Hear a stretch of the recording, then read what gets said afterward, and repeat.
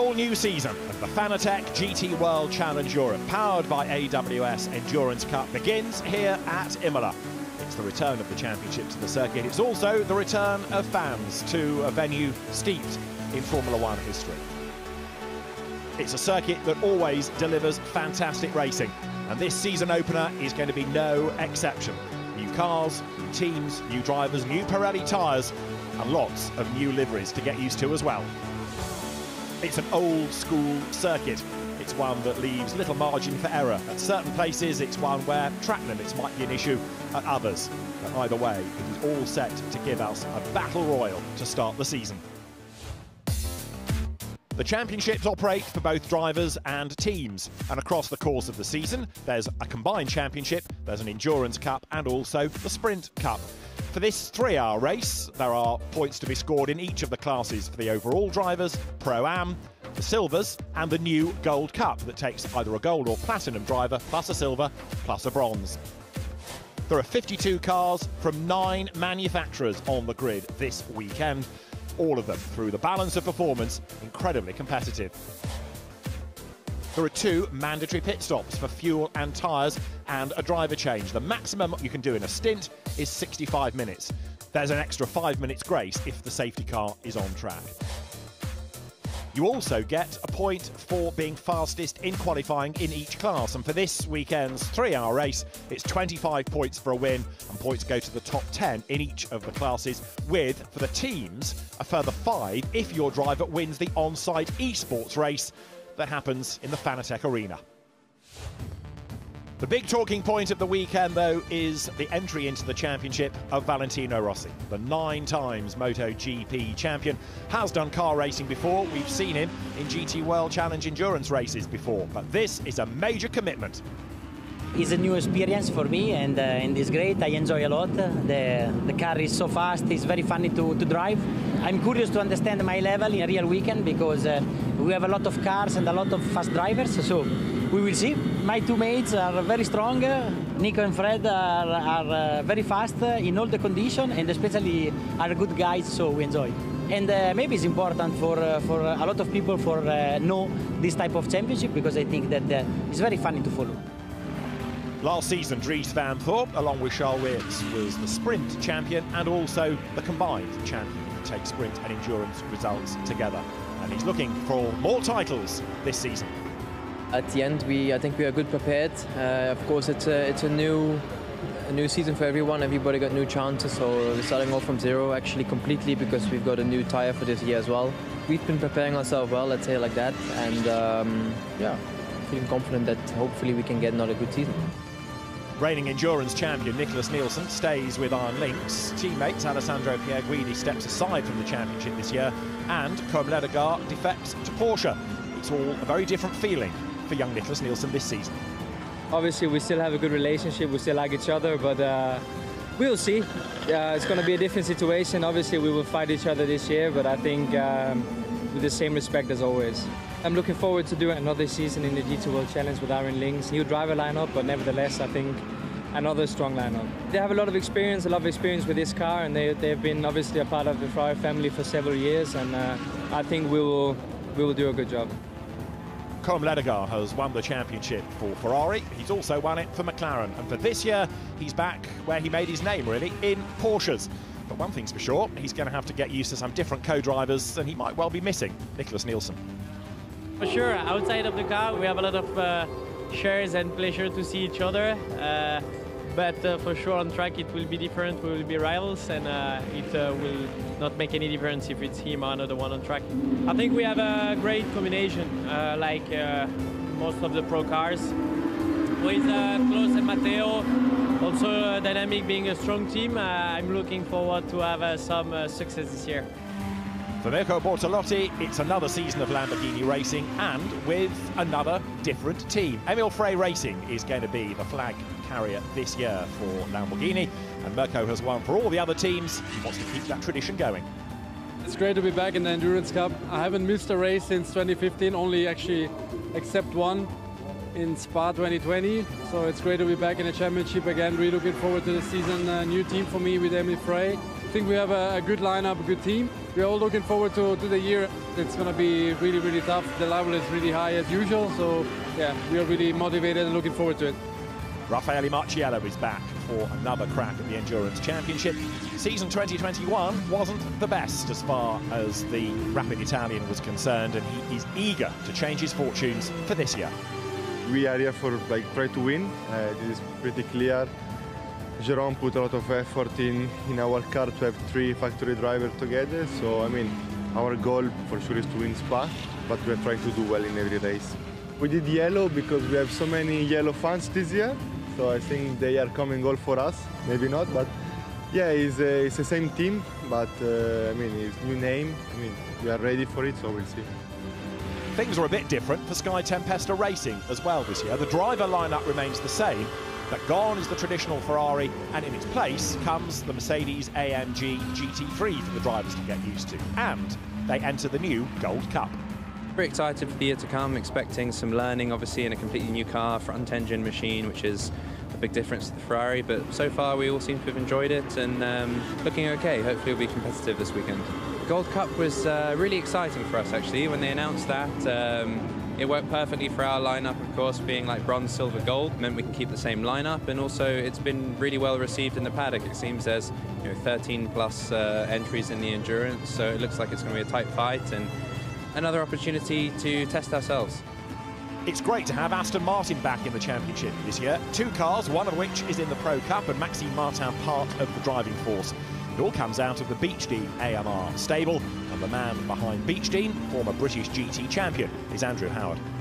I'm just excited. I've raced in Europe quite a lot in the past, and to be honest, over the last two, three years, which has been naff for everyone, I've really missed circuits like this. Car feels great. We did a bit of testing early season, so um, but it's not until you get on track with the people you're going to race do you really feel where you are and what's going on. It's just cool to be back in the car. Yeah, it's really nice to be back after a few years without racing in the full season. So it's really good to be back. Two cars, very good team, very good preparation, good teammates. So yeah, it's nice to be back and especially in, at that level. We are here to win and we try to do our best. More changes at Garage 59. Gone is the Aston Martin. In its stead comes a McLaren. And last year, Alexander West was big rivals with Miguel Ramos. This season, they team up together to drive number 188 McLaren. It's a pleasure to, to race with, with him. Uh, for a long time, uh, uh, I was wishing to do it, and so it came possible. So I think we'll have a great season. Yeah, I figured I was getting tired of getting beaten by Miguel, so I'd rather jo join up with him. So I'm glad we managed to make it work. No, it's great to be back with McLaren. Uh, it's nice to be back in a mid-engine car again. So I'm really looking forward to it. Remember too that these European races make up part of the global Fanatec GT World Challenge powered by AWS. The brand scoring points in Europe, America, Australasia and Asia. So far, we've only had races down under, and it is Audi Sport that heads the points table ahead of Mercedes AMG, then Lamborghini Squadra Corsa, and Porsche in fourth.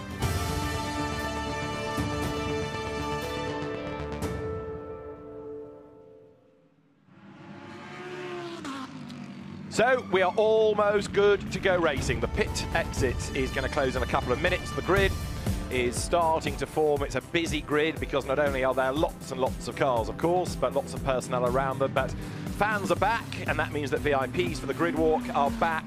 And there are very few masks in, in uh, evidence, and we are looking forward to what feels like a proper GT World Challenge Europe race. In other words, lots of action, lots of support from the fans, and of course, John Watson, an awful lot of this impetus, a lot of the attention surrounds a certain Italian who is a big draw wherever he goes, and the uh, Valentino Rossi uh, Audi certainly is going to be a car to watch. Now, let's just, before we talk more about the race, hear from the governor, because the CEO of SRO Motorsports Group, Stefan Ratel, is on the grid. Uh, his thoughts on the race and the season to come with Gemma Scott. Stefan, it's so lovely to have fans back at an event and so many of them here. The atmosphere is incredible. This is going to be a good season. Yeah, after two years of COVID, the last time we were here was in 2020 with no, no one, everybody with a mask and, and a grid that was a lot smaller than this one. So we're back in full strength with an amazing grid with Valentino, which is a blessing. uh, with fans, with uh, and with a fantastic competition.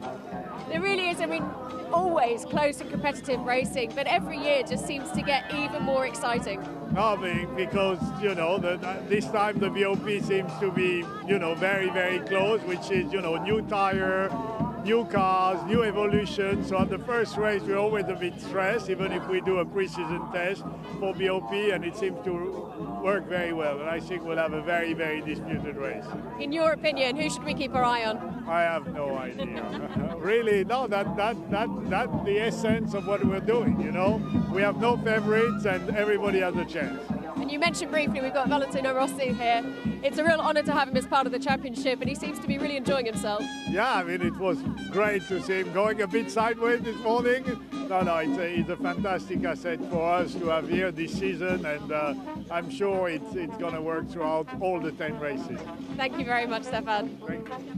We have 57 stuck in the pit lane, incidentally, Jens Liebhauser. Apparently, there were so many people in the pit lane, you couldn't get through the throng and get out in time. Right, Imola, John Watson, what a place. Wonderful circuit, 4.9 kilometres, three miles.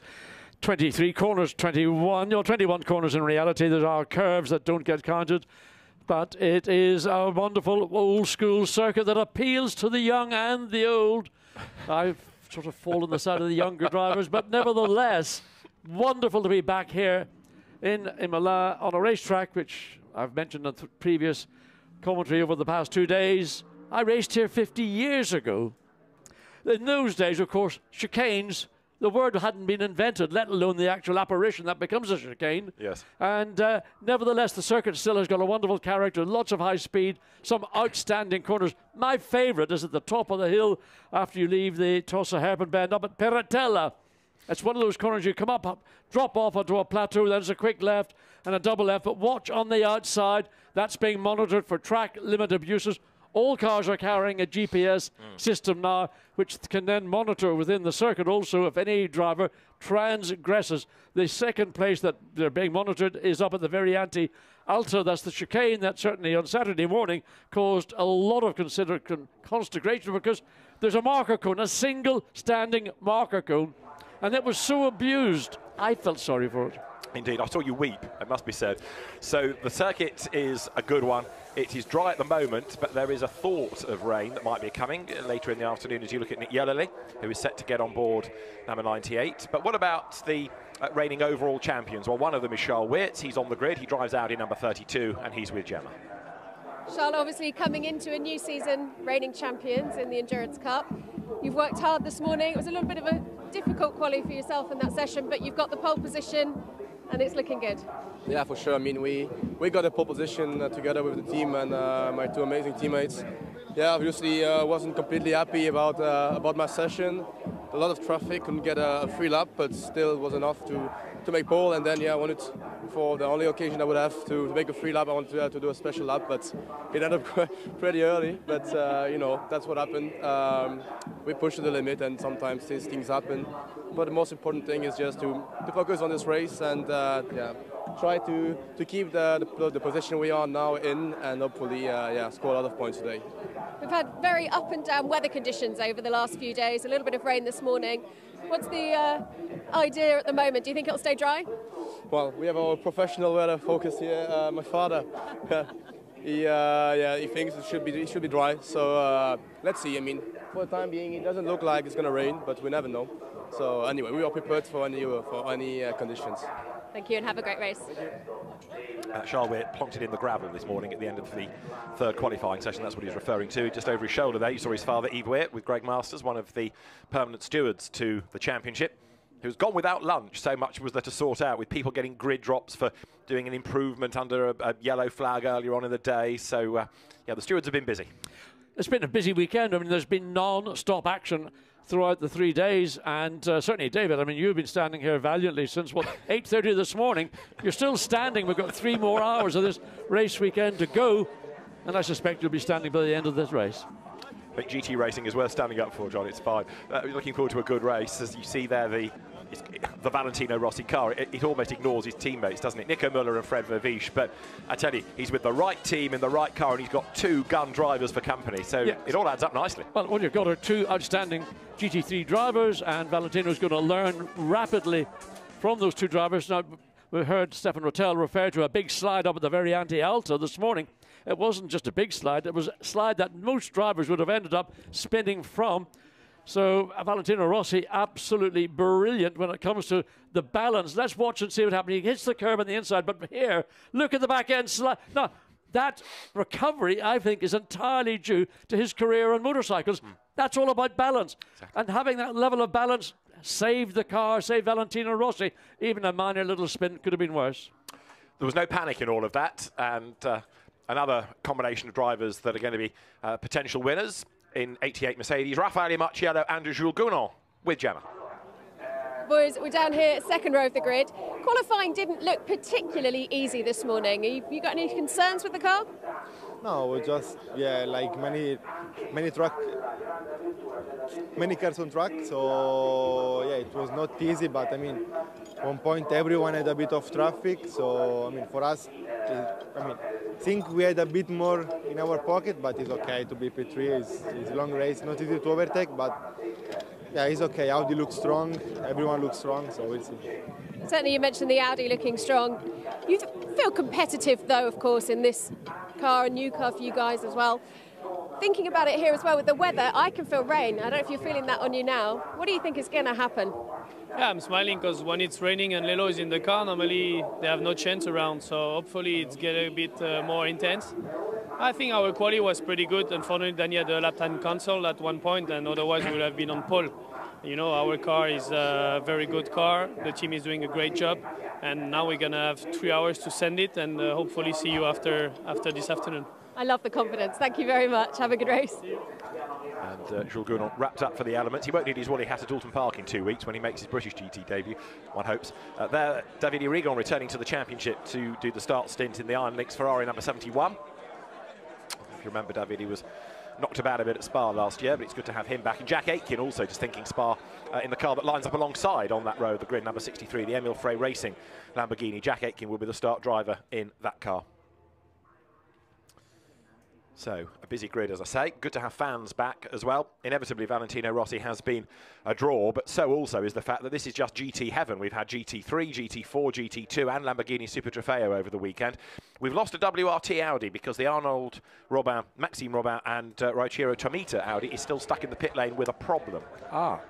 Now, a bit late in the day to have a yeah, problem. Exactly. Pierre Dieudonné from WRT saying they're working on it, but uh, for the moment, the car is still stuck in the pit lane. Sounds like it's going to be a pit lane start, should it start, which is unfortunate because the pit lane technically is now closed. Mm. So they will have to wait if they get the car down to the pit lane exit, wait until the entire field takes the start of this race before they can then get involved. Now there's a car with a grid drop. Uh, it's not the only one. Nick Yelloly starts. Augusto Farfus did an improvement under a yellow flag earlier on in the day. Uh, there is Augusto Farfus with Nick Catsburg. It's his fault, says Nick. And uh, a three-place grid drop. But uh, Nick the British driver, given the start duties in the Rowe Racing BMW. Another one with a grid drop, the Mad Panda Motorsport. Uh, Mercedes, Ezequiel Perez Companc was behind the wheel of it. Dawson Borkovic will start in that car. And another one with a, a grid drop for impeding another car was the Haupt Racing Team, number five entry of Hubert Haupt himself, uh, Florian Scholze and Arjun Maini, another one new to the championship. Now let's go back down to the grid. Let's rejoin Gemma. Marco, only two Astons on the grid this year, but certainly looking competitive. Well, yeah, P8. I wouldn't personally say it's fully competitive, but uh, I think we had a not the best qualifying today. Um, but let's see if we bring everything into the right temperatures in the race, if we can kind of make up some, some ground. It's not the easiest track to to overtake on, but I think uh, I think we'll have a good chance of making some positions at least. A lot of drivers talking about the problem of traffic in qualifying. Is that going to be a problem in the race here as well? Well, in, in the race, you're just going to have to be aggressive about the traffic. In qualifying, it's a little bit different because you have to kind of find a gap and and you don't know when it's amateur in the car or a pro in the car, and so it's it was a little bit difficult in qualifying. But I have to say we had a fairly let's say even times over the car, and that's the only reason why we're up here actually, uh, because there was definitely some cars that, that went quicker. But it's it's all about getting the lap in the in the qualifying. But yeah, P8 is not not too bad in the end. Have a good race. Thank you, Marco. So you've got two world champions in that car, Marco Sorensen and Nicki Thiim from the WEC. And of course, we've had Aston Martins regularly winning in Pro-Am and uh, an outright win in the past at Silverstone.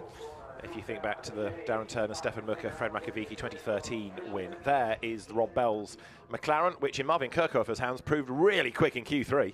Indeed, it did. It was the fastest single lap in qualifying, a 139.489. Stunning lap from the McLaren. And uh, the key, just listening to that comment from uh, the Aston Martin, is that tire temperature. I know it's a boring old subject, but it is a cool day here at Imola. Getting tire temperature, especially in the opening laps, you're going to have a parade lap. We may even have two parade laps before the race gets underway. Not going to get sufficient temperature into the tires, either front or rear or both. So everybody needs to be aware that going into Tamburello on the opening lap, 52 cars trying to get into Tamburello. How many of those 52 will get out unscathed? Well, indeed, we had 48 or so GT4 cars a couple of hours ago, and they didn't all get through on the first lap. So, yes, hopefully the message will have got through to the uh, teams and the drivers to have a, a note of caution. But uh, as Marius Zug gets ready, he's been on commentary duty for GT4 for German television and now race duty in GT3 for Attempto, but uh, splitting his time between World Challenge Europe and also the DTM this year, lining up uh, alongside number 95. You heard from Marco Sorensen, Maxime Martin, Nicki Thiim, Marco Sorensen, the drivers of 95. Uh, Nicki Thiim, Marco Sorensen, the uh, WEC champions. Maxime Martin, we know he's a star anyway in GT cars. Remember those valiant efforts in the VDS BMW, which really put him on the map all those years ago, made him a BMW factory driver in the DTM for a short period of time.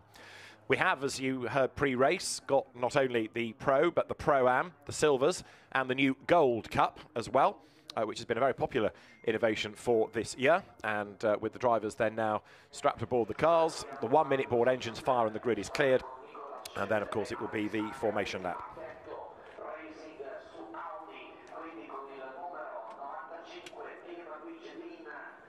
So with 51, the Ferrari there to be started by Miguel Molina, another ex-DTM racer for Audi. He's good to go. At the back of the grid, the Bentley, Nigel Bailly at the wheel of it, and the last car on the grid, which you'll get to in a second, is Rob Collard, Alex MacDowall and Sandy Mitchell's Lamborghini that Rob uh, uncharacteristically dropped into the gravel this morning, but it was hoiked out and carried on in the session. And it's Rob's, so far, only race of the season because uh, he got now the plans for the year, concentrating on trying to get uh, Ricky Collard back into racing this year. Number 25 there, lining up on the uh, outside of the front row of the grid, Christopher Mies starting for the Sainteloc junior team. So it's going to be one of the young guns at Audi, Charles Weerts, versus one of the, I don't want to call him old hands, Christopher Mies alongside. So Charles Weerts takes the start duties. Kelvin van der Linde, uh, winner at Imola the last time the cars were here, two years ago. Uh, it was a WRT win. Kelvin van der Linde, Mathieu Vaxivière, and Mirko Bortolotti, who was in his one Audi season, if you recall. Well, one minute, engines on, and looking at the start grid, Charles Weerts on the inside going into Tamburello. That should give him the advantage, but on the outside, got the 25 Sainteloc Audi he can break that a little bit later because he's got that wider arc hmm. into the first, the left-hand turn into Tamburello. Always, always a difficult point into Tamburello on the opening lap, especially if you're going to hug the inside, which I suspect Charles Weerts probably will do. I don't see him trying to move across and squeeze the 25 Audi and force it to back out. So a lot can be lost literally in the first, what, 300 metres from the start line down into Tamburello. Indeed, it's all about keeping out of trouble for those first few corners. Yes, it's a three-hour sprint, but you can certainly I know it's another old adage, can't win it at the first corner, you can certainly lose it at the first corner. Right, we are good to go. The grid not quite complete with 33 Audi sitting in the pit lane, but there the green flag is shown then to release the cars. And from pole position, it is Charles with alongside him Christopher Mies that leads them around. We'll have a look at the full grid in a moment, but as the field accelerates away then, great sight, uh, that backdrop of a really busy grandstand just adds to the atmosphere. I know many of them are here to see Valentino Rossi, but they're going to be treated to some great racing and stunning cars, that's for sure, with Charles Weerts on pole and Christopher Mies alongside him. The second row of the 26 rows of the grid, Raffaele Marciello in the AKKA now Akkodis ASP team Mercedes and Christopher Haase, another Audi up at the pointy end of the grid alongside ahead of uh, Christian Klien in the JP Motorsport McLaren. Miguel Molina's Iron Lynx Ferrari is next. Starting seventh is Marius Zug for Attempto Racing and Nicki Thiim goes first in number 95. starting ninth. Rob Bell, Maro Engel goes from 10th in Mercedes number two. On the sixth row, there's Klaus Bachler's Porsche, number 54, and Nick Yelloly aboard the 98 Rowe Racing BMW ahead of Jack Aitken and then Davide Rigon. That's row seven of the grid. The eighth row, Nico Muller in the so-called Rossi car ahead of Tommaso Mosca, another of the Akkodis ASP team Mercedes drivers ahead of Nicholas Baert and then Neil Verhagen, who was the esports race winner dominantly last night here on site at Imola. Row 10, there's Benjamin Hites for Vincenzo Sospiri Racing and Fabian Schiller in one of the fleet of HRT Mercedes ahead of Markus Winkelhock for Attempto in an Audi and Hugo Valenti in another of the Trésor by Car Collection Audis ahead of Jens Liebhauser's Mercedes. Hugo Delacour for AF Corsa rounds out row 12. Row 13 of the grid is Giacomo Altoè alongside Benji Goethe. The 14th row the cars come now up through the Piratella is where you will find Adam Eteki and Konsta Lappalainen. Adam Eteki, the French Carrera Cup graduate, very impressive this morning. Row 15 of the grid, Sarah Bovy lines up alongside Brendan Iribe. On the 16th row, there's the Ralf Bohn starting Porsche and Ethan uh, Simioni for Garage 59, the Canadian in the McLaren. On the 17th row, Patrick Krupinski lines up alongside Louis Machiels. On the 18th row, there's Hubert Haupt lining up alongside Jordan Love. On the 19th row, Andrew Howard starts as the team owner in the Beech Dean AMR Aston, but missing from the grid Arnold Robin ahead of Gianluca Roda and then Jonathan Queen Sky Tempesta, row 21. Louis uh, Proctor and Dominic Fishley ahead of Alex Malikin and Valdemar Eriksson. Next on the grid, there's Dawson Borkovic lining up with Dennis Fetzer for company. Ian Loggie is next with Baptiste Moulin alongside him. Alexander West will go first in 188 and Mike Parisi in the number 8 Lamborghini. In the back row, Nigel Bailly in the Bentley and Rob Collard starts the Barwell Motorsport Lamborghini. That is a 52 strong grid. That is how they will line up and they are coming through Rivazza now on the run up to the start of what John Watson promises to be a tremendous race. Tremendous opening lap. Look how closely the cars, that 52 car field is packed together and that's not going to be much different by the time they get down into Tamburello. The safety car will peel off very shortly after the exit of Rivazza 2 and then the race will be in the control of Charles Weerts in the pole position 32 Audi and everybody behind has got to be patient. Did I say patient? You did. Whether they listened, I can't answer.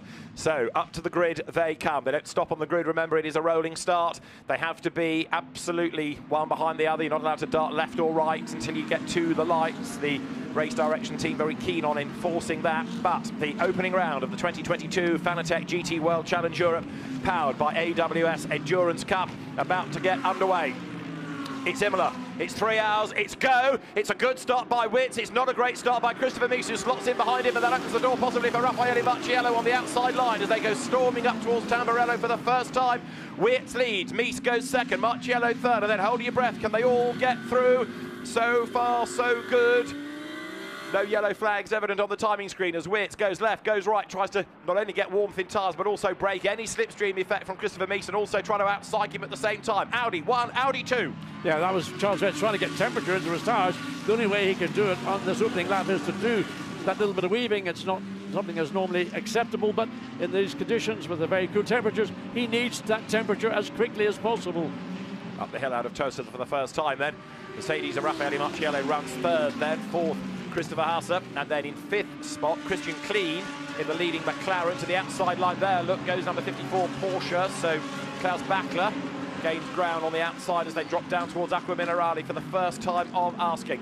Now, of course, the BOP is such that all the cars are very evenly matched. It means that overtaking ain't that easy on occasions. You've got to be really brave. The next corner, the Variante Alta, again, not the easiest place to overtake. Look at the weaving that's going on. You think it was the warming up lap, far from it. It's a racing lap, and yet people are still on a cold day in Italy trying to get warmth in the tyres. Well, this is a brand new Pirelli tyre, and people are saying that in these cold conditions, and up and up, you can see what's happened Variante Alta. People have just been forced wide. That's normal in the opening lap, but nevertheless, a lot being looked on favourably once the field begins to settle down as they run down into Rivazza and the race leader is already away out of the exit of Rivazza 2. An effort made on the inside there. Look, number 19, that was Giacomo Altoè going through. Picks up a place.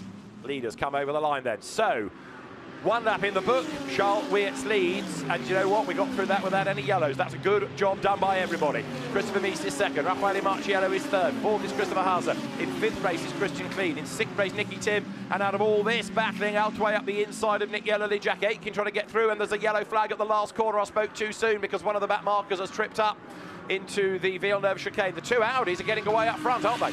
Yes, uh, good start by the number 32 Audi, Charles Weerts. Likewise, Christopher Mies making that break and Raffaele Marciello sitting back. And normally he's the hot rod when it comes to the start of any of the races, but having to be more patient maybe this time. Safety waiting, car. Yep, just waiting to get his Mercedes to the position that he would like that car to be in, so as he can start to lean on the car all the way down the hill into Acque Minerali. Safety car will be deployed. It's, it's about, I think, sitting at the pit lane exit, waiting for the race leader to come around the Rivazza 2 and then make his way onto pit straight and we have not had through well, into the pits has come Louis Machiels. That is Patrick Krupinski off the road, and Sarah Bovy walking away from that battered Ferrari. So I did speak too soon about my yellows. It was Krupinski going off there. That's done for him. But earlier around the corner, I fear he may have got together with the Ferrari. Well, certainly the Ferrari, you can see the damage to the front of the car, and that's a load of carbon fibre once again right over the middle of the racetrack between Rivazza 1 and Rivazza 2, so the car would be craned away very quickly, but then it's the clean-up operation to get those carbon fibre shards removed. Nothing cuts through a, a Pirelli tire quite like a bit of carbon fibre on the racetrack, so I don't quite know why that incident occurred, but we did see the JP Motorsports McLaren spearing off the track on the exit of Rivazza 2. Uh, Louis Machiels, Ferrari, may have got caught up in it as well. That's just pitted, but has gone out and stayed on the lead lap. It's a long, long way back, but it'll get that lap back thanks to the safety car. And Valentino Rossi thinking, glad I didn't start. It looks a bit hectic out there. His day will come. He'll have the opportunity to start at some point this season. But with a 52 car field, it's a big ask for anybody in their first effective professional season in a very, very high class field. So there's 52 Ferrari that has got for the moment ensnared behind the safety car, but it should be allowed by because it's not the lead car. So the uh, team in race control will hopefully give that instruction to the safety car crew to allow that car to go by. But we've gone to safety car procedure already, so quite often the safety car will circulate until it finds the right car, then bang the lights on. When it left with the lights on uh, before Louis Machiels had exited the pit lane, so it's out of sequence. But the safety car has as you see, being deployed because we need to get that incident attended to down at turn 17, turn 18. So contact between Sarah Bovy and Patrick Krupinski has been acknowledged by race control. 51 starters in the end, with the number 33 Audi not having got away. We've got a couple that have just also made pit stops. 57 and 911 have uh, just blasted out of the pit lane. It's conceivable those cars might have been behind the Ferrari and McLaren, and they would be the first to find the racetrack you know, pretty much covered in carbon fibre. So whether they felt in the interest of safety to come in and uh, possibly even put on a fresh set of rubber all round just in the event that they might have picked something up. Maybe they didn't even know if there was an issue, but rather than finding out the hard way, they've done what they think might be the smart move. Well, for the moment, safety car stays on track. And of course, they haven't got much time to get warmth into tyres.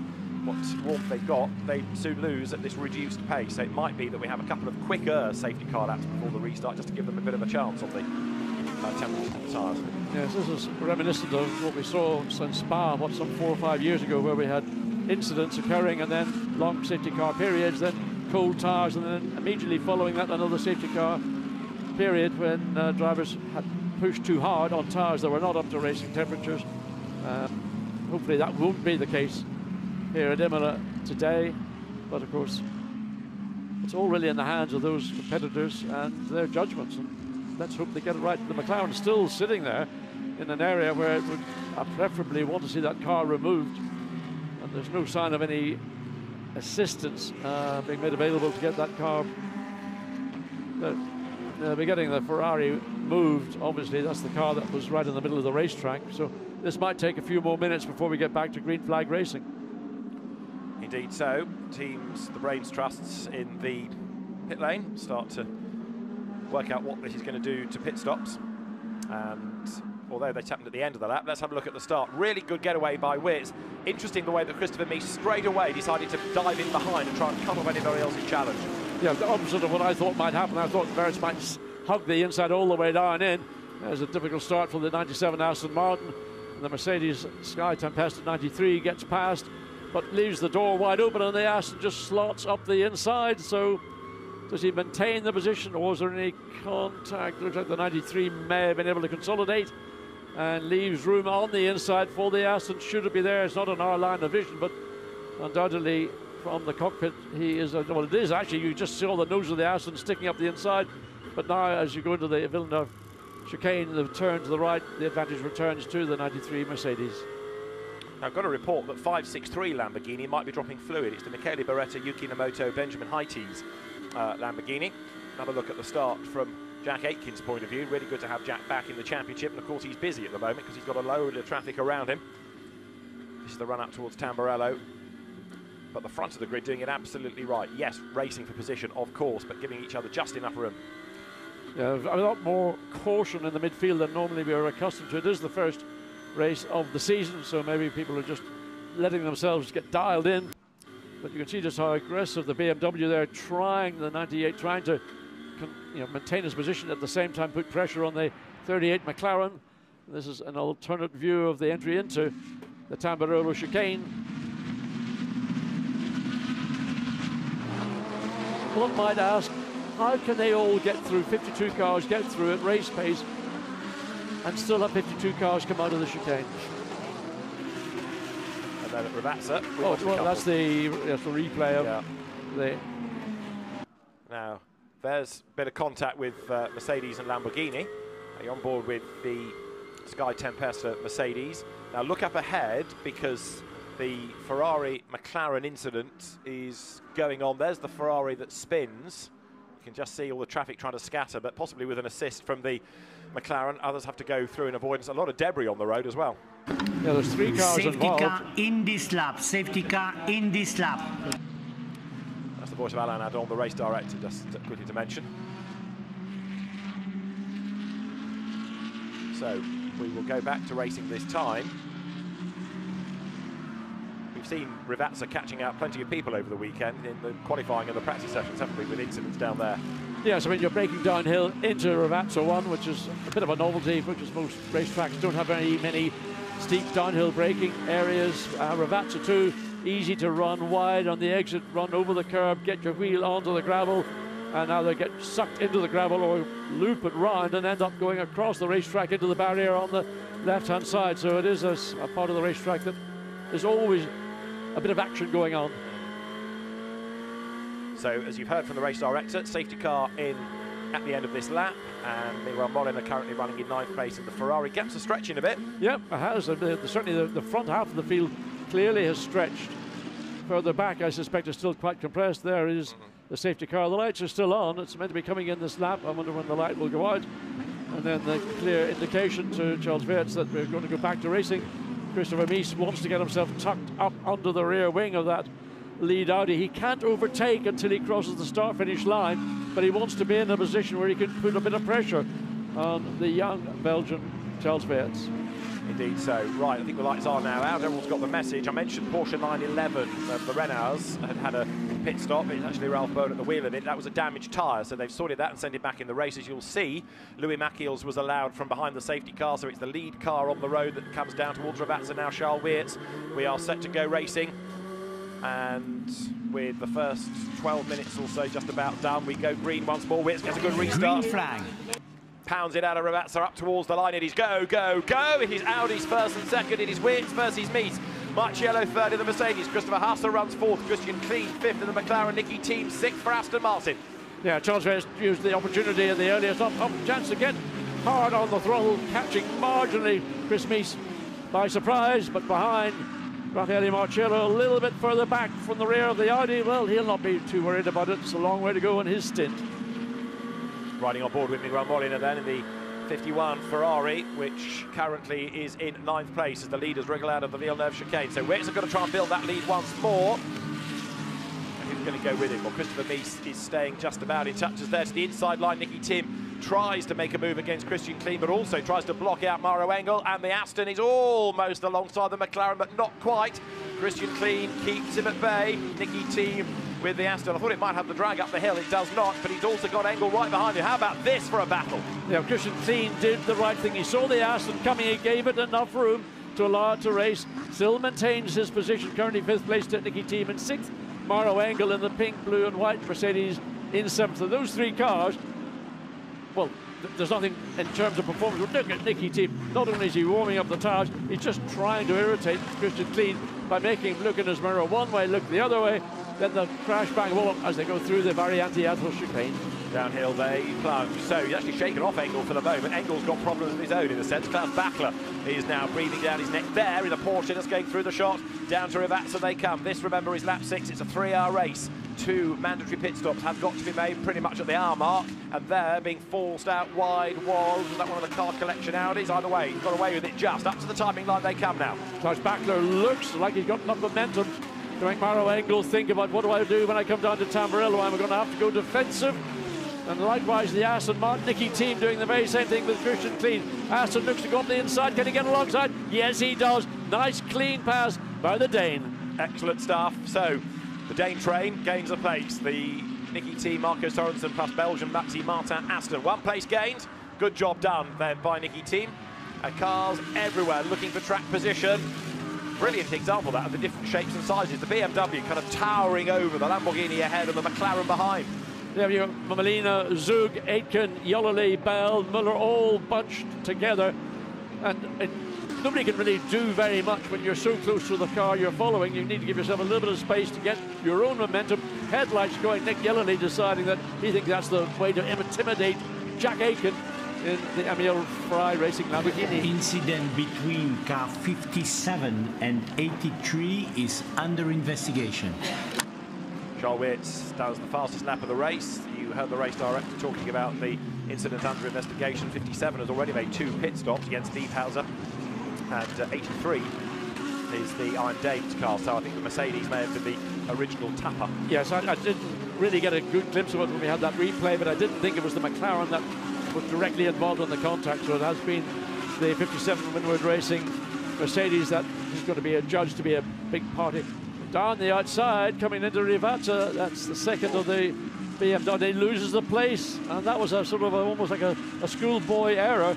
Oh dear me, that was Verhagen. So opened up the door, and the Audi just said, "Thank you very much. I'll take it all day." Hugo Valente in the Audi number 11 gets ahead of Neil Verhagen. Then the leader goes by Charles Weerts, leading by three tenths. Fastest lap, Nicki Thiim. The Aston is a storming. It goes through now in fifth place. Down to sixth, Christian Klien. Maro Engel is still seventh. Uh, the leading Silver Cup car at the moment is 99 of Marius Zug, uh, and other classes are being led by Gold Cup number 10, Adam Eteki, a little bit further back, going nicely. And that was the leader getting it wrong. Charles Weerts coming out of the Villeneuve chicane, rattled it across the gravel, and he has gift-wrapped the lead and given it to Christopher Mies. Well, Christopher Mies certainly did not need to ask twice on that one. And, uh, well, well, let's have a look and see. Just too hot, caught the gravel, dragged the car across the grass. And Christopher Mies says, thank you very much. That's the easiest pass I'm going to have all afternoon. And so now Charles Weerts a bit rattled, tries to fight back. Raffaele Marciello thinks, good, if I apply pressure, let's see what happens next. Well, Raffaele Marciello certainly would know how to apply pressure. Two young drivers, two entirely different cars, but with the balance of performance, there's very little to pick and choose between the overall lap time. How they achieve it is quite a different thing, but in terms of overall lap time, there's nothing between the Mercedes and the Audi. Downhill they turn. The new race leader, but look at this. Raffaele Marciello is all fired up now, isn't he? He wants to take that place. Then the Italian driver drops downhill. Behind him is Christopher Haase. And as the field accelerates through the first element of Rivazza, that is 98 Nick Yelloly. So the BMW rattles up the curb, look back at the Rover entry. This is from Jack Aitken's car. The Emil Frey Racing Lamborghini goes through over the timing line. Now, Christopher Mies leads by over a second now from Weerts. Marciello half a second back. Then it's Haase, then it's Thiim, then it's Christian Klien in sixth. Well, Charles Weerts is going to have to take off three or four corners to get his tyres cleaned up because by going onto the gravel, he'll pick up all the rubbish and all the dust and whatever. So that Christopher Mies would have easily been able to extend that advantage, but what Charles Weerts has got to be aware of is half a second behind me is Raffaele Marciello. The only good news is in sector one, there was a fraction of a second advantage to Charles Weerts over that third place Mercedes. Jack Aitken here under pressure, isn't he? He's got Nick Yelloly all over him like a rash. Up the hill they climb. Lap nine. So Christopher Mies, race leader, trying to get away. Charles Weerts having a word with himself, calming himself down. In fairness, he's not really given Raffaele Marciello a proper opportunity to challenge, so he's still there in that second place. But it's just one constant line of traffic, isn't it? There's not much of a gap, but I suppose if there is one anywhere, it's between fifth and sixth. Nicki Thiim, having cleared the McLaren of Klien, has got away. Yeah, so he's now only a tenth of a second behind Christopher Haase in the fourth place Audi. So yeah, that would be another move that Nicki Thiim, if he could repeat what he did a few minutes ago going into Tamburello to make that pass on Christian Klien in the McLaren, well, he'll feel that's been a good start to my one-hour stint here this afternoon. There you can see the red Audi and uh, directly behind it, the Nicki Thiim is getting himself into position to be able to do what he did a minute or two ago.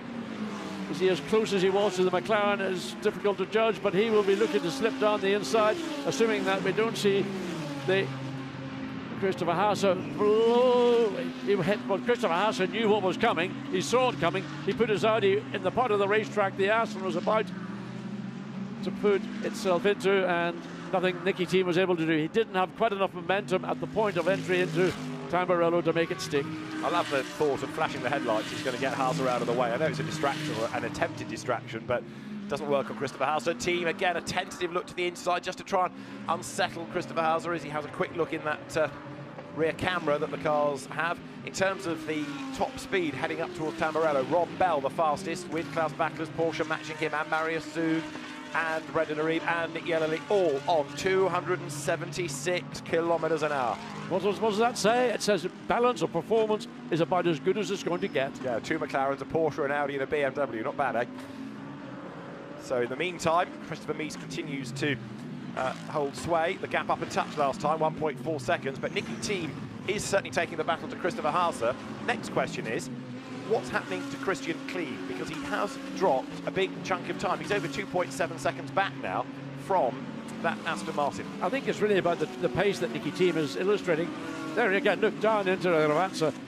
Christopher Haase uh, knows he's got a battle on his hands. Nicki Thiim is trying to get himself even closer to the rear of the Audi as they then go on to the start-finish straight. And again, the battle will be going into Tamburello. Will the Aston be able to get alongside? If it does, it can take the corner. But if he hasn't got enough, it hasn't got at least three quarters of the car alongside, it will not happen. 66 track limits. 66 with a track limit infringement then.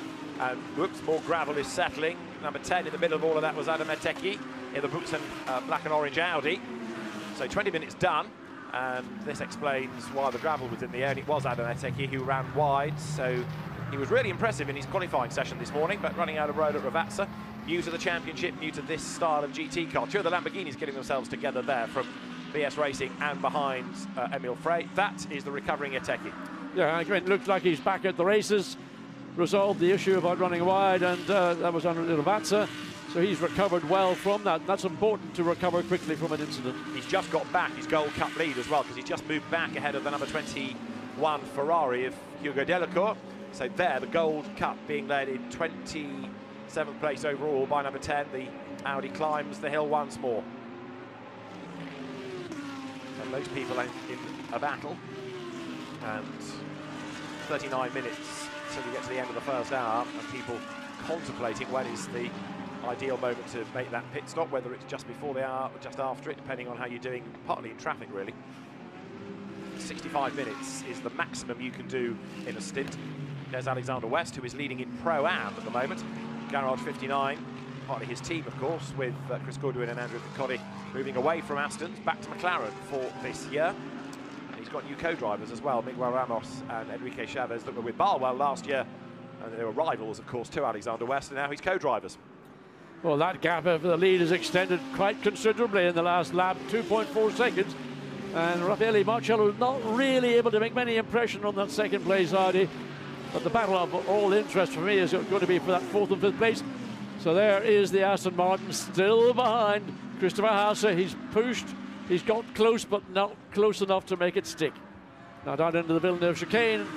Again, you can see Thiim closes right up to the rear of the Audi, but then it's acceleration off the corner. He's a little bit later on the throttle than the Audi is, and that's where the seesaw of entry and exit of corners, and it equals itself out by the time they now make the climb up the hill up to Piratella.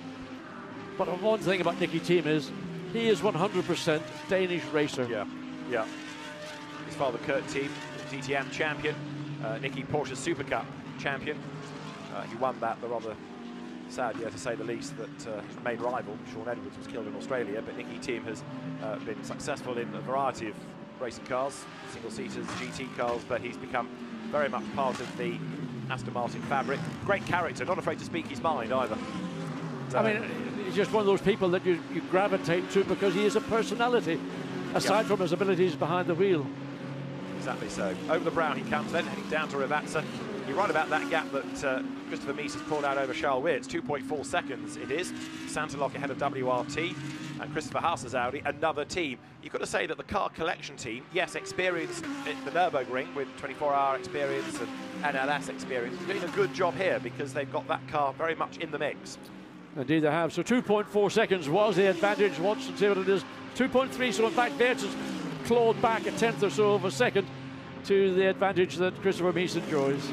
Christian Klien, you just saw go through. He's got himself behind a back marker. That's Nick Yelloly looking to try to make a move. He's going to the outside line. Look against Jack Aitken heading up towards Tamburello. Can't find a way through. Again, you see the different shapes. So obvious in the case of the Lamborghini and the BMW, but so evenly matched as well. Yeah, Jack Aitken had to go slightly defensive on the entry into Tamburello. Nick Yelloly tried to work the Oracle by adjusting to what Jack Aitken was doing.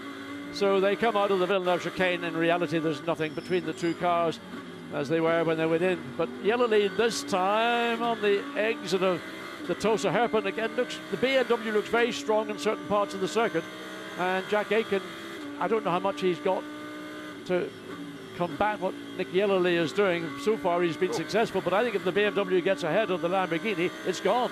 You might be right. The last time Jack Aitken raced here was in 2015 in Formula Renault Alps and he was a race winner. So it's a hopefully good return to Imola for him. Gets away from the BMW there, doesn't he? Out of Acque Minerali up the hill to Variante Alta. And now brakes and under braking, so the BMW claws back a length. Right there, you can see Christian Klien, who has got Black and white flag to car four, track limits. He's got Maro Engel breathing down his neck. Car four, says Alan Adol. That's Jordan Love, the uh, Australian driver, managed by Mark Blundell. Through the traffic they go. That uh, 57 against Liebhauser, blue and white Mercedes out of sequence, but they've cleared that through Rivazza. A rear review of the battle now as the lead going through again.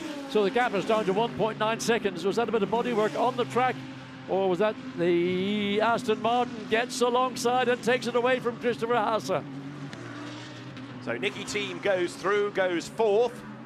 That car's getting stronger and stronger as the stint, go, stint goes on, and this was it. Side by side up towards the timing line. Oh, there was, was a big con- whack yes. between them. Yes, Oh. that's I saw the bodywork flying. I didn't see the contact initially, but that was what caused the bodywork to fly. So no mercy given whatsoever in that overtake by Nicki Thiim.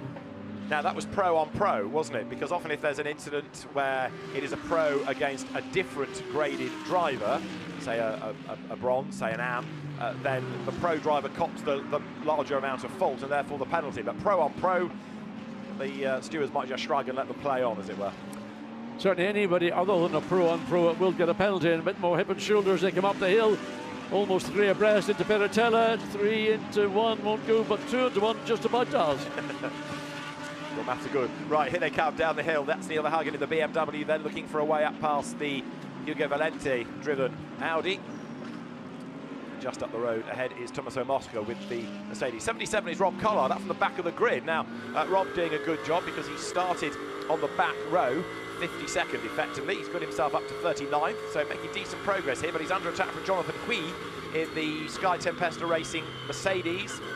New car for Sky Black and white flag to car 90, track limits. I suspect we're going to hear an awful lot of this. That's Dawson Borkovic, number 90, being given the driving standards flag. They're relevant now insofar as that's your warning, but once you've had the driving standards flag, then you can anticipate that it's going to be a, a rather more draconian penalty. Yeah, I mean, it's been very clear to everybody, particularly here at Variante Alta, if you run all four wheels off the racetrack over that white line, then you're going to be observed. And if you go completely off the racetrack, then you will have ceded that, or potentially ceding a position, certainly losing time.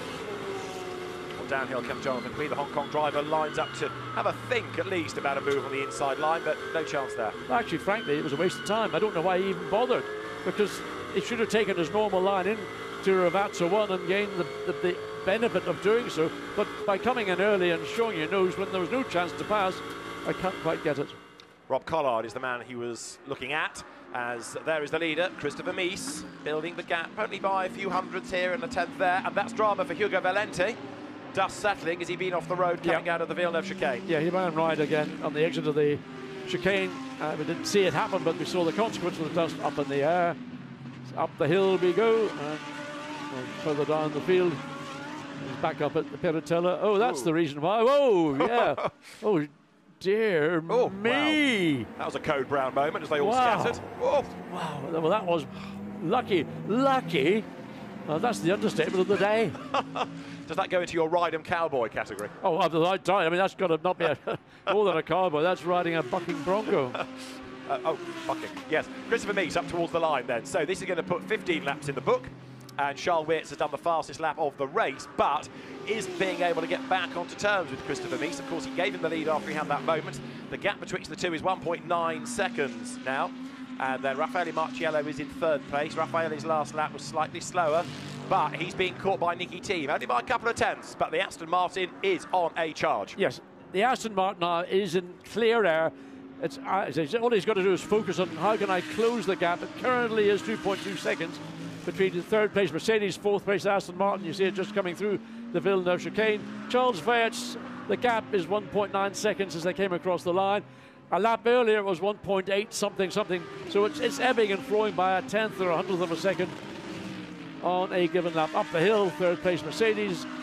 It's a rather restrained drive to date from Raffaele Marciello. Normally we see him very, very uh, aggressive in the early phases of a lap. But yeah. this is the driver here, Nicki Thiim, who's been really getting his elbows out. And I wonder just that little bit of contact with Christopher Haase's Audi and bits of carbon fibre coming off. Those little bits of carbon fibre do actually an important job.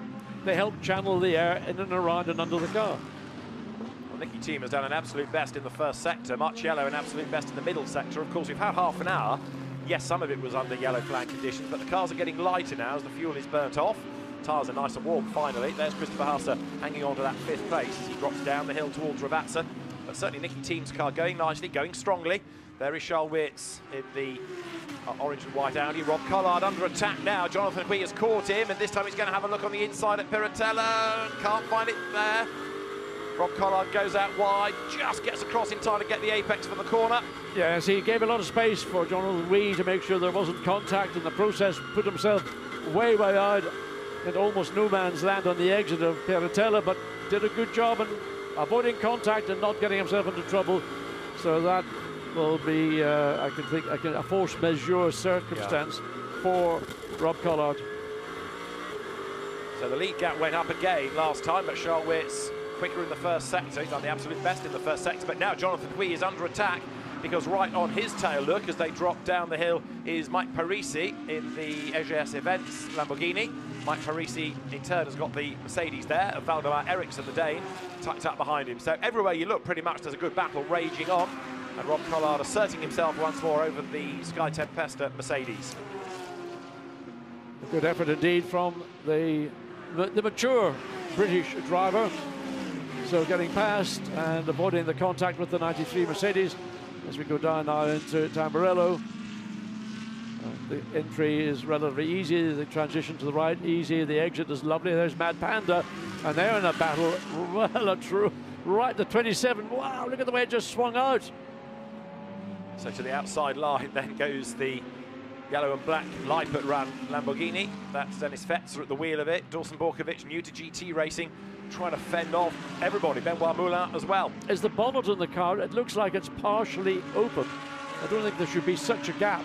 Might be right whether that's a potential problem or the, that's how the car started the race. But to my mind, that's not fully closed, but there are restraints on the other side of the bonnet to make sure it doesn't blow back, but it's something the team will most likely have a look at when it does come in for its first of the two pit stops. Nicky T, fastest lap of the race, 1 minute 40.3. He's currently 4.9 seconds off this leading car, so net the gap is coming down. Christopher Mies is about to start lap look, because that is the uh, disabled driver Nigel Bailly making his GT World Challenge Europe debut. Uh, Nigel Bailly, who raced at Le Mans last year, uh, was paralysed after a nasty motocross accident, but returned in karting and then Clios and then into sports cars. So it's great to have him as part of the GT World Challenge Europe family. Did a good job in realising that the race leader was closing quickly, gave him plenty of room to get through. Now Charles Weerts will be looking for the same kind of treatment and of course a more difficult part of the circuit down into Acque Minerali. So the Bentley stays as best he possibly can to the left. Charles Weerts will have lost some the momentum. flag to car 32, 54, 14 and triple seven for track limits. Stacking up, aren't they? God, dear me, it takes a half a minute to get the message out. There's so many drivers transgressing. Now, Raffaele Marciello will be feeling, oh, why do they let those two Audis go? And now I'm the one that's getting stuck. So he'll dive down the inside into Rivazza, which he does. And uh, he'll now have to make up. But his concern will not be just losing time to the Audis, it'll be losing advantage to Nicki Thiim, who now is caught up behind the Bentley likewise. But the disadvantage to Thiim is going to be less than that would have been to Marciello. Jonathan Hui, he's going to have another go at super sub Rob Collard.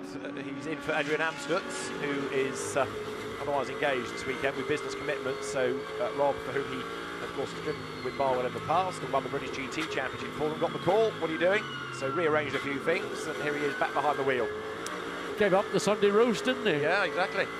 Hasn't gone out for one of his usual 100 mile bike rides or whatever it is that Rob does. Run plenty of marathons. He's a keen cyclist and uh, keen racing dad as well, looking after Ricky and Jordan, his two sons. Top speed at Tamburello, Maro Engel's Mercedes, the fastest, 182 kilometres an hour time with Neil Verhagen's BMW. Then it's Ferrari, Porsche, BMW, 181 apiece. Again, what, five, four different brands in the, the top five. Just watching the 83 Rob Bell, who's right on the rear wing of Nick Yelloly in the BMW, who's still battling to get ahead of Jack Aitken in the 11th place 63 Lamborghini. There's Maro Engel, who's down in seventh place. He's just 1.1 seconds behind Christian Klien in the number 111. You can see it, the black and gold.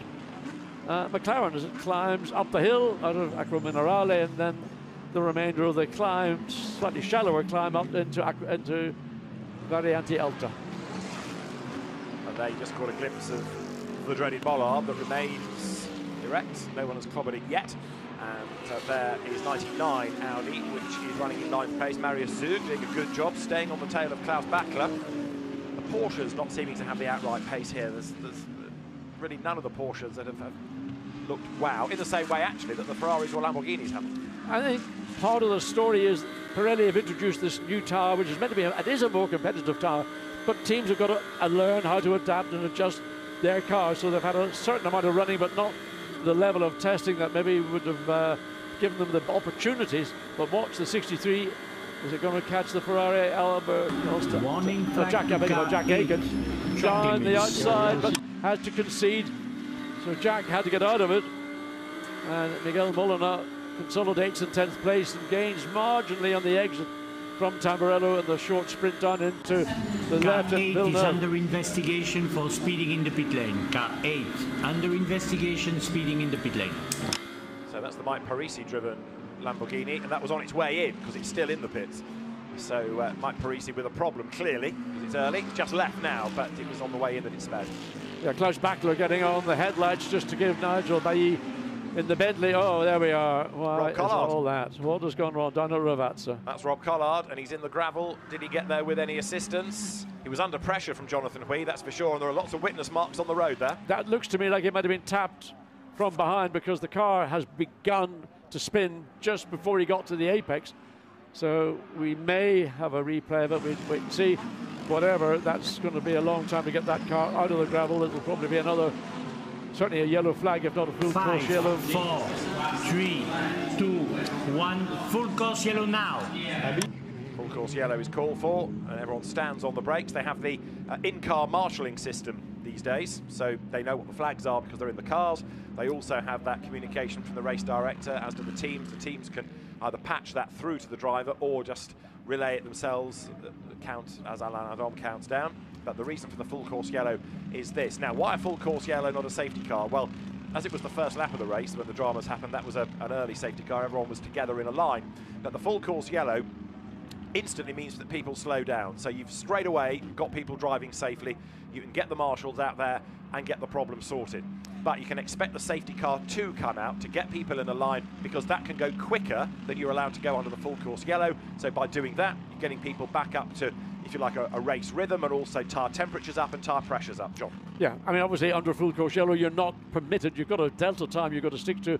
You're not meant to gain or lose on the car ahead of you or directly behind you. So there is our race leader, Christopher Mies. He built up just prior to this full course yellow 6.7 second. Now that may be the consequence of the at the point of the racetrack that the full course yellow was issued, where Christopher Mies might have been on the lap and where Charles Weerts was, but 6.7 seconds, significantly larger than it was on the last racing lap. There you can see the gap between the two cars. But once we go to a safety car, then that gap is going to close back down, and so it, will the work that Christopher Mies has done to build up his advantage will be lost. But that's the same way all the way through the field. So the biggest loser inevitably is always going to be the race leader. Yep. Everybody else benefits. Here comes the safety car. So because look, it's allowed to go faster than the delta speed for the race cars, it overtakes the leader, and having found him, will stay in front. Uh, on instruction from the race director, we'll put the lights on and then we go to safety car procedure. Safety car procedures, safety car procedures. All cars to group. There's a funny echo in this room. Uh, so, Alain Adom conferring what I was just saying. So now, safety car having got ahead of the race leader. But this is the beauty. You don't have to wait and hope you get in front of the car. You can go and hunt for him. There's the leader. That's my man. Bang. In front, lights on. I suspect it's going to be a fairly short safety car intervention because I think once they got the snatch rope attached to Rob Collard's Lamborghini, that car will be pulled away pretty quickly. And uh, maybe one, maybe two laps at most behind the safety car, and we'll be back racing, green light racing. But everybody, fifth, fourth, third, second, will have benefited. And poor Christopher Mies, well, he's got it all to do all over again. But the benefit he will have, he will be the driver who will control the point at which this race goes green, as we saw Charles Weerts do after that first safety car restart just after one lap. It's also going to bring Nicki Thiim into the mix, isn't it? It's going to allow Christian Klien potentially to close up onto the back of Christopher Haase. So, uh, echoing John's point that everybody benefits by closing on the car ahead. Incident between car 77 and 3 in turn 18 under investigation. Car 3, so Valdemar yeah, Eriksson, not the Sky Tempesta Mercedes, yep. as we erroneously thought. So, uh, to me, it looked like Rob Collard and the 77 Barwell Motorsport Lamborghini uh, was probably just at the critical point of turning in when you're breaking downhill. The nose is down, the back is high, and a very the lightest of touches would be enough just to force the Lamborghini into that spin. That's how I read it, but if there's a replay, we'll bring it to you. Yeah, 93, I think, had got by already. So Jonathan Hui had made his move, and perhaps Valdemar Eriksson then chanced his arm, and it didn't pay off for him. But uh, Rob Collard then, really tough day at the office for Rob, because he was in the gravel in qualifying, and then he's been assisted off uh, down at turn 18 at Rivazza. There's nothing personal about it, is there? yeah. Rob might be thinking so. But he's from the school of hard knocks. He knows all about this. There's that little battle going on with, with uh, Molina in the Ferrari, John, uh, Jack Aiken in the Lamborghini, Neil, Nick Yelloly, and Rob Bell, and Nico Muller, and Davide Rigon. Mean, that group of cars from 10th all the way down to 16th place is going to be as tight as anything is going to be at the very front of the field. Yeah. So the field heads down the hill. So we lost two on the opening lap. 33 never got into the race. I think the WRT squad have officially retired the uh, Arnold Robin car, sadly. But uh, the rest of the field then getting set to go racing as soon as they possibly can. But once the circuit is clear, might be another lap or so just to let them go quickly. You can see how much effort is still being put in to keep tyre temperatures and pressures up. Absolutely. I mean, the, the, the key will be getting back as close as you possibly can to certainly the tyre temperature to a degree the tyre pressure so that when this race goes green, you know that you're going to be able to charge into Tamburello and the car will perform, respond, do what you wanted to do, not have a mind of its own. So we are behind the safety car then, and the field turns its way up towards the completion of lap 22, and it does so with Christopher Mies in the lead of the race in the Saintéloc Junior Safety car in this lap, safety car in this lap.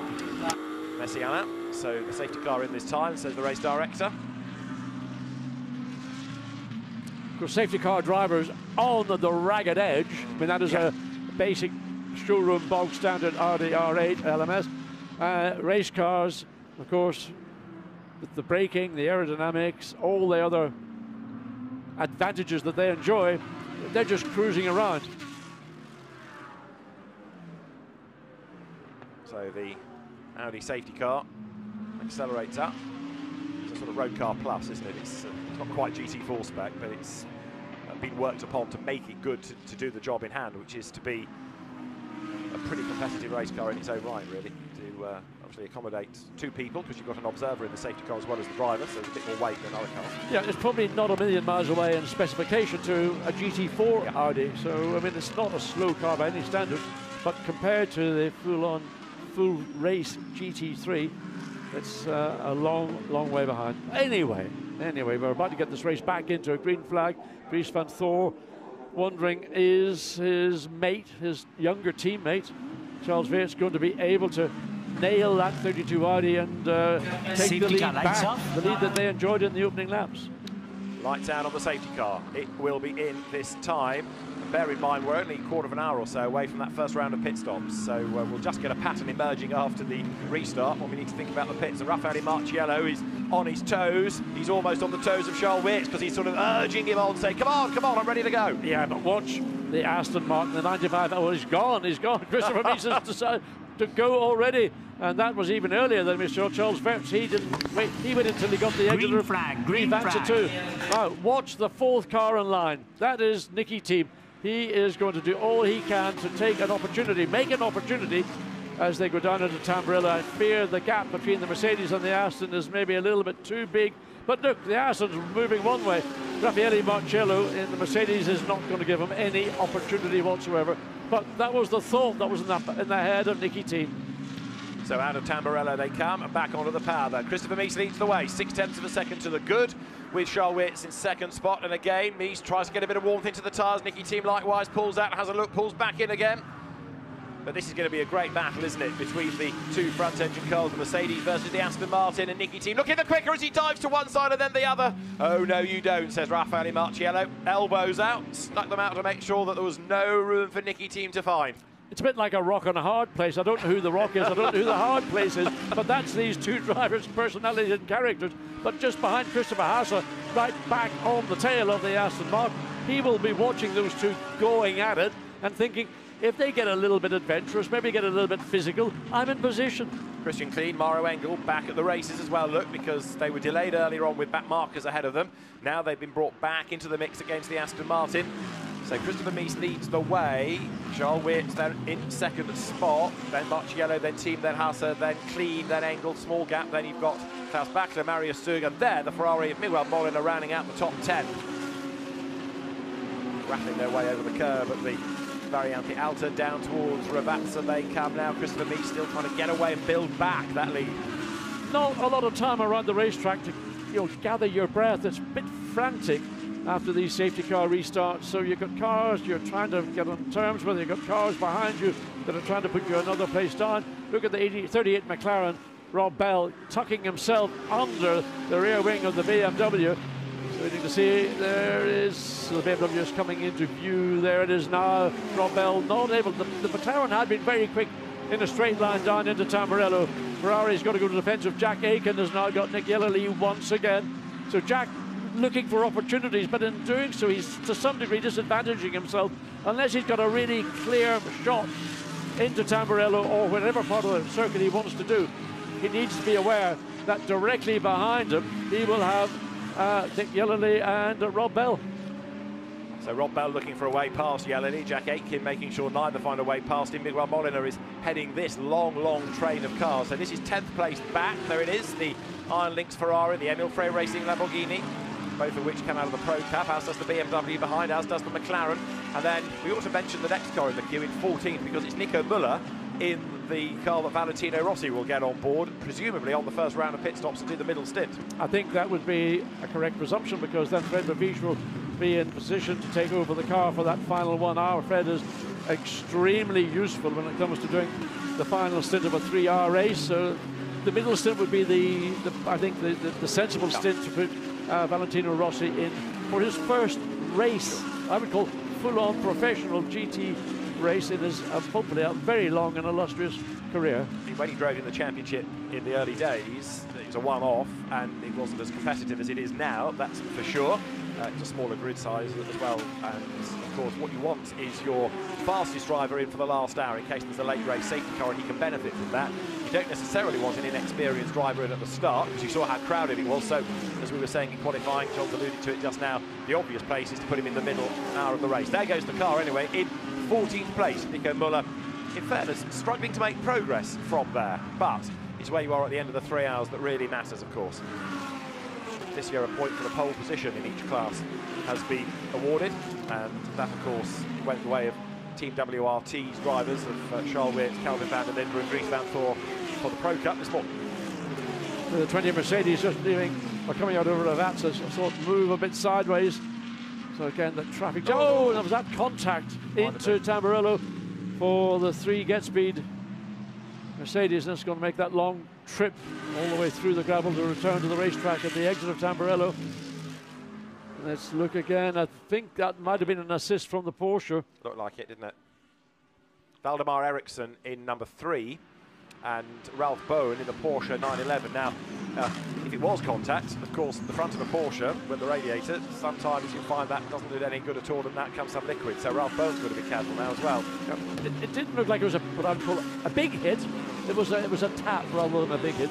Hopefully, the Porsche, the vulnerable part of the Porsche is the left front, the, le the right front, because that's where the oil and water radiators are located, um, and they're on the extreme outside edge of the, the front of the car down into Rivazza 1 and this battle going on for the positions from 10th all the way down to 16th. There's the 16th place BMW.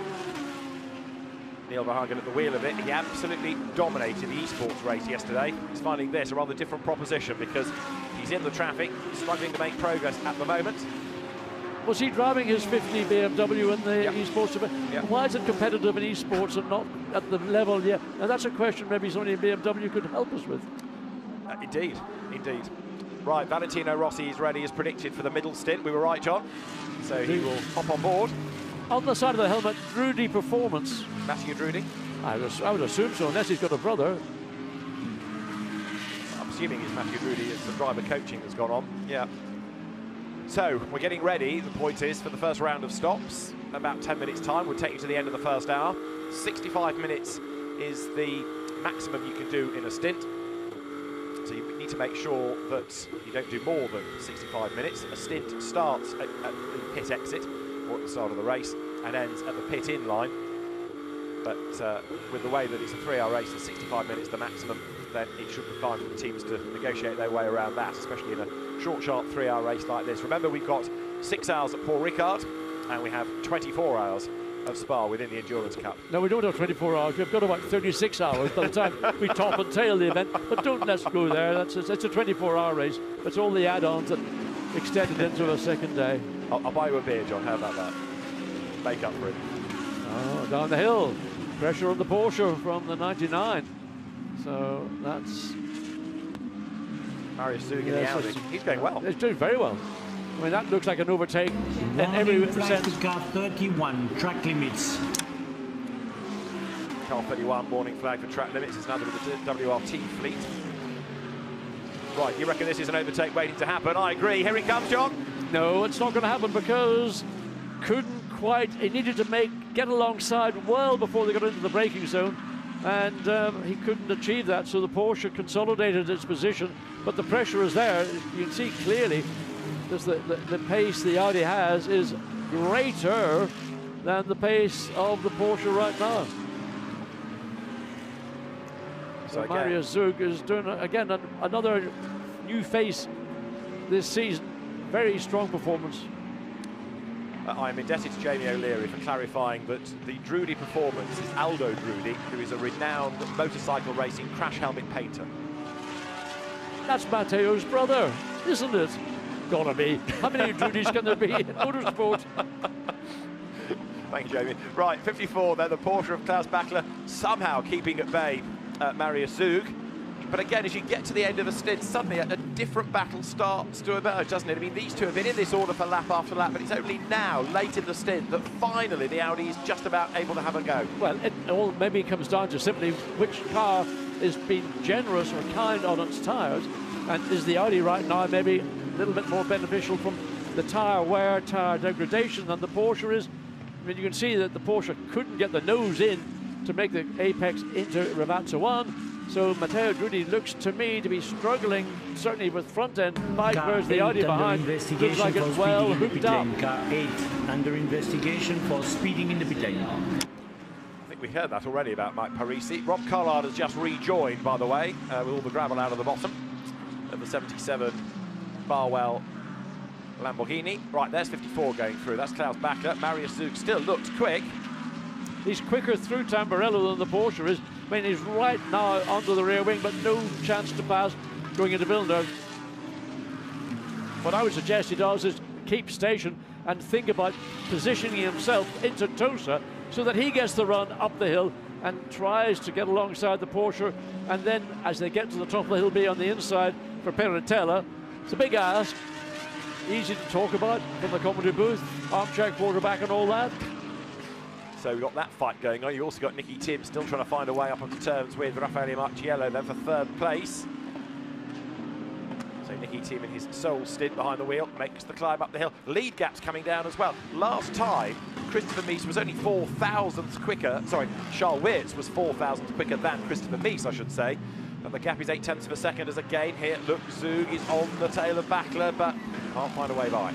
I just noticed coming out of uh, the tail of the Aston Nicki Thiim for the first time looked to be less stable. Okay. So again, we're seeing with Porsche Klaus Bachler, is it maybe just the tyre has peaked and there's no more grip? Is that going to be the same with the Beechdean Aston Martin running behind uh, Raffaele Marciello and the gap is beginning again, it's extending. It's only by a very small margin, but previously the Aston was running maybe half the distance it is now to the rear of the Mercedes. So it's effectively now four for the lead, thanks to that safety car period, because two seconds covers the top four. But with only five minutes until the hour mark, are people going to keep the fight going? Are they going to hold station and wait to see what Full they can do course the yellow procedure of car 563 under investigation. Full course yellow procedure of car 563 under investigation. Right, 563 is the VSR Lamborghini being uh, driven at the moment, fair way down the order by Benjamin Hites, 25th. Uh, when Alan Adam started talking, I thought, oh no, we're going full course yellow procedure, in fact, but uh, to refer to the earlier one and the transgression. And there it is. That's Benji Hites's the Well, Colombian. who's off directly behind him has gone off the track. That's one of the McLarens, I think. Ethan Simioni. Yeah, so ran wide again on the exit. Easily done. It's tempting to think it's a quicker turn to the right than it maybe is. And if you get your tyres a little bit congested with whatever you've been picking up, that only enables you to run all wide and into the gravel and make a mess and whatever. So it's full course yellow procedure being investigated. Valentino Rossi arrives in the pit lane, ready to go. Yep. So does that mean they're going to bring Nico Muller in imminently? I think it would be a good thing to bring him in as early as they possibly can to get Valentino into the car. The pit lane is empty. What you don't want to be doing is a pit stop when the pit lane. Yeah, I mean, we're not talking about as whatever. But anyway, keep the pit lane as free as possible to enable Valentino Rossi to get into the car, Nico Muller get out, and then he, he'll go back into the racetrack when it's relatively clear. Indeed. Right, Nico Muller is, I think, in this time. You have the cheers for. Last warning to car 8 track limits. Next step is drive through. Okay, number eight, Mike Parisi on the, the verge of the drive-through. Right, Nico Muller is in, Valentino Rossi in. It's not often in GT World Challenge that you hear the crowd cheer for a driver when he arrives in the pit lane. Valentino gets that honour, and he's about to get into the car. So he'll open the door and assist. There's a there's a netting, which is a safety netting, which he then quickly released. So now Nico Muller will help Valentino get himself into the car. You've got a six-point seatbelt harness. You've got to get the crutch strap in position before you can attach the the, the waist belts and then the shoulder straps. There'll be radio connections. I don't think there's a drinks bottle on board. There's the net being reattached. That's a safety feature which is mandatory in all cars here this weekend. Nico Muller runs back to the WRT garage. His day's work is complete and the refueling is still going on. Remember, we saw back, I think, in Barcelona last year, teams being penalised by letting the car off the jacks before the fuel bowser had been removed. There was a clear example of the bowser coming out, then the car comes down to conform to regulation. Uh, there is no pit stop regulation time as such, other than the fuel hose must be connected for 40 seconds. So whatever else you do, the fuel hose must be connected for 40 seconds. Rossi leaves the pits, he's on track. And he's got clear track. Yeah. Nobody behind him immediately, and nobody obviously directly ahead of him. The leaders have just come through the first four cars, but there is Valentino Rossi, first racing lap, and uh, well, let's enjoy it. Warning flag to car 2 and car 11, track limits. There is Valentino Rossi then. So of course the car drops down the order, but as everybody else cycles through their pit stops, then he will of course gain back places. And as John makes the point, with a clear road ahead of him, he can really push now. Yes, he can, and that's a great way to let him build confidence, get back into a race, or start a race, I should say, up the hill into Piratella. And look at the concentration on his face, the eyes. I mean, I often, well, there's a couple of blinks, a couple of blinks in a couple of seconds. Well, down the hill in towards Acque Minerali, down the gears, then the, the turn to the left, looking for the apex, just then climbing up over the hill. The back of the car wants to get a little bit wayward, pulls more gears as he climbs up towards Variante Alta, makes the turn in, and oh, what's that? Is that fuel? Well, that's a big fuel spillage on the on the. Whose pits are those? It is WRT, isn't it? Number 31. Well, that, that's a real leaker. Mm dear me, that's I've not seen that level of fuel, and that's coming out of the overflow, overflow pipe. So the team and the officials having a word, and the, the Imola fire crew, pit fire crew. They want to get something on that quickly yeah. because another car coming into the pits in proximity hits that fuel, they'll have a difficulty slowing down. So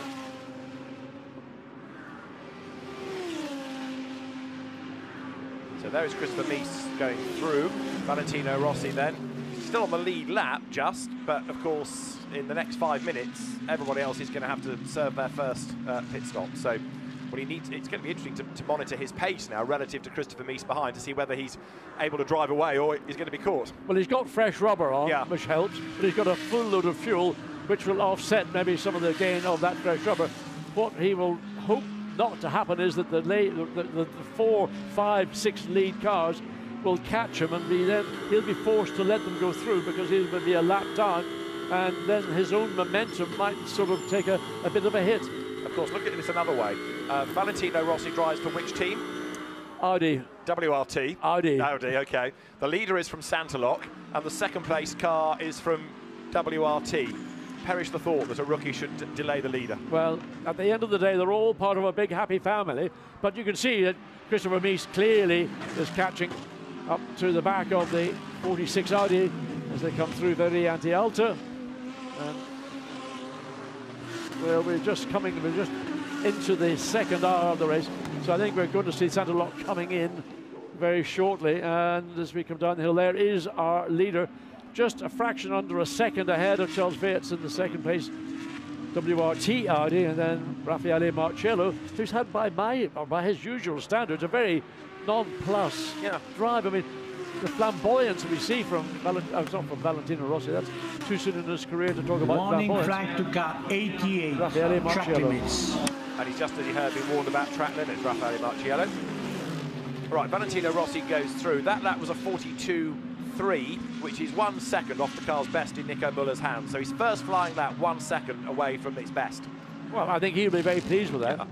And he's only going to get quicker as this stint goes on and the car gets lighter. Right, in traffic, Marciello dive bombs the Lamborghini. Nicki Thiim tries to take advantage of this, but actually gets stuck there behind the slower car. He had no choice. He had to back out of it. He was going to go around the long way round, and it wasn't going to work. He gets up the inside, and he would have lost what maybe a few a few meters. The Lambo was trying to come back, but uh, a pointless exercise because Nicki Thiim has consolidated the the ground. Uh, had to go a little bit offline to get that pass complete, but now drops downhill from Piratella and relocate, or refocuses onto the back of Raffaele Marciello's Mercedes. So Valentino Rossi is now 36th, but as I make the point, he'll gain an awful lot of the ground back again, given that everybody else ahead of him has got to serve their first mandatory stop. somehow doing so. Right, number eight, Mike Parisi, just to finish this one off. You've heard him being warned about track limits. He's also been looked at for speeding in the pit lane and has got a five-second time penalty to serve at the next pit stop, so it goes from bad to worse. That's the leader. That's Christopher Mies. And uh, is he going to bail this time? He's actually catching Rossi. Yes. Uh, again, uh, uh, Charles Weerts has decided to come in, as has Nicki Thiim. So second and fourth place cars are taking the opportunity when the pit lane is still, in relative terms, not Car too busy. Five second time penalty on the next pit stop for speeding in the pit lane. So that's Mike Parisi's penalty just being confirmed. I've just mentioned the 563 Lamborghini rejoins. So not the leader in, but the second place car peels. So as, as John said, so does the fourth. There they both are. So that means that Mies now leads Marciello. Just need to see whether the gap comes down any between those two in the sectors. Now that Raffaele has got clear road ahead of him, and the answer is yes, he does. He's four tenths quicker in the first sector alone. And he's gone through, so Valentino's stepped aside to let the race leader go through. He's got second place Mercedes bearing down, and he will also, and that's Raffaele Marciello, but all the top of the hill, race leader being held up, and the run down Car to eight under investigation for speeding in the pit lane. I'll say it again. Trying to step aside. 163 under investigation for speeding in the pit lane. I'll say it again. Go for it. Trying to get clear down into Acque Minerali, but not the easiest part of the racetrack to do so. So Mike Parisi continuing to be done for speeding in the pit lane by the sound of it. There's Benji Goethe's uh, Audi in, and the leader busy on the lights to try and say to the slower cars, Warning let me by, I'm coming through as he comes down now track towards Rivazza, but he can't get through. Marciello, though, is stuck behind Valentino Rossi at the moment, so there's no way by there either. And you, you have to think that both the lead Audi and the second place Mercedes are coming in this lap because they are now 65 minutes into the stint. And, well, even I can't claim to be Einstein. Plus the fact they were stuck in traffic anyway, but yeah, it's the end of the drive time, so in they come. And so those that haven't yet stopped have got to be in soon. They've got half a minute in which to be in. Right, who's taking over 95 is the question, because that is now another car to watch for the stint. 95, Marco Sorensen, thank you, is behind the wheel of it. Right, out gets Mies. Throws Interested to see the, the interaction between the Aston Martin and the 32 Warning Audi. flag to cow. 563 for track limits. Warning flag 563 track limits. Kelvin van der Linde behind the wheel of the Audi, who we know is an absolute hot rod when it comes to dragging performances out of an Audi anywhere, any place in the world. Uh, and Marcus Sorensen behind the wheel of the Beechdean Aston Martin. So we will need to wait and see. We can't see the Aston either ahead or behind the Audi. So 88 Mercedes then. Dani Juncadella takes it over. Marco Sorensen we just put into the Aston, haven't we? And number 32 then, as you see, is back on track. Heading up towards the completion of the lap. So Kelvin van der Linde, winner here two years ago, is behind the wheel of the WRT entry. And look, he's found himself as much clear space as he can possibly wish for. But there is the Saintéloc car that loses the lead. So the WRT entry goes through. The Mercedes stays ahead of the Aston. Well, there's been a change for the lead, but third and fourth. Oh, and through he goes. Marcus, Marcus Sorensen has gotten past the 88. Wow, that was unexpected. Dani Juncadella is caught unawares by that pass. That was a that was a Nicki Thiim move, opportunistic, and seized the opportunity and made it work. But equally, of course, it was a long time before he was at the, the pit exit and could release the button in the Mercedes. Nicki Thiim's car, Marcus Sorensen at the wheel was on full noise. Yes, but remember, that's right. They'd done a, that out lap, so they Yeah. were up to speed and they're trying to look weaving around uh, Dani Juncadella, but he he was caught napping in a sense, Yeah. just on that uh, coming out of the pit lane and finding himself under pressure from the Aston Martin. Now Sorensen is closing up to the back of the Audi down the hill into Acque Minerali. These two cars. One's done an extra lap, so its tyres are up to temperature. The Audi will be attempting to get there as quickly as it possibly can. The chance for Sorensen to jump and take that position, second position away from the Saintéloc Racing Audi. So, race leader, once more, is number 32 Audi. And Car 52, Melinda black and white flag for track limits. trying to break clear, and he can do so while that battle goes on behind him. So, right, sorry, John. This is uh, Valentino Rossi you're on board with, and he's now caught 63 Lamborghini Albert Costa. So Rossi now is up into 14th place. Well, catching Albert Costa is a pretty good effort already.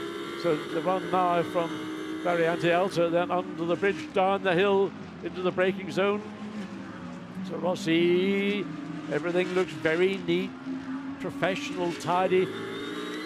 What can he do with Albert Costa in the Lamborghini? It's both got the same power units, just a different rocker cover. One says Audi, one says Lamborghini, and you can see there's marginal gain towards the Lamborghini just in straight line performance, but into the braking zone coming into Tamburello, the gap will close as you see, but then once they exit Tamburello, that gap will probably return to where it was before they entered into the three corner sequence. Well, maybe fractionally less.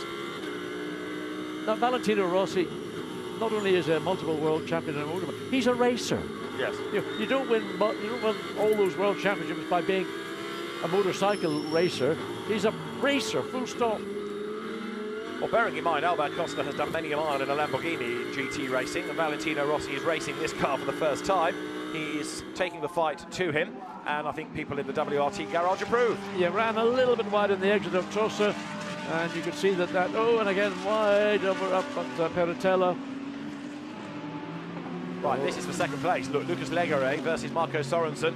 Sorensen, more experienced driver of a GT car, and he lines up to have a go. Is he going to be able to make the switch back? But he goes for the outside line into Rivazza. Wide in, tight out. He wants the undercut for part two of the sequence, doesn't he? But he can't do it. Can't really do it, not with a competitive car. It's too easy to use the racetrack to your advantage, but now he will look at getting a, run on the Audi coming down onto start finish straight. It's a, it's a dog leg straight, in fact, start finish line and finish line. So going one way, going the other way. Will he try and dive up the inside of the Audi going into Tamburello? Has to cut out to the right again to try and give himself the better exit out of this three corner sequence as the Audi had to go defensive. So this is going to be marginally to the advantage of the Aston Martin, but in tangible terms, no gain. So nose to tail they run. So Lucas Légeret eh? giving away, as I say, a, lot of experience to Marco Sorensen. How long can he keep him at bay? All of this, of course, plays into the hands of Van der Linde, who is already 4.8 seconds to the good. So it was a quicker pit stop than the Saintéloc car. 1 minute 23.8 versus 1 minute 26.6. So as ever, WRT absolutely on the money in the pit stops. And so Légeret eh, losing the lead in the pits, losing time on track as well, especially because he's having to defend from number 95. Marco Sorensen at the wheel. It was Nicki Thiim behind the wheel, and Nicky, work done, is with Gemma. Nikki, that was an incredible stint. Did you enjoy it? Did you guys enjoy it? That was a lot of fun. That was a lot of fun. A little bit door banging with Audi down the straight. Sorry, that was not on purpose. But uh, yeah, it was fun. That's what we came here for, and uh, that's actually what I'm looking forward to. Like three-hour sprint races, banging doors with each other, and uh, still doing it uh, the fun way. So um, yeah, just really, really enjoying it. Well, Marco's finally got the position now. Yeah, yeah. Now uh, my Danish Viking friend is uh, is on it, so let's see. Podium looks looks good, and still um, yeah, over halfway to go. So I guess there's a lot to go for you guys as well. Thank you very much. You can't not warm to him, can you? Now, look, if you ever wanted to make a remake of that classic movie from the 50s called The Vikings, starring Kirk Douglas, there is your new Kirk Douglas. His name is Nicki Thiim. Great character. grinning from ear to ear and looking forward to more door banging. He says, "Gosh." Don't let the race director to hear you say that, Mickey. He still, though, Marco Sorensen can't get past this Audi. He may have jumped over the Mercedes, in other words, get past Dani Juncadella, but uh, he hasn't cleared Lucas Légeret's Audi, and the lead gap going up all the while. So Marco Sorensen needs to try and get on with it. Look who's fifth. Luca Ghiotto in the Audi he's taken over from Christopher Haase. There, look, the red and white car, and he's in the mix as well. Look forward to see Ghiotto behind the wheel of a GT3 car. We know his experience and exploits in Formula 2 and other single-seater racing. Oh, that's a difficult moment for Leger to find his way past the Audi down the hill in, and he can't do it, and that's going to, in theory, work to the advantage of the Aston Martin. He should get a little bit better drive off the corner, up the hill out of Acque Minerali. The Audi is compromised. The Aston's trying to go one way, and there's a fairly blatant block. And that was a tense moment for Leger. He now is going to have to deal with Sorensen, who will be pumped like you cannot believe. But Juncadella has closed up as well, so he is back at the races now. So the gap's come down. Here they are heading downhill once more. This is where Sorensen again goes to the outside. He did it a lap ago and it didn't work. And again he wants the undercut, but he's got a face full of Audi. But he had to go to the to the right because he was closing too quickly on the rear of the Audi. So to avoid any contact, he had to pull out to the right, and that now putting the Mercedes uh, into a Pop's possible position to look at making a manoeuvre. Dani Juncadella in the third of these three cars coming into screen. Well, the Aston has pulled out sufficiently on the pit straight to stop any opportunities for Juncadella to think there's a positional change up from fourth to third. Didn't happen. And directly behind Luca Ghiotto, and this is going to be fun to see what Ghiotto can do because coming from a very combative race series like GP2 or Formula 2 as it now is, he's going to be looking for quick action and to find a way around the 88 Mercedes. But Légeret, in his second season in the championship, drove last year for Saintéloc. He's doing a very good job. Last warning these to drivers car two. bay. Next step is drive through. Last warning, car two track limits. So more back markers and more cars lower down the order for track limit dramas. Eight, Lamborghini has had a number of pit stops. Mike Parisi still shown as being behind the wheel of that car, which he shouldn't be because he's run out of drive time if that's the case. So maybe that transponder's having a glitch. Right, it is Légeret second. It is Sorensen third. Juncadella drops back a bit. Fourth, fifth is Luca Ghiotto. And sixth is number two. Warning flag to car 99, track limits. Steijn Schothorst there. Now he's just had a warning about track limits, but he's in sixth place in the Mercedes. And seventh is Vincent Abril. So in other words, number two Mercedes jumped the 111 McLaren on the last round of pit stops. And 99, Alex Aka uh, is next to the queue, leading in Silver Cup. Incident between cars 63 and 38 in turn 19 under investigation. Which is the Albert Costa 63 Lamborghini and Marvin, uh, now Ollie Wilkinson in the Jota McLaren 38, which has dropped back into 16th place. So the car in sixth, just to make this point, Steijn Schothorst, the pink Maro Engel, Luca Stolz co-driven Mercedes on its last warning for track limits. So it's pretty significant that in sixth place. Gold Cup leader, Benjamin Lessennes in the Boutsen Racing Audi. He's taking it over from Adam Eteki. And that means that Karim Ojjeh will do the final stint in that car. So good performance all round from the Boutsen uh, team. And a big change from running, no, just say that, but flirted with the gravel on the outside of Rivazza too. Big change from running the BMW over previous seasons. And uh, I would say overall, this lineup looking competitive in this category. Definitely so. Over the timing line then goes Benjamin Lessennes. Another experienced driver of GT4, GT3 machinery. Comes now up through Tamburello. But leading the Gold Cup with two cars between himself and then Florian Scholzer in the Mercedes. This is in Pro-Am, the AF Corsa Ferrari. Stefano Costantini is currently the class leader and in 40th. And if you have a look on the timing tower on the screen, you'll see the positions within the class. Valentin Pierburg is chasing him in the SPS Automotive Performance Mercedes. Miguel Ramos uh, runs third for Garage 59 in McLaren. And then Matteo De Romano in the uh, Bentley is fourth in Pro-Am right now. But looking good this at the moment for Costantini, who knows Ferrari's inside out. Yes, and, and again, got look clear air directly ahead of him. Nobody within a country mile behind him. As we go back to the 46. So Valentino Rossi now behind the wheel for the best part of 15 or so minutes. This is the view from the cockpit of the 46 down into Rivazza 1. And can I just mention that Rossi's last lap was only six tenths slower than the best that Nico Muller did. Getting better. That's not bad at all, Just is the, it? the more track time, the better.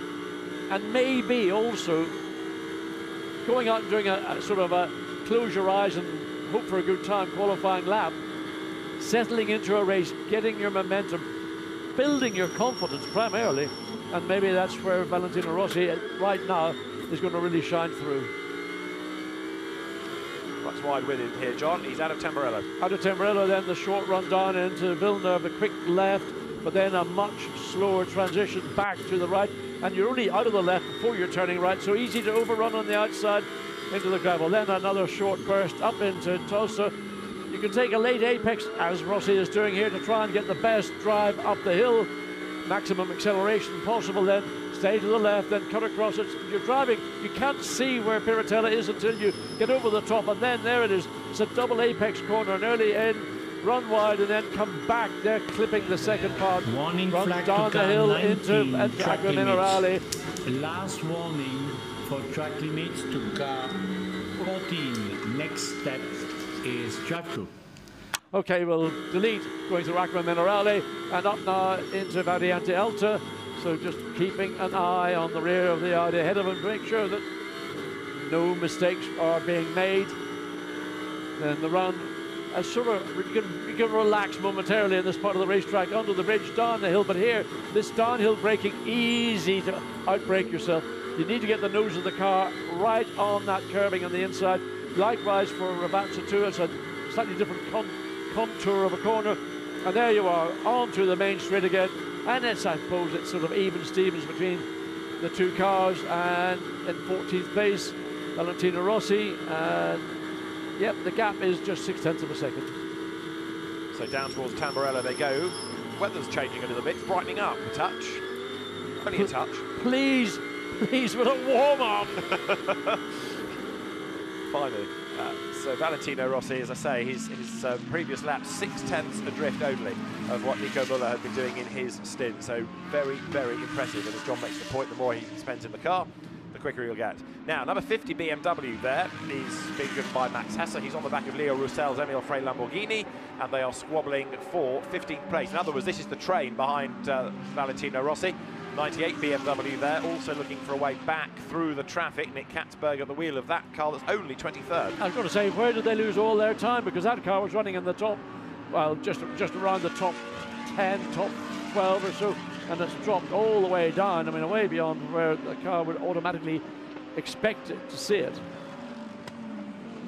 So Max Hesse, part of the BMW Junior squad that drives that number 50 BMW. Why is it number 50? Because this year BMW celebrating 50 years of the BMW M brand, and the M4 hops over the curb, powering its way now down to the approach to Rivazza. Leo Roussel then for Emil Frey Racing, just being able to fend him off as they drop over the rise there down towards Rivazza this time, John. Yeah, Max Hesse is looking every which way he can to try and uh, pick up advantage. Runs the curb on the inside, dabbed the brakes, or certainly the brake lights came on as he went through the second part of the Rivazza. Had the potential to gain a little bit of ground, but had to, I think, check up on the car. So not really going to be in a position to make a move on the number 19 Lamborghini as they come down into the braking zone. Leo Roussel will breathe a sigh of relief because I think he might have felt that he would have been challenged. And who's been going through the gravel at Tamburello? Naughty, naughty. A lot of gravel, a lot of dust still settling. So Leo Roussel, LMP2 champion in the ELMS a good few years ago, keeping the BMW at bay.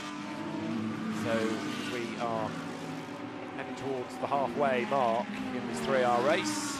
Still a lot to pan out. But Kelvin van der Linde, lest we forget, leads, and he is 7.3 seconds to the good, and he's continuing to build that gap over Lucas Légeret, who is busy trying to defend from Marco Sorensen, and therefore he's losing time. As, look at this, Valentino Rossi now has caught his teammate, Jean-Baptiste Simmenauer, another of the WRT Audis. So Valle here going for a place. A, a racing overtake, no, no benefits from pit stops or whatever. This will be a race. Want to see what his racecraft is like. We know his driving is pretty good for the first outing here with WRT Audi. Now we want to see what his race. We know he could overtake on two wheels. and different skill altogether to doing that on four wheels, but undoubtedly learning on the job big time.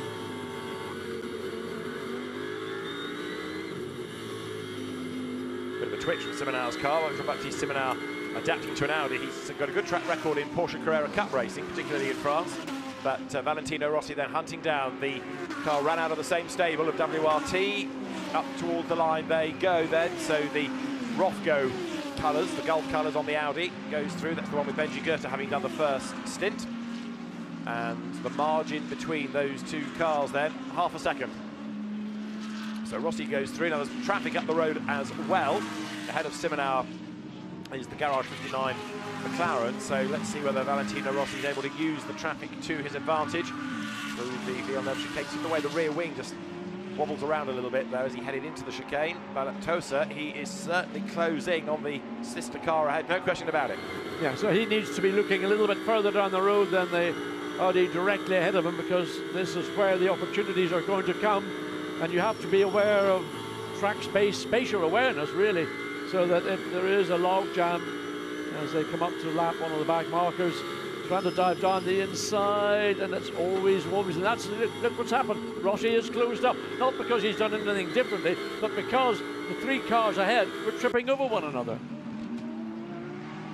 So now to the inside of the McLaren goes seven out. Valentino Rossi commits as well, not wasting time. There was no hesitation in all of that. He knew exactly what he had to do. Correct. That's racecraft. That's you really get that from racing, not driving a racing car.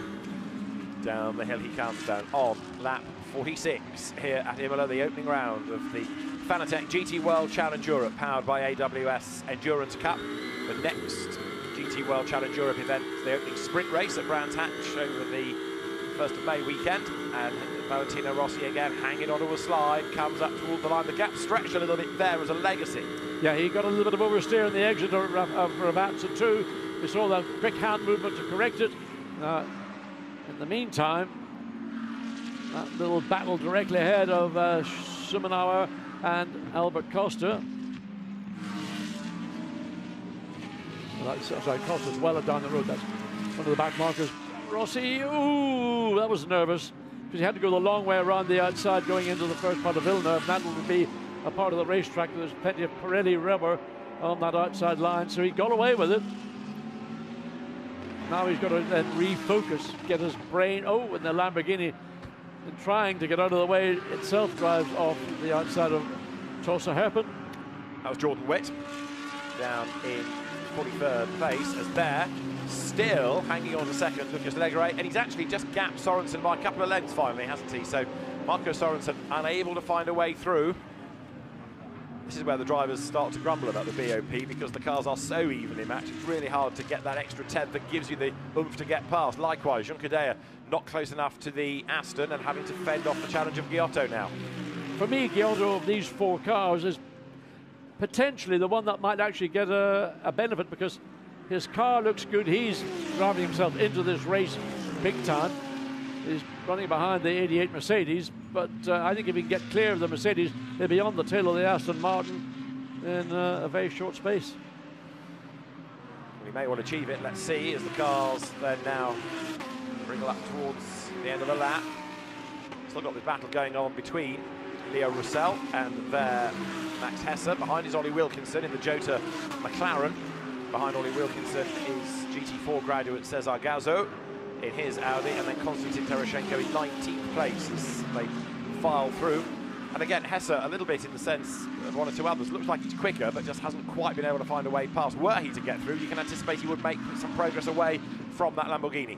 Yeah, again, looking at the BMW, looks to me it's got a little bit more pace than the Lamborghini has, but wasn't wasn't prepared to fully commit going into Parabolica. Probably wasn't. There we go. The inside into Tosa. Well, side by side. Who's going to come out in front? It should be the BMW. The Lamborghini runs slightly wide, maybe has a bit more momentum as a consequence, but it's up the hill. The BMW should be in position to consolidate, but side by side, yes, the BMW is taking away one position. So gone by, gains the place, drops down the hill, so that's Max Hesse ahead then. And he's doing what was predicted straight away, stretching that gap. So now Ollie Wilkinson is the one that's going to come up onto the tail of the Lamborghini and see what he can do.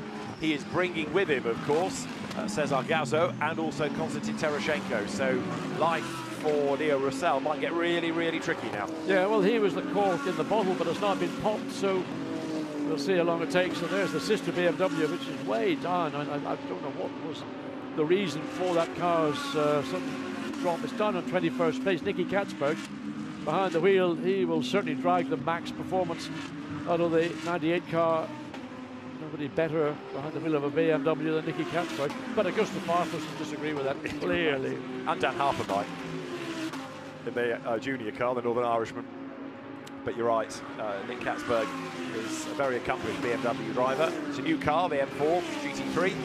So as the leaders boom past, we've done 47 laps. We've got, as you can see, an hour and 33 minutes to go. This is the fifth of the silvers, Michele Beretta for VSR, Vincenzo Sospiri Racing. And Sospiri's team operating a couple of cars in the championship year, which is really good to see. And Michele Beretta, another experienced Lamborghini racer, came out of Formula 3. Been doing good things in the States in Lamborghinis, in Super Trofeo out there, coming back into Europe and has uh, certainly matured as a driver over the years. He's got a lot, lot better with more experience and being, if you like, loyal to one type of racing or one brand in particular. It's really done him good. He's got the 777 Mercedes behind. Al Faisal Al Zubair behind the wheel. Um,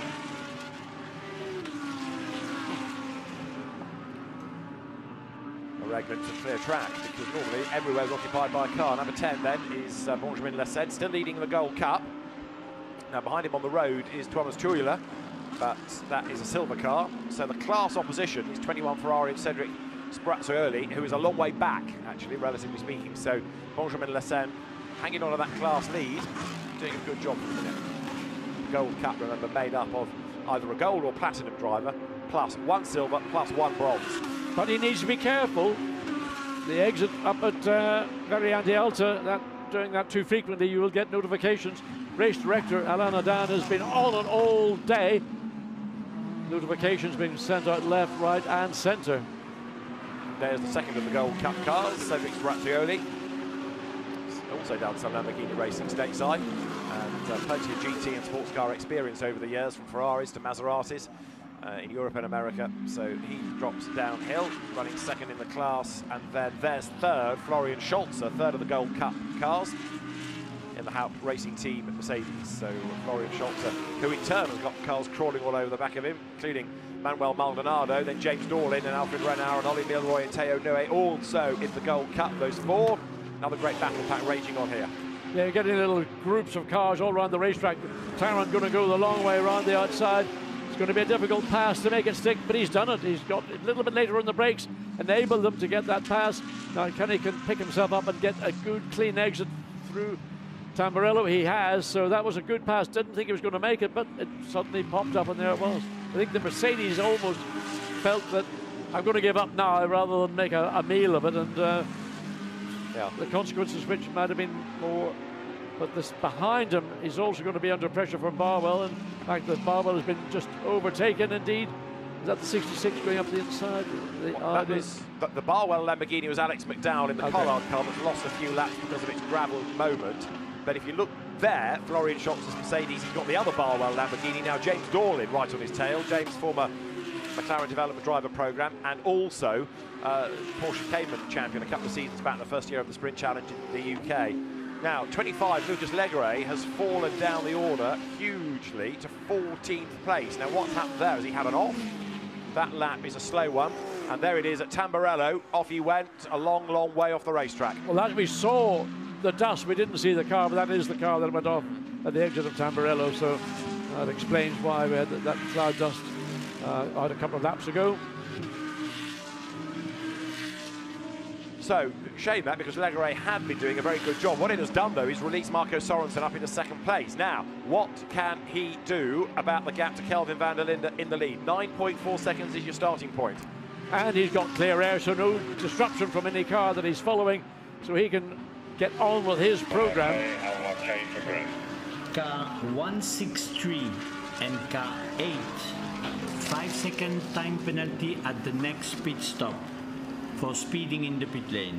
163 and car 8. 163 is Michael Dorbecker for Vincenzo Sospiri Racing. 80 is Mike Parisi's Lamborghini again.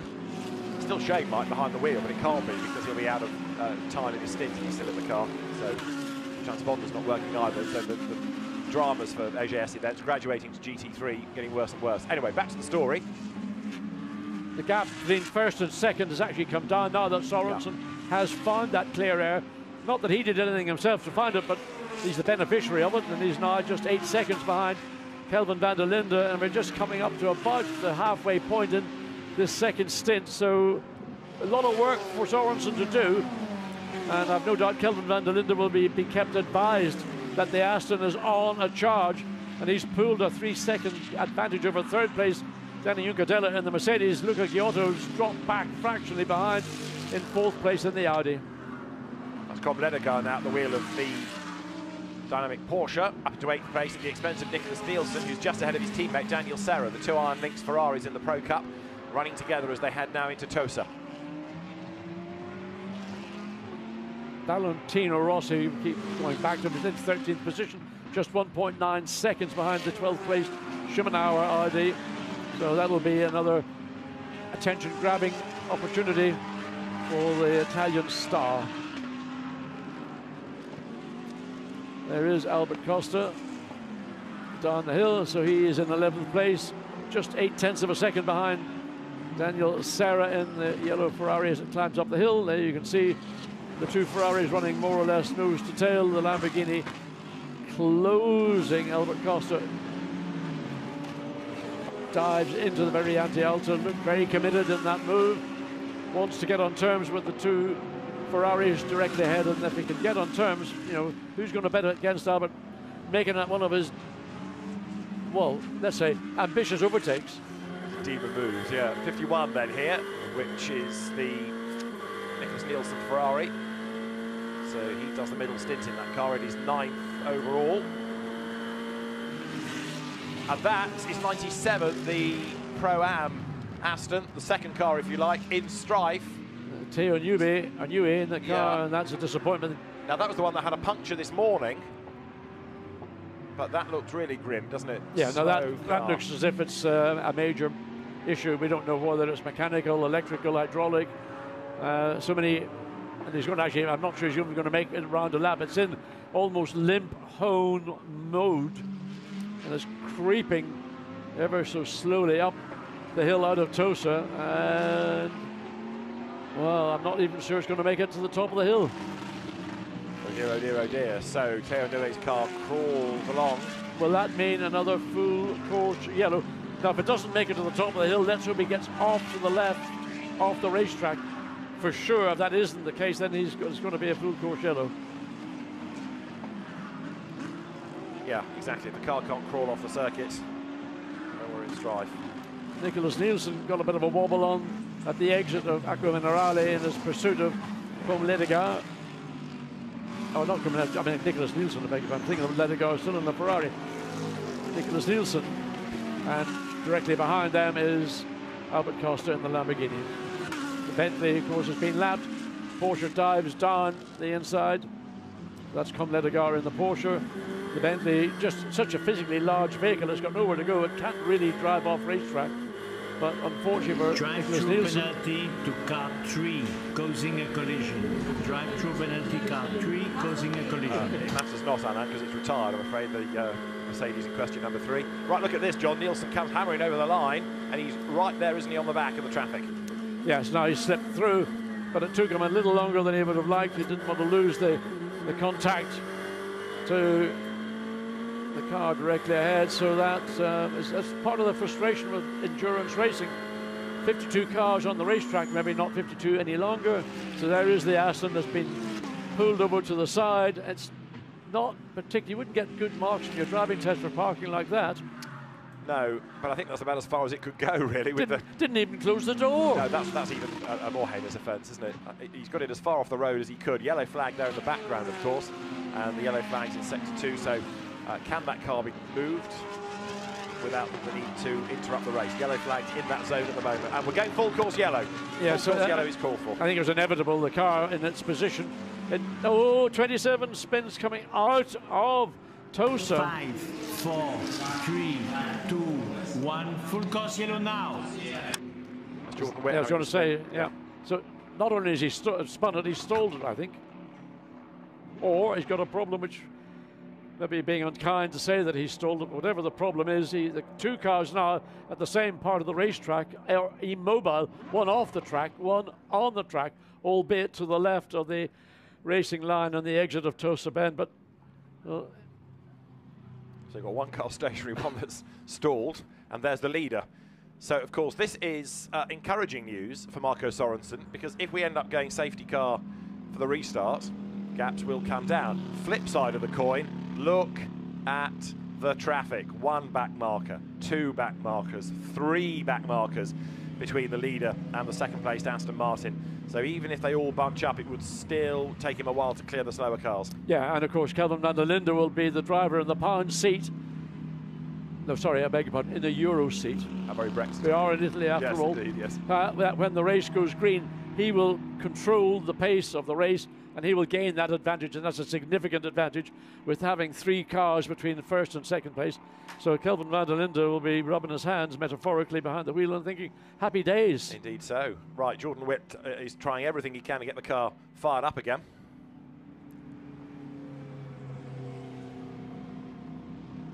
So Theo Nouet out of the race, that much we do know. Jordan Witt trying to get the car fired up.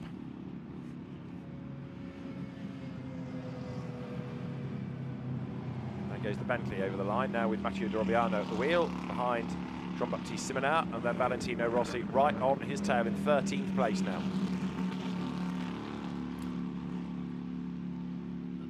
I, don't, I wonder why.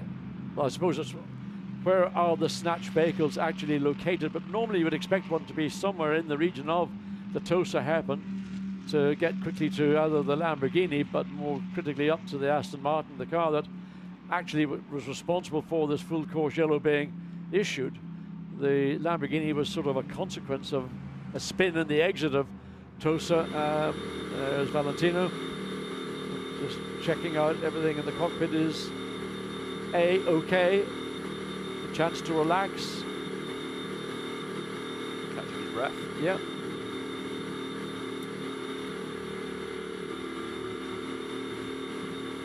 Oh, Vic's right, that was busy. Nobody told me it was going to be this difficult, did they? I mean, I'm sweating like a racehorse. Well, I think he's enjoyed himself. Uh, he's still got 20 minutes to go.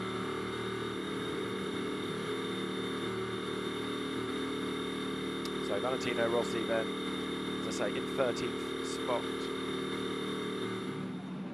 Team there on the Radio 2 Valley. So this is an opportunity for dialogue to go back and forth. We understand that the 97 Aston Martin, uh, it was a gearbox issue. Now, whether that's a gearbox mechanically or whether it's the actuation of the gearbox, whatever it is, it's let's round it up and say it's a gearbox issue. Big frustration for that car, and you can imagine the team thinking, right, well, whatever it is that's gone wrong on one, could it go wrong on the other? And getting a little bit edgy about it for another 95. So there is the uh, Aston being retrieved. The Lamborghini is gone. It so it must have got fired up. So we're now just waiting for the Aston to be removed to safety behind the barriers, and then we can go into a safety car, and then uh, back to green. We're just over halfway through this three-hour endurance event. It's been a just over what an hour and 40 minutes of sprint racing, really. So that's why we have this full course yellow. Let's have a look at uh, the highlights of the race so far. You can see Theo Nouet's car being retrieved, but uh, while we have this little pause, because as I say, we're going to end up with a safety car because there it is. It's on track, ready to uh, scoot them all up. We can uh, just remind ourselves what's been going on, and it began thus with the uh, car of Charles Weerts blasting away from pole position. Christopher Mies behind, and Raffaele Marciello slotting in in third place. 51 starters in the end. They all managed to get round the first corner safely. We very nearly got away with the first lap And then there was drama right at the very end of it after that. So Jack Aitken was able to work his way through on the inside of traffic, the Rowe BMW alongside. But a good getaway, certainly, by Weerts. Huge field pouring through Tamburello. But for one or two, it would be the only lap they did because the Iron Dames Ferrari was given a tag at the end of the lap. Spun around, some avoided, some couldn't. Quite a lot of damage was done and another casualty of all of that, Patrick Krapinski, who was off into the gravel, and his McLaren, like the Ferrari, a lap one retirement. One or two others suffered damage, but the race got back underway, and as it did so, more shuffling of the order with the uh, car collection Audi gaining a place, and the lead changing when Charles Weert ran out of road coming out of Tosa and fell back behind uh, Christopher Mies, also off the road, Adam Eteki, but he was able to regroup and get back into the lead of the Gold Cup. Jack Aitken under attack from the BMW behind. Contact between Nicki Thiim and Christopher Haase as they came over the line, but eventually the Aston Martin would go by. In further strife, the number 11 entry around with Hugo Valente and how everybody avoided him remains one of the day's mysteries, but they did so by a Nat semi-crotchet. Bouncing out over the curve, Jonathan Hui, and off into the gravel, Rob Collard. That was another interruption to the race to get the Lamborghini out of the way when the race went back green it was Christopher Mies ahead once more of Charles Weert. But Nicki Thiim looking for a way past Raffaele Marciello. The Mercedes and the Aston Martin absolutely nose to tail. Further down the order, Mario Sud giving a half time to Klaus Bachler. And the first pit stops came with Valentino Rossi jumping on board number 46. Safety car procedure, safety car procedure. Just got safety car back live at Imola, but this the look back at the highlights with Valentino Rossi in the car, and he had a full lap virtually clear air to himself. Up into third place went Marco Sorensen jumping ahead of Danny Juncadella's Mercedes on the exit of the pits and then he made a big bid for second. Could not do it. Lucas Légeret was able to fend him off but eventually Légeret went off the circuit and up and past him went Sorensen for second place and Légeret fell way way back took 14th position and then Theo Nouet's car retired with mechanical gremlins and that was the reason for the full course yellow that's now become a safety car. And the news from Aston Martin is that the driver reported he had lost gears. Uh, we don't know why until we look at the car, say the team, but it is a loss of gears. Uh, but no dramas for the sister car number 95, which is good news, the team reports for us.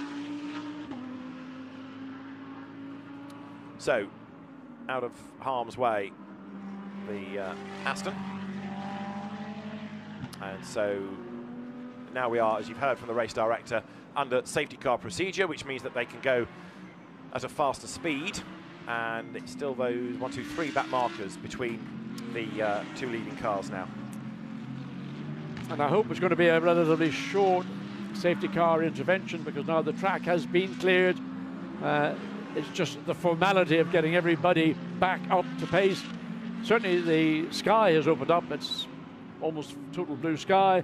Uh, ambient temperature will have been climbing as well, so there's not quite such a pressure to enable to give the drivers an extra lap or two laps to get yeah. to build up their tire temperature, tire pressures again. So hopefully, in a very short space of time, that safety car light will be extinguished and we'll be back at racing. And Kelvin van der Linde, look at him, he knows this race is going to get underway very quickly indeed, putting load, lateral load into the sidewall of the tires, as well as getting to the tread of the tire to get as much temperature as possible so that when it is green flag racing, he can get on it and uh, build up that lead. It was up to just under 10 seconds at one point when they came across the line the last time. That was at 5.2 seconds. That was in the, the full course yellow scenario. Uh, so he lost a little bit of time to the second place, uh, RD of uh, second place Aston Martin. But he's got the advantage now when we go into a green flag. There's three cars between himself and that second place Aston. Quick look down at the Gold Cup for a moment. It's still Benjamin Lessennes leading, but Cedric Sbirrazzuoli is now directly behind him in the classification, 7.3 seconds behind. Uh, and then third in the Gold Cup is the Barwell uh, Lamborghini number 78, James Dorlin, at the wheel of that car, that he's taken over from Alex Malykhin. Uh, intriguingly, actually, James Dorlin and Alex Malykhin uh, drive for one team in this championship and then are going to do a British GT campaign with Redline Racing, which is synonymous with Porsches, but Simon Leonard's Merry Men taking the British GT Challenge this year with a, a Lamborghini and James Dorlin and Alex Malykhin will drive Safety for them, starting at Oulton Park uh, in a couple of weeks' time. The safety car in this time then not directly now because they're just coming up to the line, but at the end of the next lap, the race leaders have just gone over the beam. There it is. So this is the last lap for the safety car. Then we'll go back racing. And Valentino Rossi here, if he's on his toes, has a chance of gaining places. Yeah, and he, I'm sure the team will be advising of what is possible and what he would hopefully be able to execute. But it's uh, giving advice from the pit lane and being behind the wheel of a race car. What Valentino Rossi certainly will not want to do is blot his copybook on his debut. So maybe an element of caution will come into any attempt attempted overtake unless he's clear that he can make that pass stick. Right, so Rossi then with Jean-Baptiste Simmenauer ahead of him. Now, behind him, in terms of a, a, a, threat for position, is not that Mercedes. It is the blue Saintéloc Audi of the recovering Lucas Légeret there. So, in a sense, Valentino Rossi doesn't need to worry about what's going on behind because it's a back marker. He just has to concentrate on getting past that sister WRT Audi. Let's see what the man's made of. Stand up on the chair, Valentino. Let's get the job done. You'd think John was sitting here with his uh, 46 hat on. He's not, I promise you. He's as neutral as I am. So down they come then to the completion of what will be lap 57. We'll go racing this time. It's our third interruption. Safety car, lights off. Instruction. Oh, oh drama in the background. Big, a big, big oh, hit. That's dear, the, BMW. That's a 50. I think that's the. Wow. It's the Bentley. It's the Bentley. It's oh Mathieu de Robiano, and that's not going to be the end of the safety no, car no, no. That's, process at all. That is a massive, massive safety hit. car lights on. We remain in safety car procedure. no, no kidding, Alan. I tell you what, I wow. think it's, it's, more than a safety to clear the racetrack and the exit of uh, Acque Minerali. That's going to take some time. A to remove the Bentley, but also the amount of bodywork that is right on the racetrack, on the racing line, offline, any part of the racetrack. So we know it's the Bentley with the damage. Who did he hit? Who was the other one? Because couldn't didn't, tell. Yeah, I mean that's the next one to try and pinpoint if we can. So we are going to go for obviously for more laps behind the safety car. Some of that was caused, I suppose, by people slowing ready for the restart and others not being aware. David, I can assure you we will have the second round of pit stops before the racetrack is cleared. There's only 11 minutes to go before we come to the conclusion of. So Now, let us try to work out from whoever comes into the pit lane at the end of this lap who else we've lost. The Mad Panda Mercedes has been in the pits for a long, long time, sadly. Sean Walkinshaw, and that looks like Jordan Witt.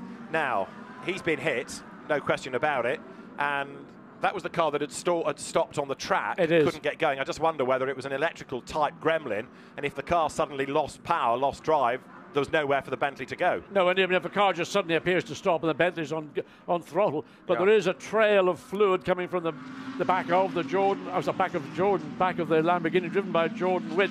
But there's that right rear corner that took the brunt of the impact.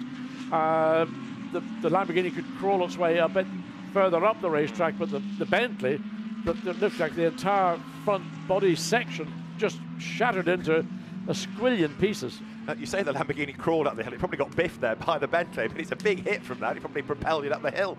But I know what you mean. Uh, it's a real, real shame that, but it may well have been. I mean, you say what was the Bentley driver doing, but if the car ahead did have a problem and suddenly slowed without warning, there's not much you can yeah, do. I mean, you got a car on throttle and a car going nowhere, and there's not a lot of space when you're running that closely in a, in a safety car train of cars. Where are you going to go? You've got cars basically boxing you in not literally alongside, but there's not a lot of room. So it was uh, coming over the brow down to Variante Alta where the impact happened. So it's going to be uh, a good few laps before we can get uh, racing underway. Two cars to remove, but as John makes the point, quite rightly, there's all of that debris on the road, and the last thing you need is to be running over that and doing tyres. Well, it literally was across the racetrack, so much carbon fibre had been, and now the cars coming, they are coming, they're stopping. The cars have been brought to a standstill at the, just at the exit of Acque Minerali, and I hope everybody has slowed down. And I'm assuming that there's the only way that they can clear the track of carbon fibre is to stop the cars on. I've never seen this in memory happen before. I've seen it and, and, and, in other events elsewhere, but not in World Challenge. They're getting going at the top, look. I was going to say, believe me, the picture hasn't frozen either. Quite. There's one, one circuit car moving. Uh, of course, now you've got to hope that the car ahead of you gets going. You don't want to overheat. But uh, yes, they found a way through. and we will get going again. So the ultimate car park for sports cars, for GT cars. Wow. I mean, it was just an, it was an explosion of carbon fibre. And I, I, thought when I saw it, I thought the, the whole front of the car back to the, the bulkhead of the chassis, and still cars are stopping at the exit of Acque Minerali to cherry pick their way through. One at a time, tippy toeing and trying everything to avoid cutting a tire down. Uh, such was the yeah. degree of the damage and the, the well, look, you can see it there. There's gravel on the racetrack. Where did that come from? But the problem is you're going to have that possibly lap after lap until enough of it can be almost blown out of the way. Marshals will try and get there and, and sweep it, but of course they're also engaged in trying to sort out the uh, two damaged cars. So uh, this has the potential to be quite a situation. It's going to take a little time to clear, as sure, um, and of course the safety car is still running at a moderate pace, and it'll be very quickly back up to the scene of the incident. Yeah. So whether we're going to see a further stoppage when they get to the exit of Minerali to allow the the corner workers to continue with clearing up as quickly as they pos best possibly can. Because there's no alternative, is there, to, to, keep going on that? If it's a start line accident, for example, you can use the pit lane yes. and circumnavigate it, but there's no plan B here. No, there's not at all. So there is the Skechers Audi, and they're prepared already for a, an early pit stop. Yeah. The earliest pit stop they could make would probably be in about another lap. Hmm. That'll take them down to the 65 minutes for the final. And you can see teams, a lot of the teams are looking at making as early possible pit stops to get their car in, do the driver change, get back out. So Maxime Martin preparing himself to get in to the number 95 Beechdean Aston Martin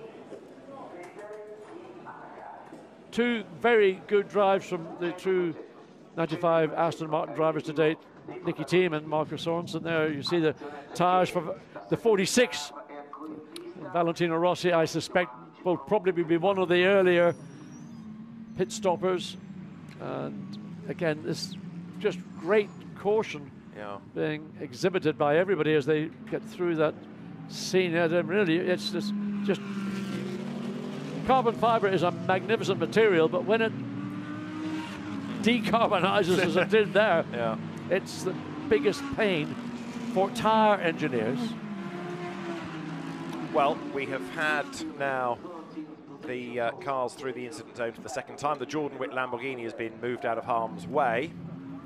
And with an hour and six minutes to go, the next round of pit stops is imminent. And with what could be a, a, few more minutes yet of safety car, this could be for the teams how you win or lose the race if you make the pit stop call right. Contact between 107 and 27 during the safety car procedure under investigation. So look at this, virtually, not quite, but virtually everybody peeling in. And into the staying out is Marco Sorensen. So the, the Aston Martin now leads now that could either be the right or the wrong call. We'll see in a lap's time. But Marco Sorensen has stayed out for another lap, as has Alex Aka, as has Albert Costa. But you've got first four, out of the first 17, 14 of them came into the pit lane. Jules Gounon is in as well. Yeah, I mean, the, the, I, mean I don't know. I would have gambled on staying out simply because, um, well, he's looking for, Valentino Rossi looking for his pits. He couldn't see, can't see where it is. He almost came to a standstill on the way in and I hope he hasn't over overshot uh, his pits. Don't undo the buckles. You can undo the you can undo the straps, but oh, he's gone through. I he thought he had. I so thought he had. Right, he's going to have to do another lap. He's back up to speed.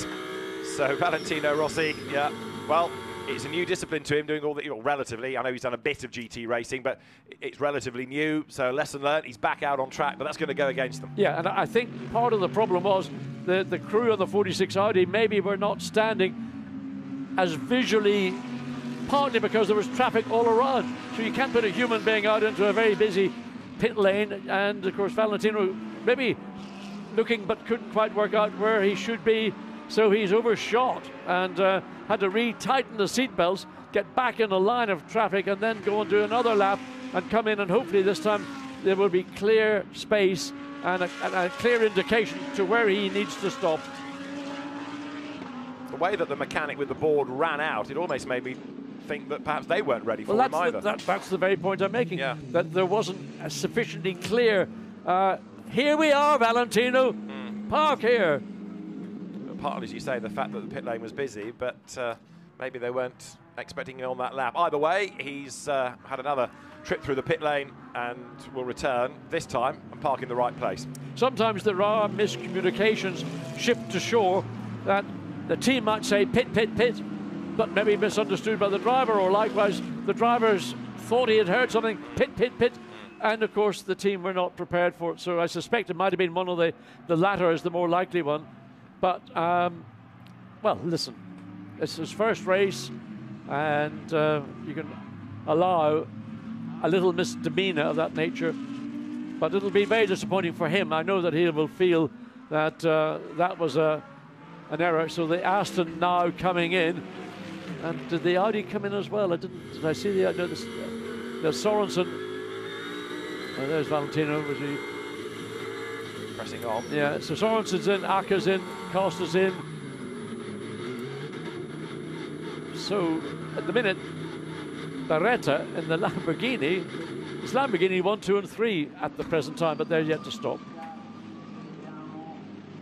So Uh, look at the sun. Look, there we are. There is the signal. That's Yeah. where we are. Here we are, Valentino. Look, look. Come on. now we're ready. yeah, driver on the pit apron, car controller on the on the pit apron as well, and he's arrived. With, with a bang. Has he ever? right, and he gets.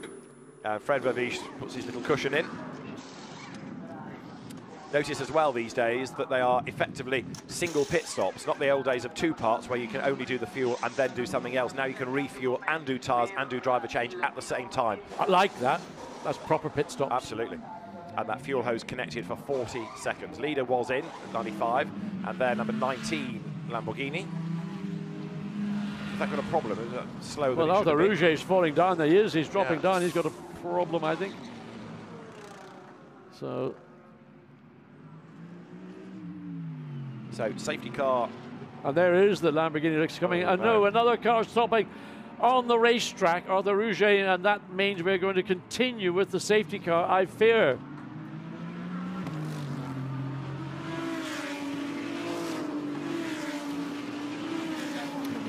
So Valentino Rossi takes off his helmet and can reflect upon what was a pretty impressive stint, it's got to be said.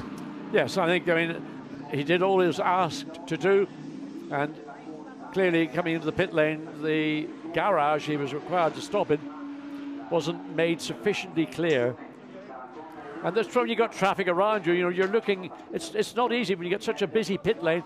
Your your pit box is not a very big entrance. You haven't got 100 yards on either side to spot it. You're coming down, and it's well, why did they not make it? Well, I think maybe the team in this instance might have done slightly better in giving him a clear, as they did the second time around. Yeah. There was no mistaking second time around where Valentino was going to stop.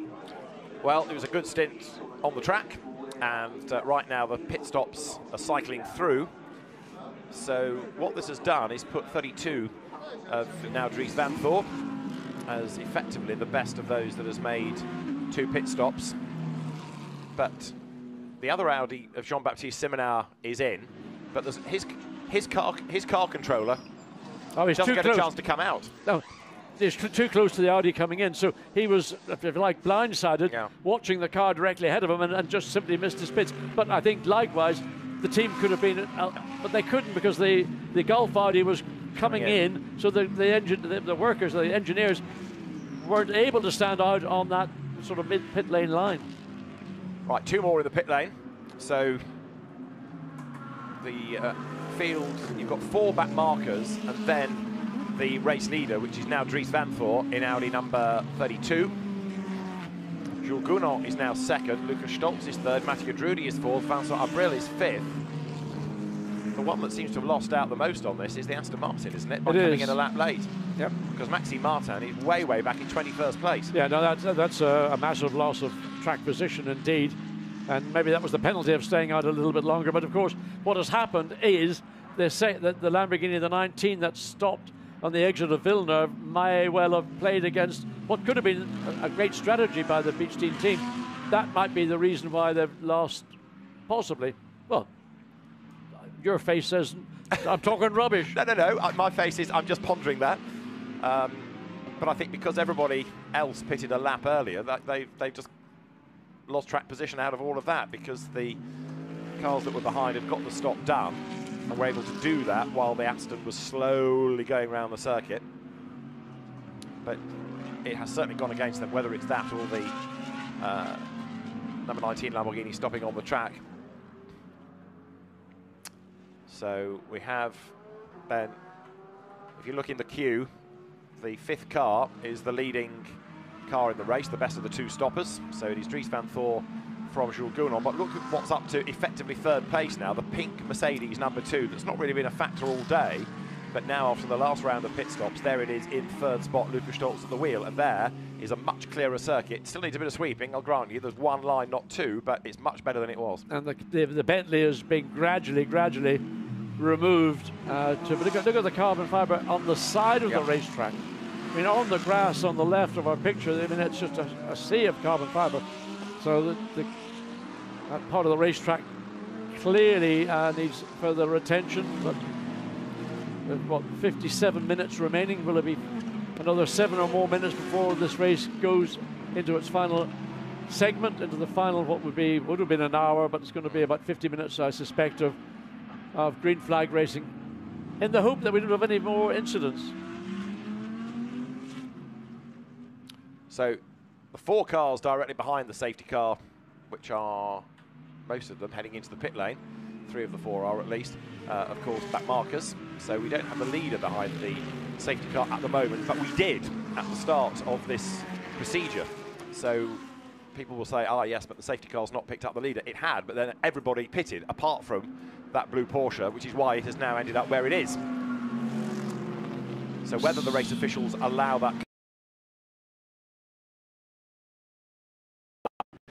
would have thought that car had to make another pit stop anyway, so it'll get itself out of the line. Yeah, I would assume that they'll resolve the issue, and it'll be the lead car will be the 32 WRT, Adi Dries Vanthoor behind the wheel.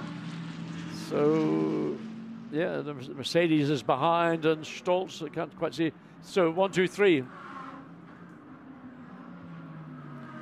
There is Dries Vanthoor out of the Villeneuve chicane then on his tail. Jules Gounon ready for the restart. Lucas Stolz in the pink Mercedes next. Then there's a back marker, is Car there? triple Yes. seven and car seven under investigation for speeding in the pit lane. Triple seven and seven under investigation for speeding in the pit lane. I've got to say, it doesn't look like the Lamborghini suddenly slowed. No, I think I would agree with you on that. Um, the driver has been taken to the medical centre to be checked over. Everything appears to be to be good, but uh, it didn't appear that the Lambo stopped moving forward. It, we wait to see. There'll be an investigation into that incident, and all involved will uh, no doubt give their evidence. So let's hear, shall we, from Valentino Rossi. He's no doubt enjoyed his first race stint. He's with Gemma. Valley, did you enjoy your first stint? Yes, it was good. It's, uh, in the race is uh, is very different, but uh, I enjoy. I did some uh, some good laps, and uh, it's a shame that uh, I, I cannot finish because we stay a lot a lot with the, with the safety car. But anyway, the first experience was positive.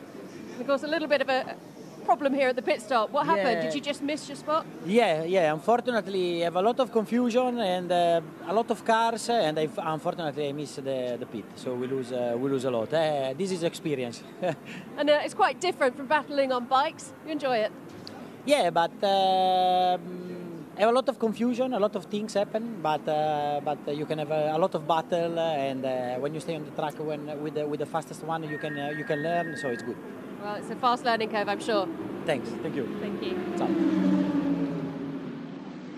to know from that exactly how uh, pleased he is with his stint because you get the feeling that so seriously is he taking this, he wants to do even better than what he's just done, which was not shabby at all. No, I mean you've got such you know such a reputation, and your own sense of pride and your your will to want to do something, even in your first professional race as a, a fully professional racing driver. You know, he will go away and think about it, and every every lap he'll analyse. He'll do it with the team. He'll do it on his own. And I mean, the incident in the pit lane is understandable. He was blindsided by the sister car coming in directly ahead of him. Speeding in the pit lane. Now the safety car's going to be in at the end of this lap, so we're going to go back to racing, and as you will have seen now, it is the lead car behind the safety car. So the uh, Porsche in question, it was Patrick Matheson, has uh, pitted. So we've got 53 and three quarter minutes to go. 22 is under investigation for speeding in the pit lane. And lap 22 then is the Porsche in question of Patrick Matheson I just mentioned. So fingers crossed this time we're going to be okay for a green flag because the lights will go out at the next part of the circuit. And it was here, of course, that we had the uh, dramas a few minutes ago. But the safety car is in at the end of this lap.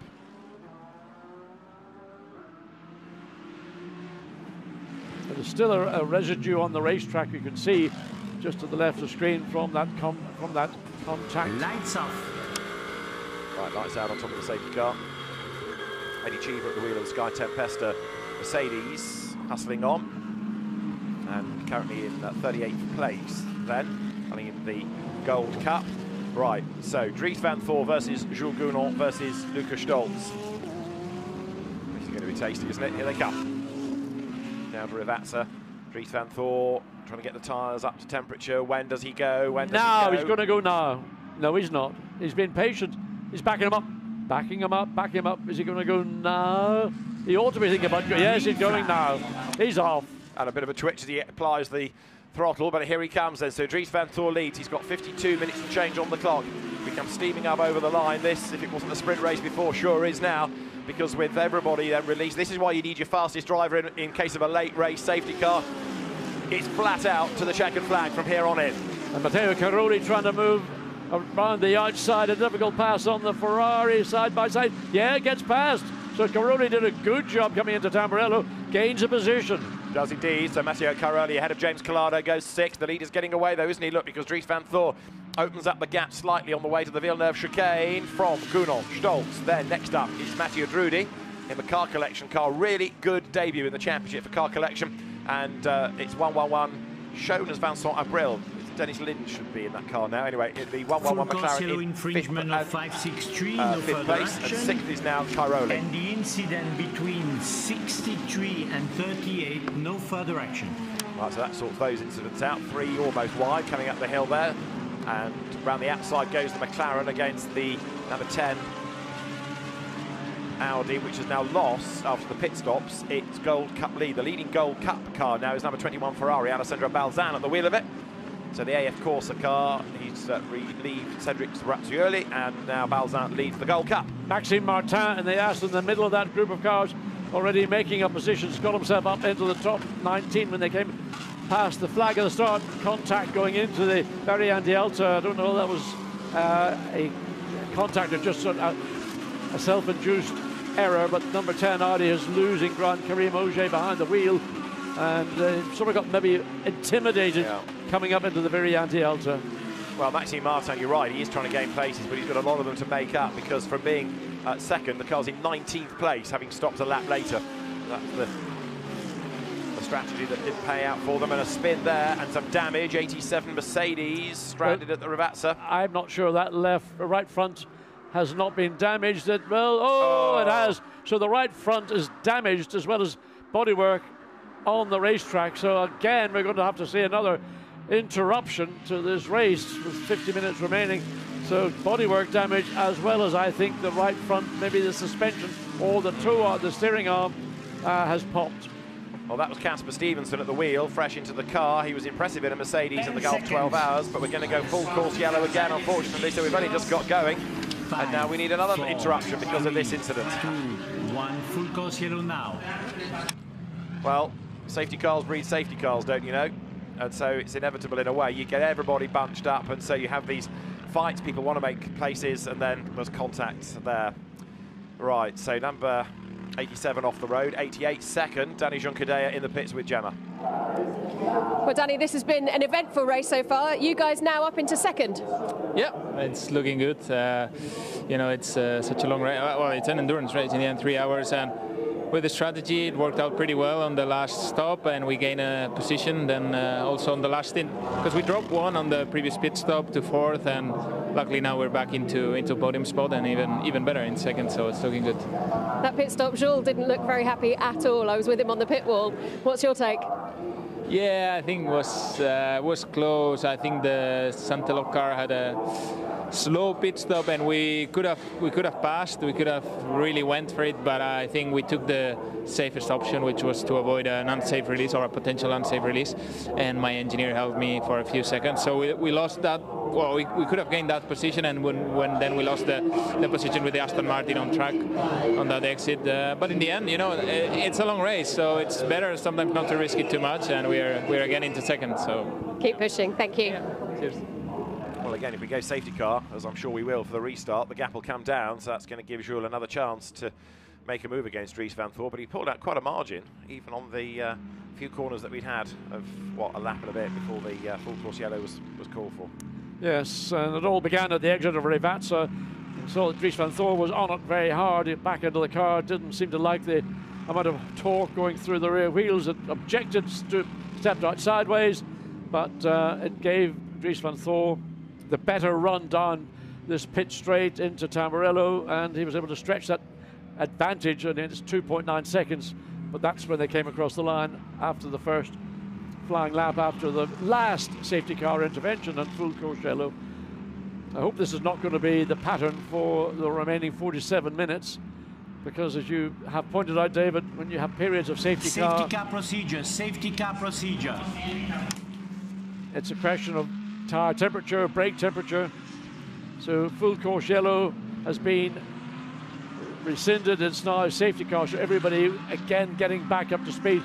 So maybe, maybe this is going to be a relatively short safety car intervention and that racing will get back again as quickly as possible. Thomas Neubauer first in silver category in the 30 Audi. That's the car that he's taken over from Jean-Baptiste Simmenauer and Benji Goethe, who drove in the first stint. So the cars then quicken their pace now that they are behind the safety car. Safety car in this lap. No hanging about then. So uh, very, very quick safety car process to just bring things up to speed, up to temperature, and then let them go. I think we want to see racing. I think all these safety car interventions, the all three of them come one after the other.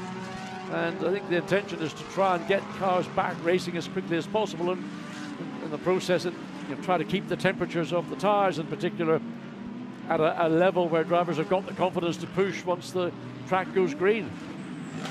Vigorous weaving again to try and get temperature up in the tyres. So quite a number of retirements. Safety car lights off. And uh, from our 51 starters, we've got what? Effectively 40, I think, now still circulating. Maybe about 39 now still circulating. Lights out on the safety car. Right, Dries Vanthoor, a good restart last time, but of course Jules Gounon is wise to what he's up to now. I hope he is. so Jules, let's see what you could do. Lucas Stolz there in third place. So what was a 50-minute sprint before is down to 45 now. So is, is Vanthoor going to do the same flag, thing that we saw one lap earlier, or two laps earlier? Looks like he is. He's on it again. He started slightly earlier than he did previously.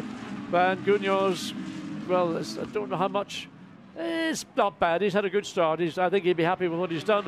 In fact, as Lukas Stolz is maybe the one of the three lead cars that's dropped back and is under under pressure from Matteo Drudi in the fourth place Audi. So they come over the line then, and we go racing again. There, 1-1-1, the Abril Lind and uh, Christian Klien. McLaren looks for a way to get past number 12 of Matthew Drudi, who's a little bit stuck. He goes a little bit wide. The McLaren goes one side, then the other.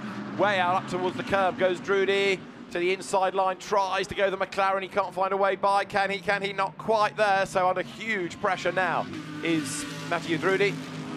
As Dennis Lind is behind the wheel. I think so. It still says Abril on the screen, but I'm sure Dennis Lind hasn't driven yet. No, he hasn't. So, so I'm sure Dennis is behind the wheel. He's got a Dennis Lind feel to it anyway, it certainly it? does. And again, close as you can be up the hill out of Tosa Hairpin Bend, and Dennis Lind very much on the programme at this restart. But now that Matteo Drudi's completed you know, part of the opening stages, gaining a little bit more I suppose, confidence simply knowing that the car will be with him when he leans on it. Second for Porsche, Matteo Cairoli at the wheel. Over the brow, hunting down Dennis Lind, reigning British GT champion, the Quick Dane. Former Lamborghini factory driver, but now a gun for hire. And uh, with the JP Motorsport McLaren going well. That car showing the Jota car the way home. Yes, it is. And uh, the JP Motorsport have done a very good job with these very brightly coloured black and gold uh, Lamborghinis. The rest of the field all filing through. The number on the windscreen that you see is the Lumirank display telling you what position the cars are in outright.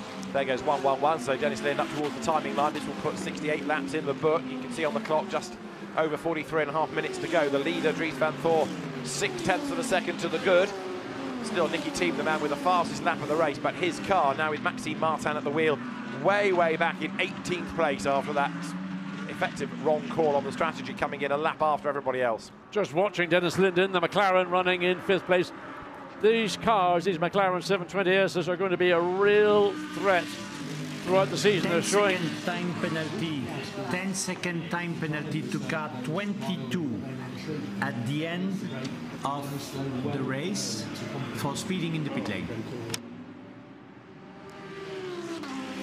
So that's the Allied Racing Porsche. So, oh well. Here we go up the hill again, up into Piratella. Oh, wow, just about managed to get through there without contact. It's always a tricky move.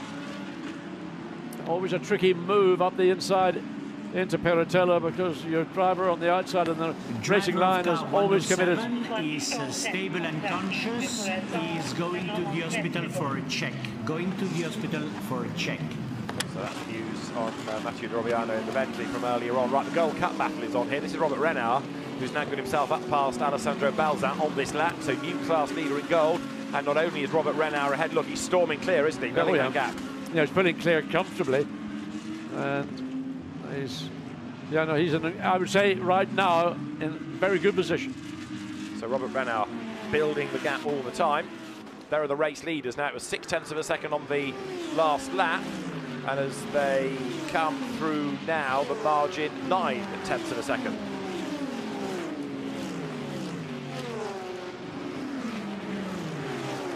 Again, Maxime Martin carving his way through the back markers.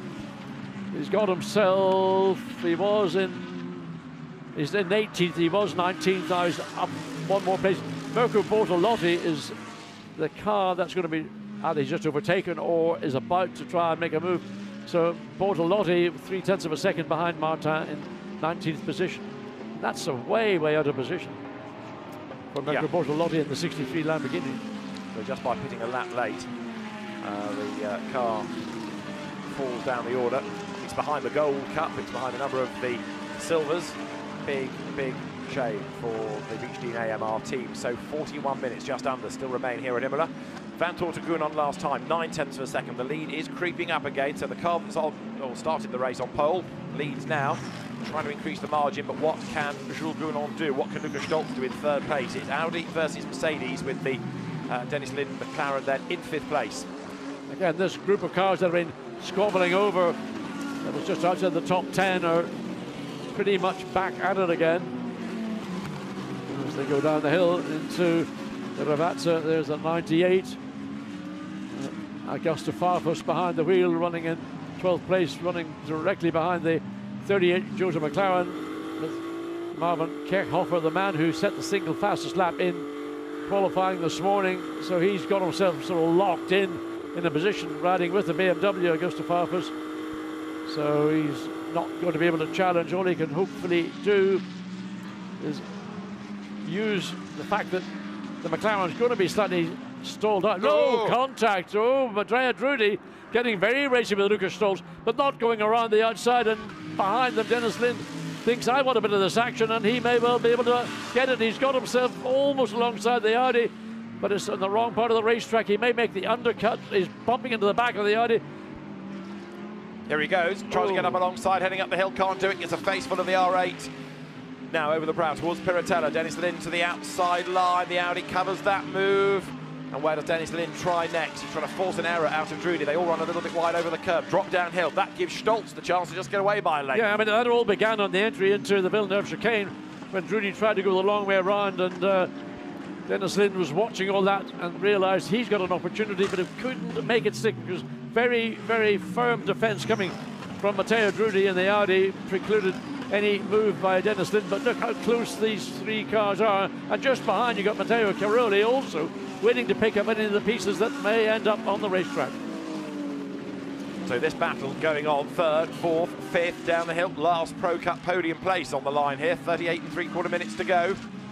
So Lind in the 1-1-1 McLaren on the back of Matteo Drudi, on the back of Stolz. Here they come up to the line. Uh, we think, I think that the McLaren has got a small advantage in straight line performance over the Audi and uh, the number, yeah, the number two Mercedes, but doesn't appear to be materialising. Drudi again getting very racy, looking to find a way around Lucas Stolz. He almost made it work a few corners down the road at the Villeneuve chicane.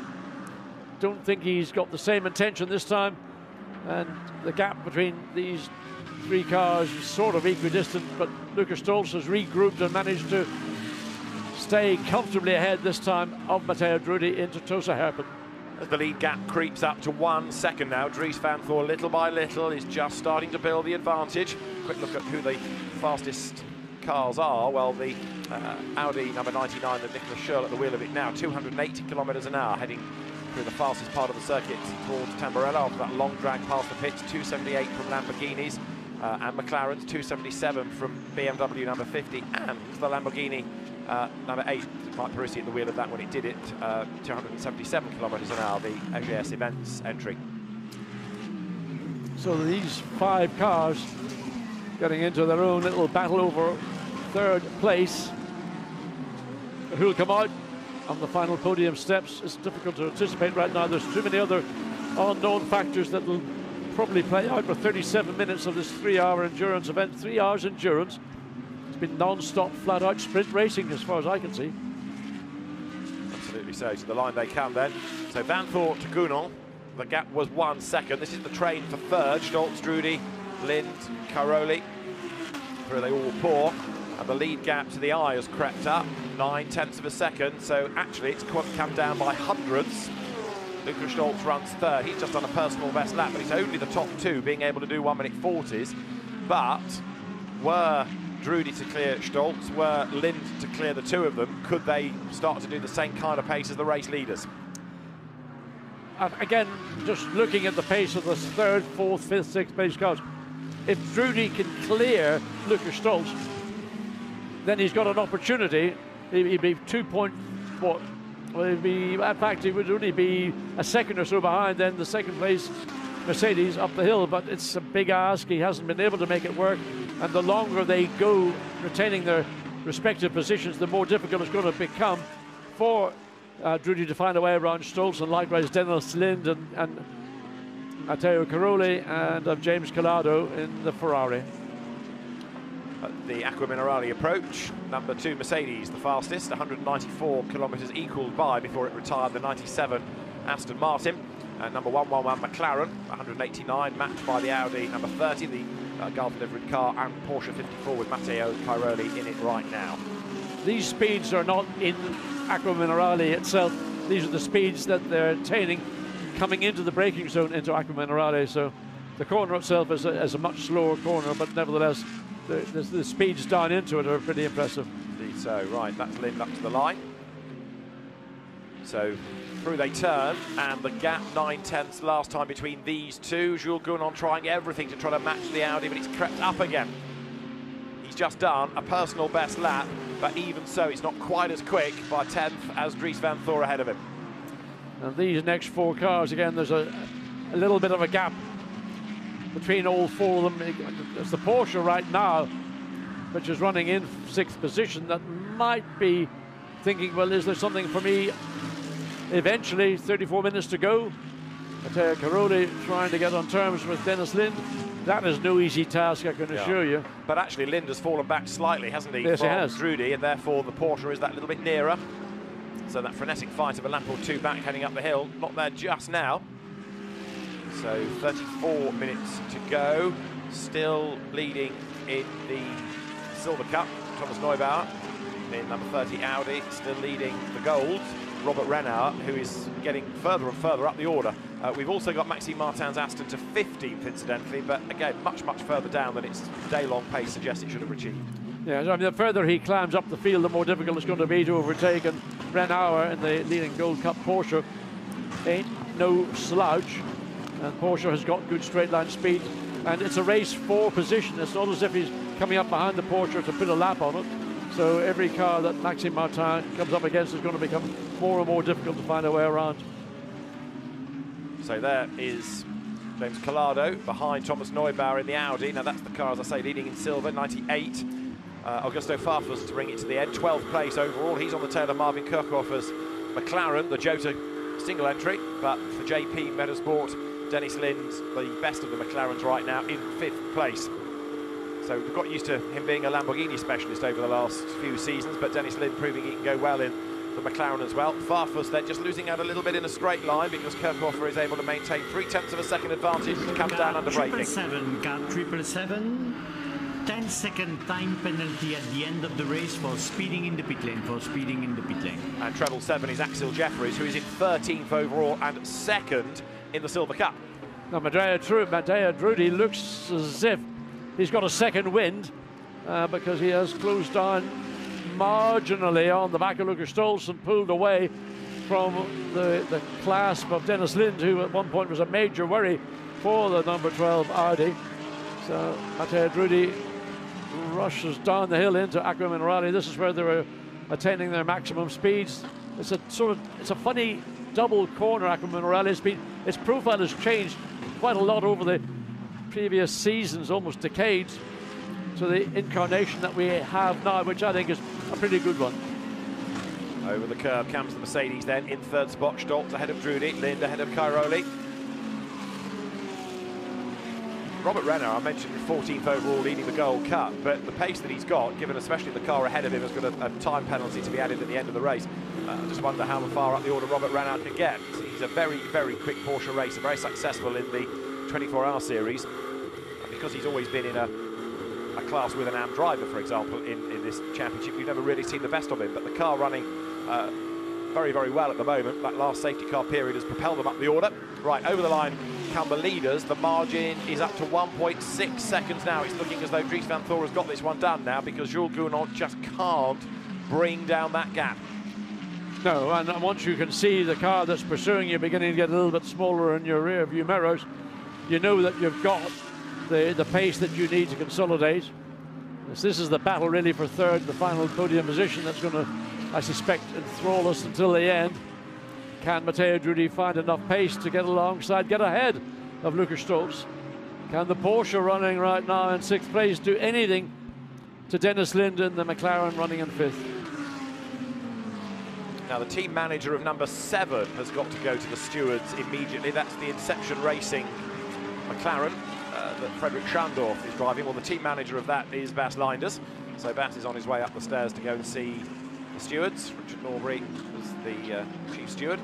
And over the brow, heading up now towards the Variante Alta, they go once more for the 76th time, 1.6 seconds the margin between Vanthoor and Gounon. This is Matteo Cairoli in sixth spot, still hunting down Dennis Lind, but not, again, being able to get quite close enough to mount an attack.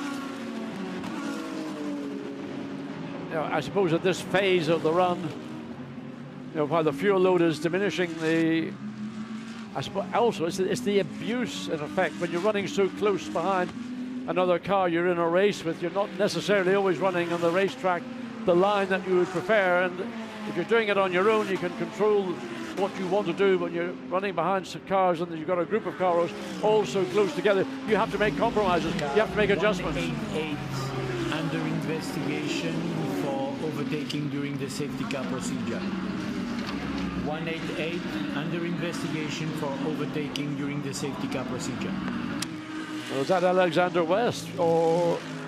May have been. Certainly, he's one of the drivers of 188. Right, that's Cairoli, comes through. That's 77 we're on. Matteo Drudi still there in that fourth place. Number 12, the Tresor by Car Collection Audi. Very good effort, that, because it's a, a, team new to this championship. Yes, they've done quite a lot of endurance racing elsewhere, but uh, in this company, very good. And of course, it's the second best last in the Audis. Last warning for car 11, track limits. Last warning, car 11, track limits. And that is Axel Blom, who's down in 31st place, car number 11. So there is Cairoli heading towards Acque Minerali. Touches the curb, heads up the hill. Behind him is James Calado in the Ferrari. But again, the Ferraris and the Lamborghinis, and to a degree the Porsches, have just never quite had the ultimate pace to match Audi or Mercedes, have they? No, I mean, in the case of a race we've seen, I mean, it was explained to us, I think Christopher Haase mentioned that this circuit seems to have an Audi bias. Uh, I don't think any racetrack is designed around one brand, but just the layout, the nature of this track seems to conform with what Audi produce. Now, the Lamborghini's not a million miles away, as we've talked about earlier, but it, there are sufficient differences to enable one to outperform the other. Just interestingly, and as the consequence of the missed pit stop by Valentino Rossi, the 46 Audi, which he was driving, now Fred Vervisch behind the wheel, is all the way down in 23rd position. Yeah, an extra pit stop, as you say, and a, an extra slow lap. Uh, 95 after going late for the pit stop. Up to 13th now, Maxime Martin. He's hustling on, but he ain't going to get much up the top 10, if that, I wouldn't have thought, as Lind falls further away now from Matteo Drudi because he's rather busy keeping Matteo Cairoli at bay here. Yeah, and it's Cairoli and, in fact, James Calado in the Ferrari behind as the pace of the McLaren appears to be ebbing away rather than the pace of the Porsche and the Ferrari uh, increasing. So what's Dennis Lind going to do? He'll not be shy about defending, that is for sure. Dan Harper in number 50 BMW has just done the absolute best first sector. The car is way, way back in 16th place, chasing actually Mirko Bortolotti, who's only 15th for Emil Frey Racing. But uh, Dan Harper doing a good job in sector one. Yet Dennis Lind has lost a huge amount of time, relatively speaking, to Matteo Drudi, on whose tail he was four or five laps ago. Yeah, I mean, it's, it's been, as you point out, four or five laps since the McLaren started to fall back, and it's fallen back into the clutches of the Porsche and James Calado and the Ferrari. But of course, where will they find a way around? And a bit, bit of a battered and bruised 25 Audi. Patrick Niederhauser, a bit of the bodywork on the left-hand side of the car. Some of those little aerodynamic strakes uh, looks like it's becoming or about to detach. There it is, hanging down. Well, that car's back into the top 10 after Lucas Legeret went through the gravel with it, lost chunks of time. Uh, right, two seconds now, Vanthoor to Gounon. I hesitate to say game over as far as Dries Vanthoor's uh, threats concerned from Jules Gounon, but it's looking much, much more secure a race now for WRT. There, Maxime Martin clears another back marker. That puts him ahead of Dominik Baumann in the uh, SPS Automotive Performance Mercedes. That's the Gold Cup leader and potential winner, and therefore history maker, the first race for the Gold Cup, and Robert Renauer for the Herberth Motorsport team, which he operates with his twin brother Alfred. He's on target for the win. Yes, and a, how appropriate a 911 in prospect winning the Gold Cup category. Maxime Martin is just under five seconds behind uh, Augusto Farfus in the BMW. That's going to be a battle, one would hope shortly engaged for 12th position. I mean, talking about 12th position, it's like it's going for a win, but yeah. for some of these drivers, it will be as close to a win as they were going to get here this afternoon. That's the second of the Gold Cup cars, the AF Corsa Ferrari of Alessandro Balzan, who did lead, but lost out to the charging Renauer on that last uh, safety car restart period. So the margin is 2.2 seconds, but it's going up. And Jules Gounon has just done an absolute best middle sector. I wonder has a message gone from pits to driver? We've got half, no, we've got 25 minutes. You need to start to eat into that two second gap if you want to win this race. Let's see what the gap is, because it's a personal best in sector three from both of them, and Dries Vanthoor's sector three is better than Jules Gounon's, and the gap goes up net to 2.1 yeah. seconds. Yeah, it was a net gain overall on that last lap, lap 79 to the 32 Audi. And again, Matteo Drudi still looking, wondering where am I going to find a way around the number two Mercedes. And the canny, the canny Lucas Stolz has defended strongly. So Stolz versus Drudi, they're still at it for third place, but Lucas Stolz falling away from Gounon. Has enough in hand, I think, to just be able to repel the challenge of Drudi. This is what it looked like earlier on when the two cars were absolutely together and uh, they were overlapping. Oh, so close to getting past was Drudi. He was on the outside line. He got his nose in front, but he couldn't quite stay there coming off the corner. There was that bit of contact between them. And that's where Dennis Lind began to think, oh, yeah. I've got a pop here, I've got a chance. So he went one side, then the other side, and then it all got messy coming out of Tosa. So Luca Stolz it is who climbs the hill, still ahead of Drudi, but they've dropped Lind, certainly. Dennis Lind in the McLaren, busy fending off Cairoli and Calado, but part of the reason for that is that he's fallen away from this fight. 23 minutes 50 seconds on the clock, and the lead gap 2.1 seconds in the first sector of the lap. Uh, it had gone up by hundreds, in the next it had come down by hundreds, so they're evenly matched, but the Audi just looks the stronger. In fairness, as it has done all weekend, because you know it's ahead on the grid, and the Mercedes is almost able to match the pace, but not quite. Not good enough, though. At the end of the day, the pace has been with the WRT Audi, albeit it lost the advantage just shortly after the start to the 25 Sainteloc sister car or sister member of the family. Warning flag to car 30 for track limits.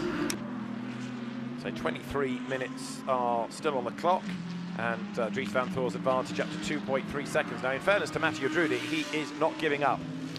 No, he's not. And that message was to Thomas Neubauer for track limits in the WRT Audi number 30. So Matteo Drudi has got a second wind as Lucas Stolz is now beginning to think, well, is my secure third place as secure as I thought it was? They climb the hill once again, just looking further back. Still Thomas Neubauer well clear in silver now from Axcil Jefferies, who's got a penalty to be applied post-race, so that's going to help Nicholas Schürrle in 99 Audi. And on this lap, Drudi has dropped away again, hasn't he? So you get these little bursts, and then if they can't find a way through, then the car sort of seems to drop back and plateau for a lap or four. There is Vanthoor out of Variante Alta. Behind him is Jules Gounon. The gap last time was 2.3 seconds could be even more than that this time. It looks serene as it continues, in my view, to extend its advantage. It comes down to Rivazza, just turns in, as you'd expect. Okay, he's using all the curb and all the road on the entry and the exit, but he's got that rhythm, and he's got nobody ahead of him. He's only got second place Mercedes falling back bit by bit, 2.3 seconds. One lap ago, it's going to probably be another tenth or so of a second as they come across the line, and it is going to be 2.6, two tenths of a second advantage to Dries Vanthoor. Exactly, so he pulls the gap just a little bit further out. There is Jules Gounon, who after his purple sector, struggling now to go green. So the Mercedes, I'll repeat the point, it's been quick all weekend, but just not quick enough. And a tenth here and a tenth there all adds up, and you can see the way now that Vanthoor again is stretching. Drudi fighting back as best he can against Lukas Stolz. It was six tenths of a second at the start of the lap, but then Dennis Lind has got Incident his train behind him. and 8, no further action. Incident 188 and 8. Lind no and Cairoli go through. Calado in seventh, Neubauer in eighth, nine for this Fuoco. Patrick Niederhauser is 10th. So actually, Dennis Lind has got the queue forming, and it's a long queue behind him. Where does it stretch all the way down to? 12th place, Now Augusto Farfus. Yeah, but he seems to have enough performance in hand to stem or stymie the, the pursuit by Matteo Cairoli and the Porsche or whatever Cairoli can do. Lind seems to be able to counteract it, and while the overall pace of that fourth or fifth, uh, fifth, uh, fifth place McLaren and dropping back from fourth place Drudi, it's still strong enough to keep those behind him, keep them at bay. Out then of Variante Alta, they flick for the 82nd time. And now, look, Antonio Fuoco having a go to get past Thomas Neubauer for eighth place. The little, in comparison, yellow Ferrari on the tail of the Audi as they drop downhill. But Fuoco now on his toes, and he's also taking with him Patrick Niederhauser in the Sainteloc blue Audi for 10th place. Yeah, I'd have to put my money on Fuoco finding a way around the Audi sooner than later. Uh, you know, a single-seater racer of substantial repute in behind the wheel of the Ferrari, and uh, the laser eyes will be on the back of the Audi and thinking, I need to do this sooner than later, but doesn't get the chance down into Tamburello, and he needs to be on his toes because Niederhauser behind him will be looking for any little gap, any little flitch from the back of the Ferrari. but all exit Tamburello cleanly. This battle here for third place hasn't really changed. The gap's been much the same Seven. over the last few laps. Five second time penalty added at the end of the race for speeding in the pit lane. Car that's the. Frederick Five second time penalty McLaren. added at the end of the race Being for the penalty. speeding Right, in the now pit out of this pack, what do we see? Uh, just I saw. Goes ahead, isn't he? Yeah. And now here comes Niederhauser. So Thomas Neubauer has lost one place. He's about to lose a second. Through on the inside goes And the Audi. three. And three, yeah, because that's Marvin Kirchhofer. So yeah, you get put off your stride. It could be four in a moment. Here comes Farfus. Look at the BMW. Yeah, up the inside he goes. That is the lap from hell from Thomas Neubauer. Shuffled down the pack. Well, that's what happens. You lose one position, you get yourself out of position, you lose your momentum, trying to come back against Farfus in the BMW. I don't think Farfus will have anything to do with that attempt to regain position. Maxime Martin Yeah. finally, finally getting himself up to the races he's going to be by the end of this lap. But he may still be in 13th position, but the pack has been shuffled. So they drop down through Rivazza, and yes, the Aston Martin has finally got the chance of gaining more ground here. Whole queue of cars ahead, but can he do anything Remember, points, isn't it down to 10th place? in each class? Yeah. It's class, so we've got 18 minutes. So what can Maxime Martin do? He's right on the gearbox of the Audi, and he's going to look for a move down the inside. He's going to do it. Can he do it? I John mean, that was a, a nice, professional, thought-out, executed overtake, and no real, real sort of uh, fight, one might say, from Neubauer. Got the job done, didn't he? So nicely through. So Maxime Martin then up into the top dozen. There's the battle for third still. The lead gap, by the way, has doubled since we last looked. It's four seconds now. Stolz to Drudi, only three tenths of a second. But Matteo Drudi, if you like now, is encountering the BOP problem that the cars are designed to be evenly matched. And so, again, where does he have the advantage in order to get up alongside and pass? He needs Stolz to make a mistake, and that ain't coming. No, he's metronomic. Lucas Stolz metronomic and everything he's been doing. He's not put a wheel wrong in his stint that we have seen. Again, I keep referring to Matteo Drudi and his Audi. It may have the capacity to lap quicker than the Mercedes directly ahead, but hasn't got that level of extra performance to find a way around it. But get ahead of it, then he'll pull away. Well, don't forget this pink Mercedes, when Maro Engel was in it at the start of the race, was around seventh place. It worked its way up in the middle stint, and uh, Schothorst was behind the wheel then, despite warnings about track limits. And now Lucas Stolz doing a fine job. So it's risen up the order unobtrusively, really, and a podium beckons, although Mattia Drudi has got other ideas. Over the line they go, the lead gap up to 4.3 seconds this time. Still not realistically close enough. Thinks about it, shows the nose, tries to distract. Lucas Stoltz tries to make him look in the mirrors one way, look in the other way. So on the exit of Tamburello. So the headlights are on full beam. Anything, anything you can use to distract the driver you're trying to challenge is fair game. Yeah. But Stolz has been around the block. He knows the tricks, and he's not for cracking under the pressure, is he, as they make the climb up the hill once more. Still, Dennis Lind hangs on to that fifth place from Cairoli, Calado, Fuoco, Niederhauser, Kirchhofer, Farfus, and Martin. So Maxime Martin then on the back of Augusto Farfus. Uh, both uh, teammates years past in the DTM, of course, but uh, now rivals, different brands. Augusto Farfus staying with BMW, Maxime Martin now part of that uh, Aston Martin effort. So, as you see the white Ferrari James Calado turn through, he is seventh. This is the view as he heads over the brow. And he's looking at the back of the Porsche all the way up into Variante Alta. Uh, uh, I'll get it right. About to tell you a lie, you're on board with Cairoli. I was, uh, was going to say, that doesn't look like the back of a Porsche to me. It's been a long day. Yeah. Uh, Cairoli six, you're Uh, riding with. look- looking at the back of the Avanza now, no, Dennis Lind, I beg your pardon, McLaren. Looks so different at the rear, you don't get the gold flashes on the side of the car. Sun getting low on the sky as well, so drivers now, you can see the amount of rubbish that's on the windscreen. You don't really see it when you're driving because you're looking so far down the road, your eyesight, you know, all the adrenaline that gives you an enormous depth of field, but the camera sure picks it up. Well, Cairoli has worked this car hard, but so too has Dennis Lind really given that McLaren a workout. And he's taken to that car very impressively as you look at the fight for third. So it is still Stolz versus Drudi. There's Dennis Lind. He's got this long, long line behind him. But actually, if anything now, it's more Calado attacking Cairoli. People stop and attack, don't they? Then they get a bit stuck and fall away from the car and get themselves on the defensive, not on the attack. Five. So 14 minutes remain. Dries Vanthoor is the leader outright. The leading silver is Thomas Neubauer. The leading gold is Robert Renauer. And the leading Pro-Am is Dominik Baumann in the Mercedes, way down in 33rd place, but on target for a class win, which is the main aim. When you're running so close to another competitive car, you do sometimes need just to get the nose of your car out into clear free air, just simply to make sure you get your brake temperatures into control, but principally look after your the coolants, water and oil. And uh, oh, Dennis Lind hop, skipping a jump as he came through Variante Alta that last time. So he has got nothing left. He's just driving the wheels off the McLaren to try and maintain that fifth position. 13 and a half minutes of this race remaining.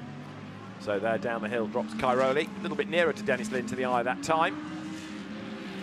McLaren on the limit, isn't it? Dennis is trying to stay ahead. Fuoco then in eighth place in the yellow Ferrari. Now, this will be interesting because he's on the back of his teammate. What gives here? Well, Fuoco we know, well, James Calado, a great race driver, both on single seaters and in GT, a little bit of a, a pinch on the 46 Audi as it's trying to make continuous progress.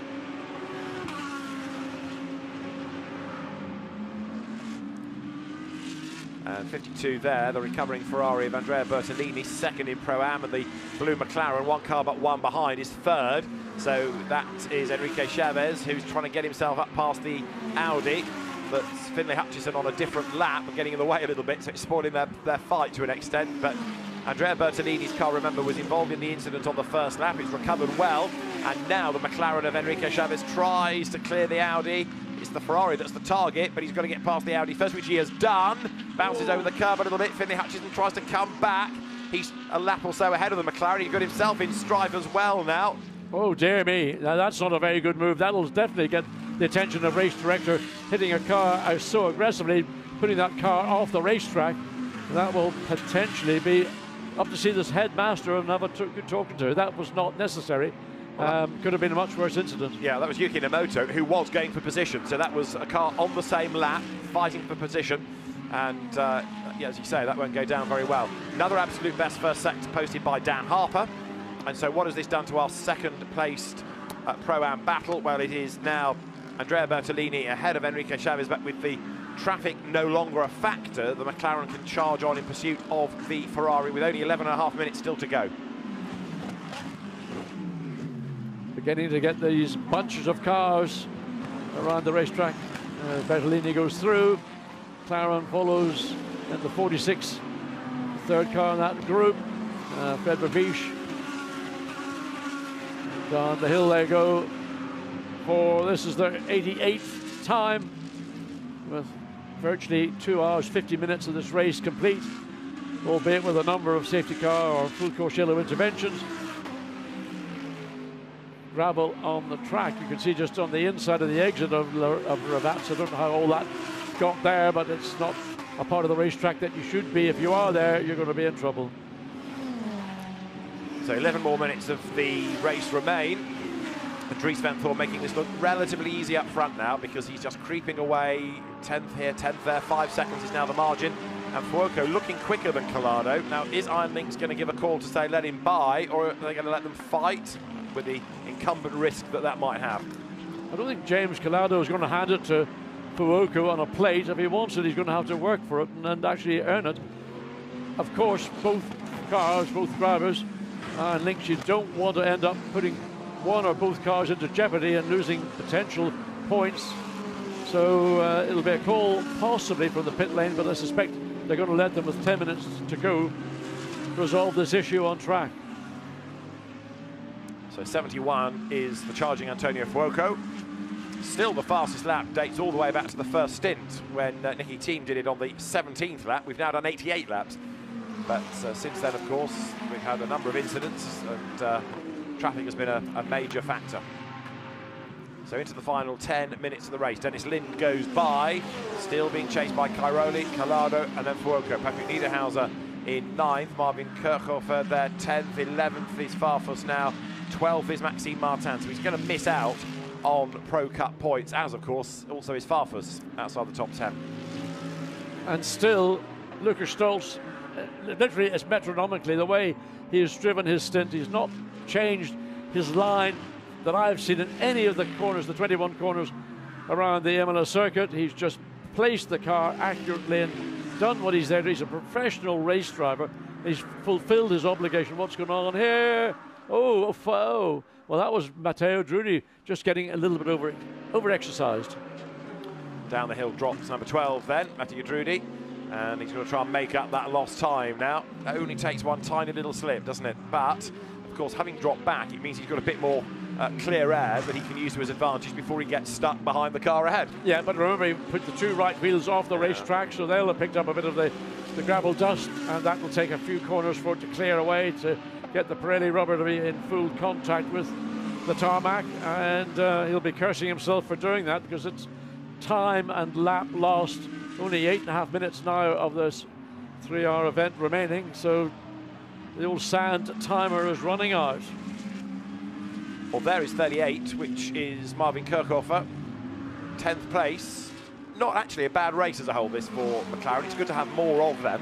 And well, there you've got two in the top 10. Exactly, as I said a few minutes ago, that the pace that McLaren have illustrated here in the first race of the year, there's going to be races where they will be at the very front, and they'll be the team that will be the dominant team. Don't know where it'll be, but this is a very good performance from the McLaren brand.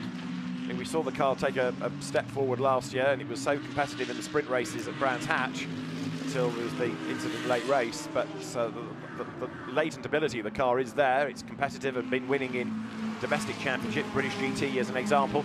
Patrick Niederhauser still with that bit of bodywork a flapping. Oh, that was almost almost a move from James Calado yeah. on Matteo Cairoli up into Tosa, but uh, was nowhere near alongside. But he certainly showed that he's not prepared to accept that he's going to finish fifth. Oh, sorry, finish seventh. Right, he's seventh. He wants to finish sixth. So Niederhauser presses on. Marvin Kirchhoff, an impressive McLaren debut this. We've seen him in the R Motorsport Astons in the past. An effort, oh hello, big damage here. What's gone on? That is number seven. That's the McLaren that's being driven by Frederik Schandorff. He's got a penalty uh, for speeding in the pit lane and it's got bodywork falling off it. Now that car, remember, was hit by Casper by Casper Stevenson. It was certainly by one car down at Rivazza a long time ago. Well, that door with the wind pressure ain't going to stay there terribly long. And I would imagine he's going to have to make a pit stop uh, at the end of this lap because if that bit of bodywork falls off, we're going to see another situation where the circuit's going to be absolutely littered in carbon fibre. He's slowed down coming through Acque Minerali and hope he stays on the right of the track coming up into Variante Alta. No, he stays, I think he's just powering on as much as he had done previously. But not a pretty sight. Yeah, whether it is a legacy of that accident at Rivazza when the car was sort of pinballed uh, whether it's something separate, time will hopefully tell us. But it's, it's clearly not got any pace with the air brakes, so the field is streaming past him. Uh, he might as well come in and get it attended to because it's just not fast enough to stay out there for any real benefit now. No, but it, also it's extremely dangerous if yeah. that door did detach, it will fly up in the air like a kite, but where it lands is anybody's guess. And uh, if it landed on the racetrack, it could be. A, oh, oh, oh, James Calado. Flag to car seven. The door is open. So the Porsche runs wide, the Ferrari's attack, but James Calado still not quite able to make that move, but it's getting very tasty between these three, isn't it? And of course now Cairoli has fallen back to Dennis Lind. in the pit lane, okay. So down the hill, here we go. So James Calado, you can see the rear of the Porsche. Both have got virtually identical uphill performance then hard on the brakes in the swing right. And where is our marker Polo? Is it still standing? I think so. Wow, what an effort the drivers have made to avoid that. They've not avoided one another necessarily, but they've avoided the bollard, yeah. They have modded, yeah.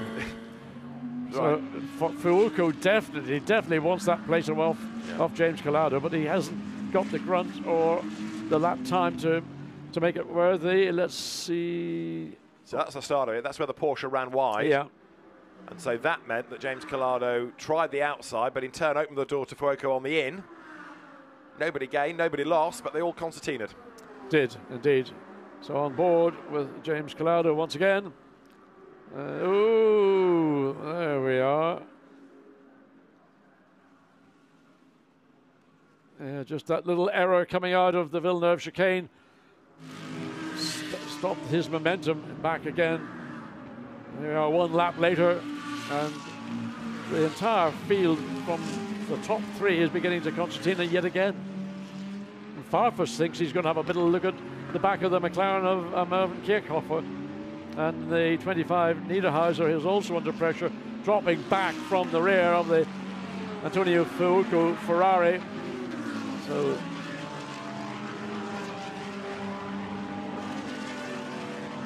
three and three quarter minutes, David. Time has flown, and the lead gap 6.6 seconds. There are still battles to be resolved.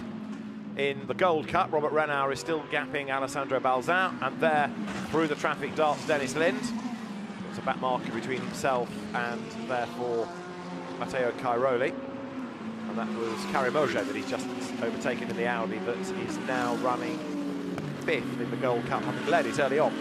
Yeah, and that gives Dennis Lind a little bit of breathing space because, oh, and Cairoli runs wide. He overran under brakes coming into Rivazza 1. So again, Calado's be thinking, what have I got to do? Three minutes remaining, one, this lap, one, maybe two more laps possible before checkered flag comes out. Well, the race leaders, six and a half seconds between them have kind of long gone, really. Stolz and Drudi likewise. Uh, now again darts out of the draft, has a look, more in hope than in anticipation, trying to unsettle James Calado there. Can't find a way by. That number seven McLaren, by the way, we saw with the door hanging off when it's come in, put a new one on, and it's gone out. What, what, what, what do you think he got as a trade in against the, the old one? what are you going to give me for my old door, mate? The fact that it's somewhat uh, disfigured, I don't think helps the value greatly. Don't worry, it'll go back into the old mould, into the old autoclave, and it'll come out like brand new. Brand new, yeah. So up the hill comes Dennis Lind, still there in fifth. Then Cairoli, Calado, Fuoco, Niederhauser, Kirchhofer, Farfus, and then Maxime Martin, who finally has caught up with the BMW. Now, can he gain another place before the end? Two minutes to go. This lap and one more potentially, and this is for 11th place. They drop down the hill. I'd love to see Maxime Martin have a really good, serious overtaking attempt on the BMW. Two well-seasoned, experienced GT racers, but I suspect that the wily Brazilian has just got that little bit in hand to we go back to our race leader, comes across the line to complete 93 laps. Is waiting for it to clock up on timing and scoring. So he goes through, and as he does so, yeah. that's going to be the last lap, I reckon. Yeah. It's, it's, going to be tight, but this should just be the last lap. He can afford to back off the pace a little bit, to be sure, because he's got 6.6 seconds in hand over Jules Gounon. Dries Vanthoor then will bring it home. That man, Charles Weerts, started it. Kelvin van der Linde did a very good job, and he's going to be, if you like, the Imola Meister, having won here two years ago, the last time GT World Challenge Europe was here. I think this is the kind of circuit between car 563 and 31 in turn 5 under investigation. I'm not surprised yeah, to hear that. Exactly. I wonder, I wonder why it took so long to come through. That was Finlay Hutchison on Yuki Nomoto, wasn't it? So, last lap, we think, and Dries Vanthoor, good stint by him, hit interrupted, but Charles Weerts had that little slip, put the car off the road. Kelvin van der Linde, a very, very good middle stint, getting that car into the lead. So it looks very much as if it's going to remain status quo for those outside of the top three.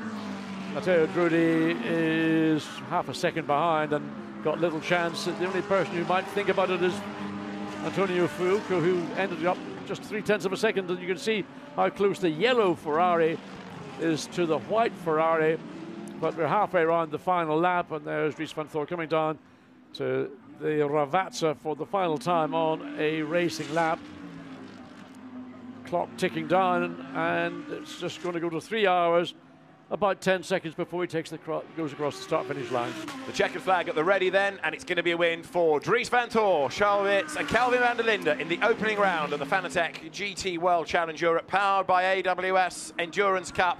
It's a win for Audi, and it is going to be second for Mercedes as Jules Gounon storms across the line with Dani Juncadella and Raffaele Marciello's help. It's Mercedes third as well. Luca Stolz, Steijn Schothorst, good return to the championship, and Maro Engel. And then for fourth place, uh, Matteo Drudi, Luca Ghiotto and Christopher Haase. Dennis Lind comes home fifth ahead of Cairoli, Calado, Fuoco, Niederhauser, then Kirchhoff and then Farfus, then Martin, and then number 63, Mirko Bortolotti getting ahead of Thomas Neubauer at the end. So the Silver Cup winning car drops down but still takes the class honours. And uh, there's a very, very happy Charles Weerts as the rest of the cars pour over the line. Uh, Watt of Audi number 46, 17th in the end, the Fred Vervisch car. There's the Gold Cup winning Porsche of Robert Renauer for 19th, but the car directly ahead has a penalty to be applied, so it'll gain one spot. Robert Renauer to be 18th overall, winning in gold. Uh, if we had the silvers through, yes, Thomas Neubauer. What about Pro-Am? Dominik Baumann still leading in the number 20 SPS Mercedes from Andrea Bertolini and by some margin. So the uh, Mercedes on target and crosses the line to win in Pro-Am. Then number 20 Dominik Baumann's SPS Automotive Performance Mercedes-Benz. Thoroughly professional performance by WRT to take this victory. Outstanding drive by all three drivers in the 32 car, albeit they lost the lead early in the race, but good strategy, excellent pit stop at the first round of pit stops got that car back into contention as Thomas Neubauer again and WRT Audi getting two class wins the silver category here this afternoon. I mean, what a day for WRT. Absolutely right. And a shame that they lost one car even before the race. A shame that a lot of cars have suffered quite a lot of damage. But uh, we wish uh, de Robiano all the, the, the, best for his recovery after that accident. As we heard the race director say, getting to hospital for a check, but uh, it was quite an impact, so uh, we wish him well. Right, now, the penalties being applied to treble 7 will drop that car to fifth in its class in the uh, Silver Cup. So Axcil Jefferies loses third, and that means that 159 Nikolai Kjærgaard's Garage 59 McLaren takes third in silver. So the cars make their way into the Parc Fermé area the fuel rigs in Parc Fermé as well because the data to make sure they were connected for the regulation 40 seconds each time needs to be checked. And uh, then the uh, podium ceremonies will eventually take place. And it's turned out a lovely evening. That's rather.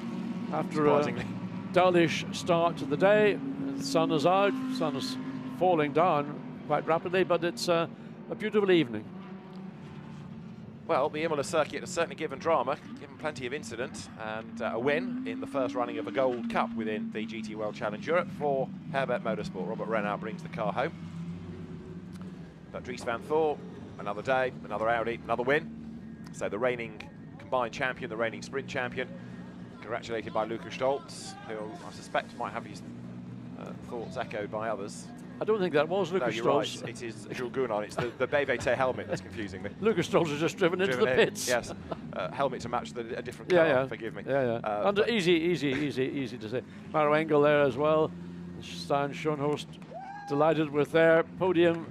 So great start to his career, it's certainly yeah. in endurance what I was heading towards in my Mercedes ramble uh, was that the drivers might agree with one another from the different cars that quick as they were, they just weren't quite there, didn't have that last tenth to really take the fight to the Audi.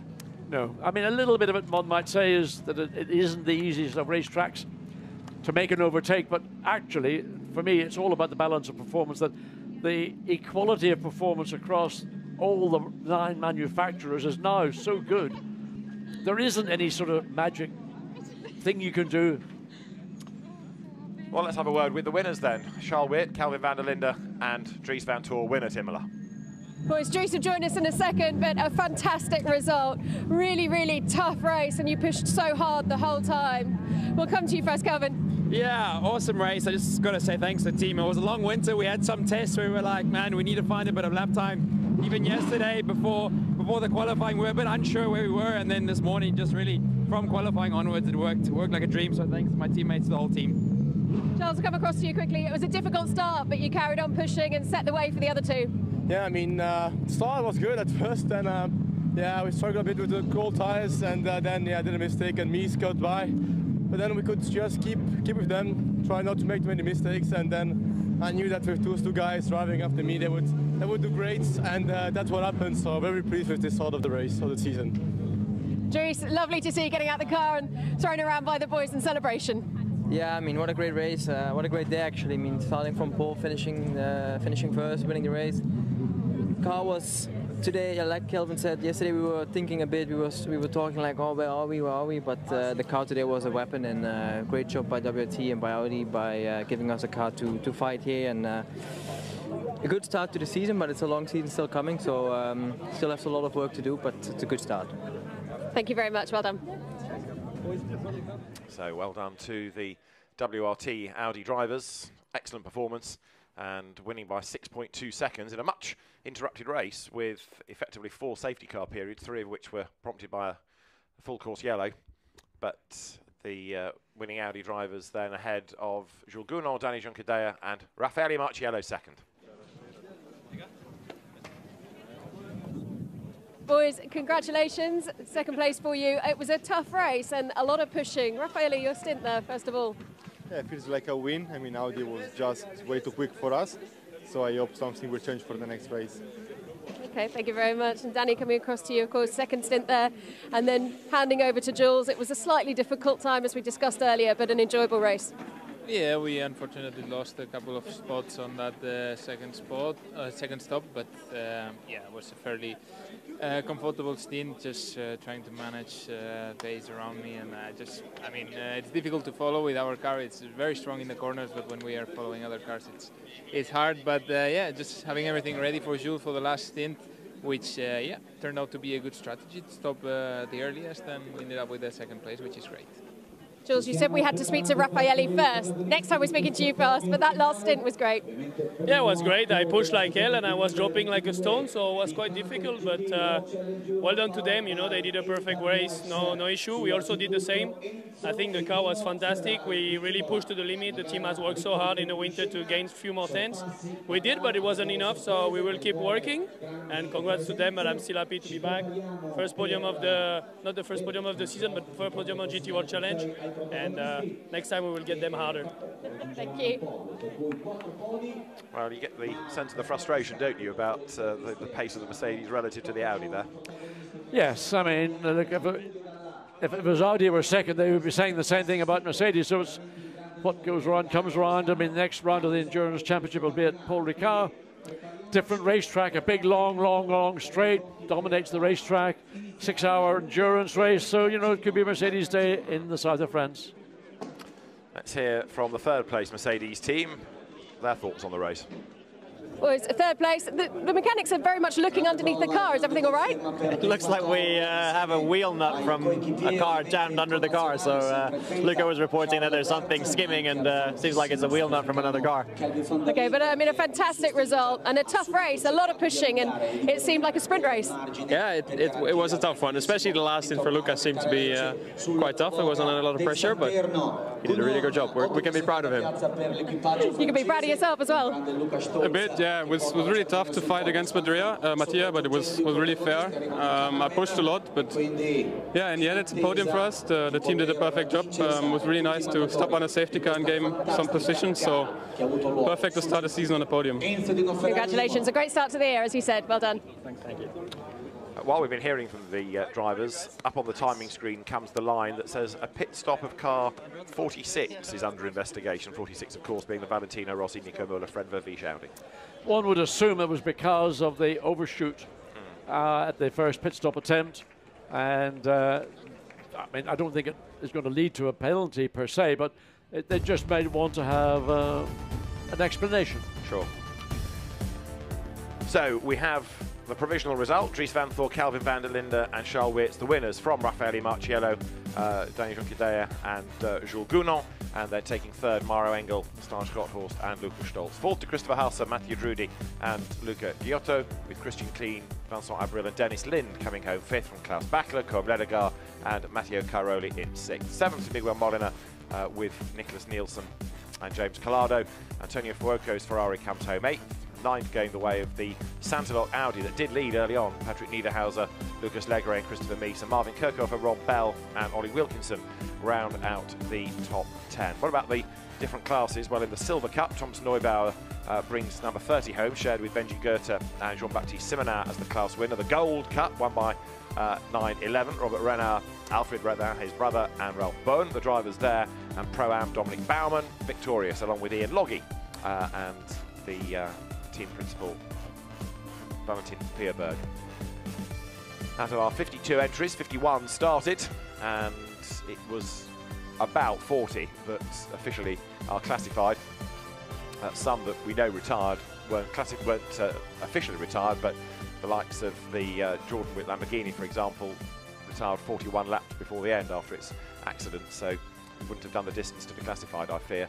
Uh, but a number that you might have expected better from, like the Mad Panda Mercedes, we lost relatively early, uh, and others such as 97 with its gear loss out of the race, and the 57 Mercedes had a litany of problems, as did also number 66. But of course, for the Iron Dames, for JP Motorsport, uh, they never completed a lap, and the uh, final car on that list never got into the race. Indeed, number 33, the Audi that Arnold Robin should have started, but had his problems with and never got into the race. So drivers then making their way to the podium area, where the winning drivers from each of the categories will be uh, brought forward in due course.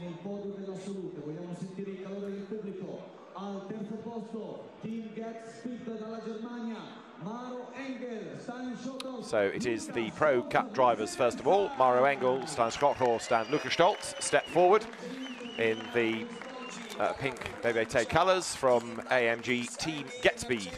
Then for second place, 88, Raffaele Marciello, along with Daniel Juncadella and Jules Gounon.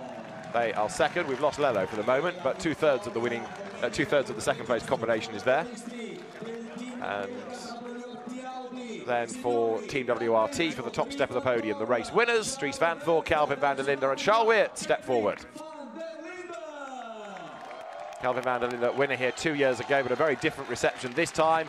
No face mask, he doesn't have to collect his own trophy. He can go to the podium, he can shake hands with people, he can smile and celebrate and drink and spray the champagne in a few moments' time. So uh, is Raffaele Marciello not there because he has an early flight, or is he rather disgruntled about the pace of his car? Either way, he's joined us now, that's the good news. But well done to our winners of uh, Dries Vanthoor, Kelvin van der Linde and Charles Weerts.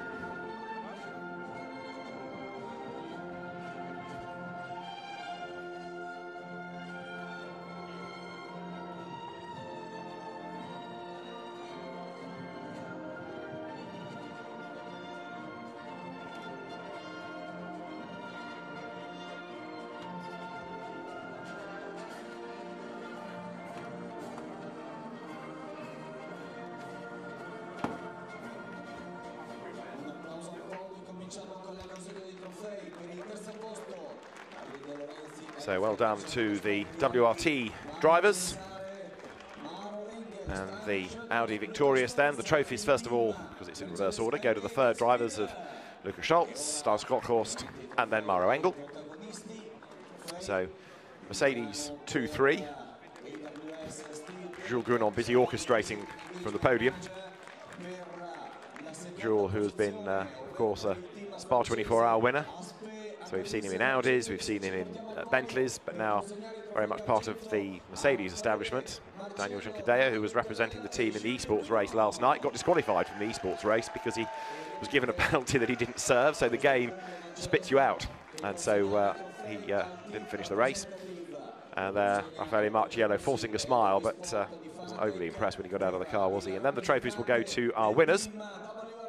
So, Dries Vanthoor, Charles Weerts, and uh, Kelvin van der Linde take honours then here at Imola.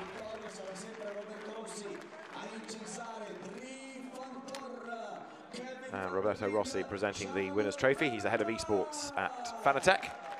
And uh, the trophies now for all of the winning drivers. Fanatec that's become a big, big partner, big supporter of SRO activities. And uh, now the drivers and uh, WRT representative debating whether they've got the right trophies or whether yours is bigger than mine. Everyone now holds the trophies for the photographs.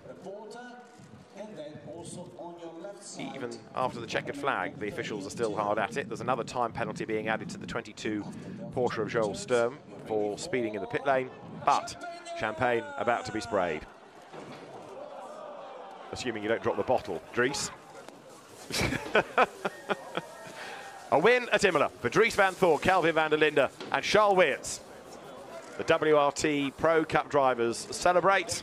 And I think that's about the only slip up all day, with the possible exception of, of Charles Weerts' moments in gravel on a couple of occasions. But from Dries's point of view, if the worst you do all day is drop the bottle of champagne, it's not a bad day. I think it's a pretty good day indeed. They'll be delighted with that performance, having had somewhat of a concern in Saturday's practice and pre-qualifying, then getting it right in, in qualifying itself, starting in pole position, effectively dominating the race from lights out to checkered flag. Okay, that little moment with Charles Weerts, but the team recovered, and it is the, the professionalism of WRT at every level of running a race that uh, is a very big part of securing another victory for them. So the Pro Cup drivers make their way from the podium.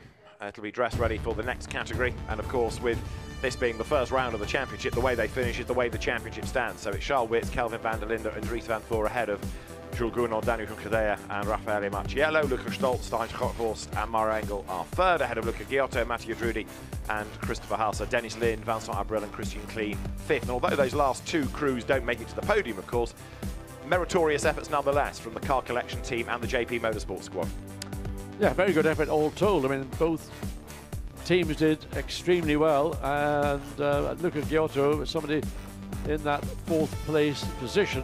I look forward to seeing more of him because I think he's going to be another one of these little discoveries that's coming into our world of GT3.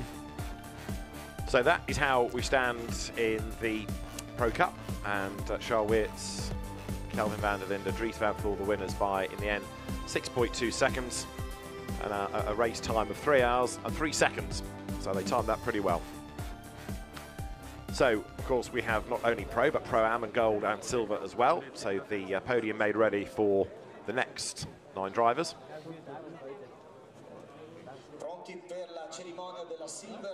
So the Silver Cup is going to be next, where the uh, winners were, again, for WRT, uh, but it will be in the reverse order.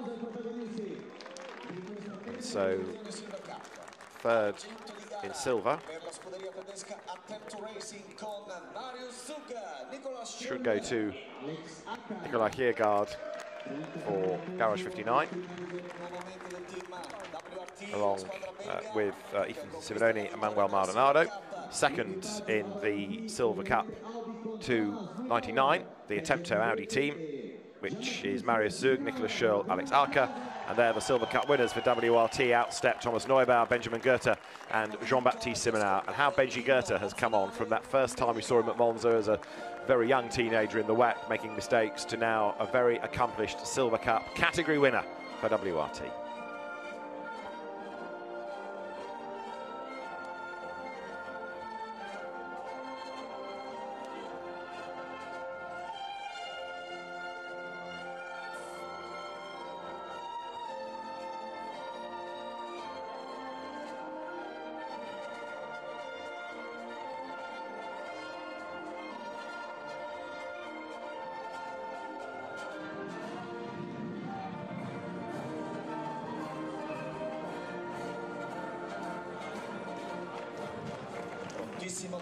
Well done WRT, well done Thomas Neubauer, Jean-Baptiste Simmenauer, good Audi debut for him that, and Benjamin Goethe.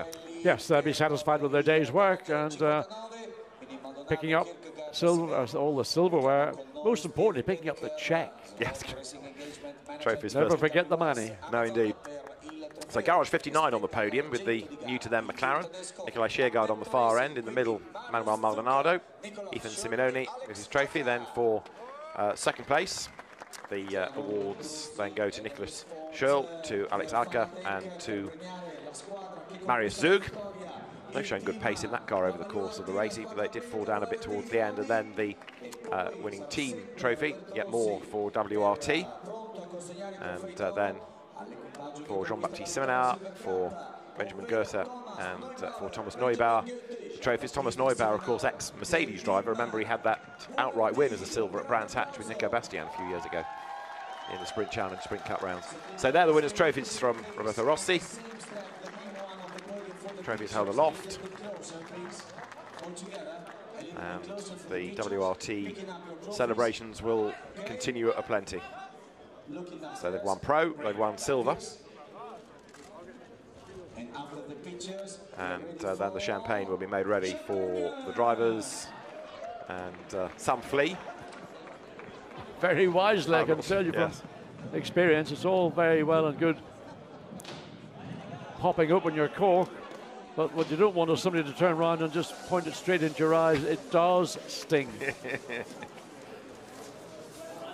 the joys of doing the podiums at race meetings where some driver decides to be really funny and pour it down your back and then you have to drive home in that set of clothes. Ugh, not good, not good. No, it's not. And I tell you, whoever is responsible for refreshing the team's overalls, um, yeah, by the time they get to them, they're in a pretty poor state. A Silver Cup win for Thomas Neubauer, Jean-Baptiste Simmenauer and Benjamin Goethe here at Imola. So WRT success in the Silver Cup.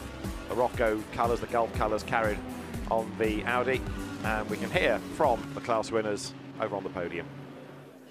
I'm sure your eyes are stinging a little bit at the moment, but uh, well celebrated, a fantastic result. Tom, we'll come to you first.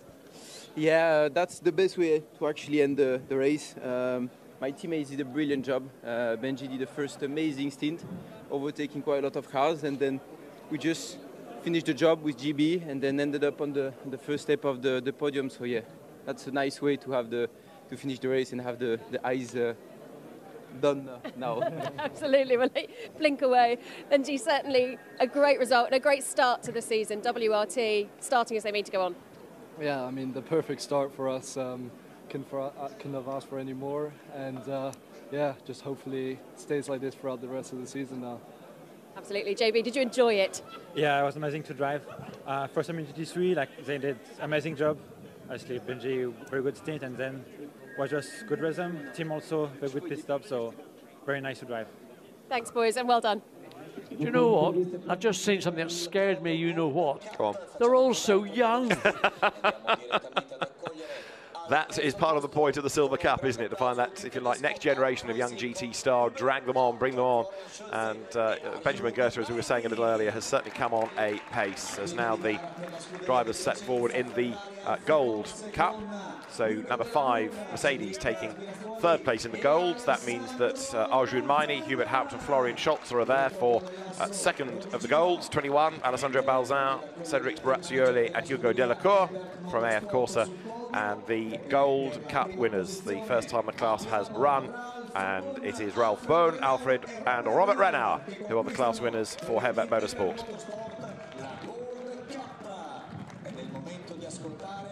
So the drivers to the podium and victory for the German Herberth Motorsport team.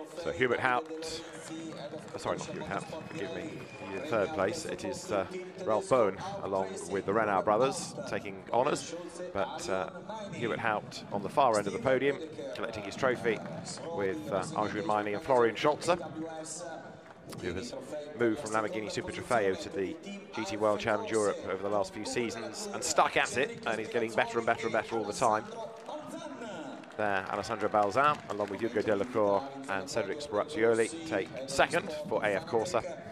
And uh, then Ralf Bohn, Alfred Renauer, Robert Renauer will take the winners' trophies. But before that, Herberth Motorsport given the team's trophy for all the success in the Gold Cup.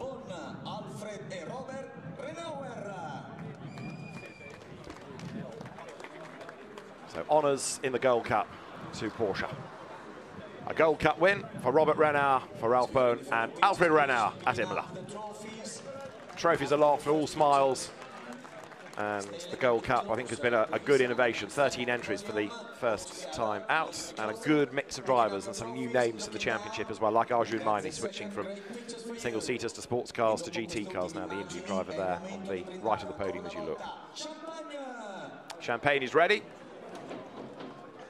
And again, some drivers disappear. But the stalwarts will stay and spray away. Arjun Maini is the first one to attack.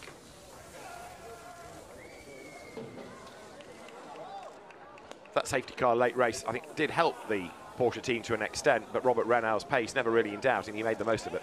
Yeah, and EJ was a strong run. His best race lap was a 141.698. So within that category, that was right on the pace. Absolutely right. So Dubai 24-hour race winners and uh, other uh, winners, the uh, Herberth team, Alessandro Balzan, along with Hugo Delacour and Cedric Sbirrazzuoli, very happy with their second place. Would you mind collecting your trophies, the SRO officials ask, because we need to dress the podium for the final podium, which is uh, Pro-Am. So there, the winning Porsche out of the Gold Cup, the 911 911. good racing went on, and that was the move that put them ahead of the Ferrari. And once ahead, Robert Renauer was not hanging about. On he went, stormed into the distance. So again, results, the championship. Renauers and Ralf Bohn ahead of Alessandro Balzan, Cedric Sbirrazzuoli and Hugo Delacour. Arjun Maini with Florian Scholze and Hubert Haupt third. Uh, for Barwell, James Dorlin, Alex Malykhin and Ben Barker just missing out on the podium, four in the Gold Cup ahead of Benjamin Lessennes, Karim Ojjeh and Adam Eteki, who did lead early on, but the car fell away towards the end. And that brings us then to the uh, Pro-Am podium, where Henrique Chaves, Miguel Ramos and Alexander West uh, make their way to the podium. Then we have for second in uh, the Pro-Am, Louis Machiels, Andrea Bertolini and uh, Stefano Costantini. And then the Pro-Am winners step forward and they are Valentin Pierburg, Dominic Baumann and Ian Loggie. He's had a very busy winter, staying out in the Middle East racing in assorted championships, but it is a win for the Mercedes team.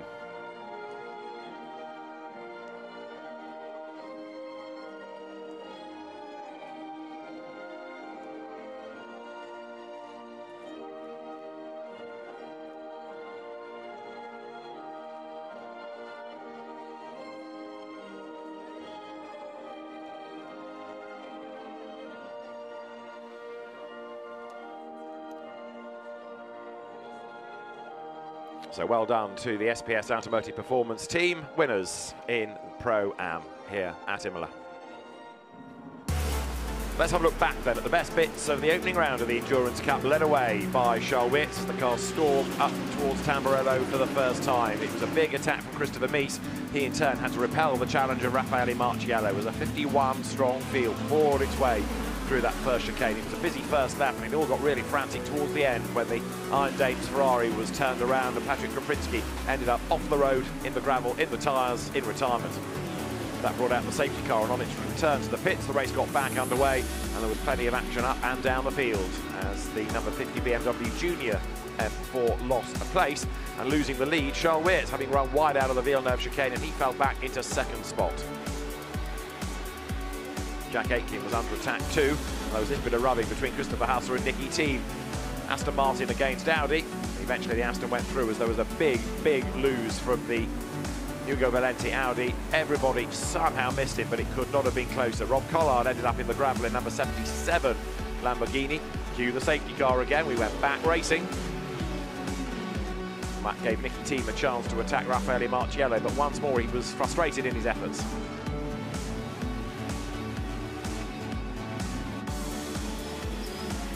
First round of pit stops came.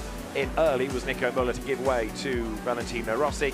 That gave them a clear pit lane and also a clear track when the doctor headed onto the pit lane, and onto the circuit after the pit lane exit. It also meant the order would start to shuffle now. Marco Sorensen was attacking vigorously against the now Lucas Légeret driven Audi for second spot. Eventually, Légeret went off the road and fell back into 14th place, and that promoted the Aston. But the sister car was off by the side of the road with a lot of gears. That brought out the safety car. Just as we were getting set to go racing, there was an incident out on track, and that kept people on the road a little bit longer behind the safety car. Valentino Rossi missed his pit box, had to do another lap. We got back underway, and more battling as the cars headed up towards Variante Alta. But after the last round of pit stops, there was yet more drama with Casper Stevenson bouncing off the side of the Inception Racing McLaren. Dries Vanthoor was in the lead and he was starting to build that gap. Lukas Stolz was busy squabbling with Mattia Drudi. In the end, he would stay ahead, but it was touch and go for a time. So Dries Vanthoor continuing to lead up front. There were battles going on for second in Pro-Am as well. And then there was this little moment, Finley Hutchinson squeezing Yuki Nemoto to the grass out of Tamburello. For the number 32 WRT Audi, though, the gap just kept on stretching, a couple of tenths here and there. As the battle was lower down, the field raged on. It was a race win for Dries Vanthoor, for Kelvin van der Linde, and for Charles Weerts in the opening Endurance Cup round here at Imola. So, great racing to kick off the season. Next action is the Sprint Cup starter at Brands Hatch, but for now, from Gemma Scott, from John Watson, and from me, David Addison, it's goodbye from Imola.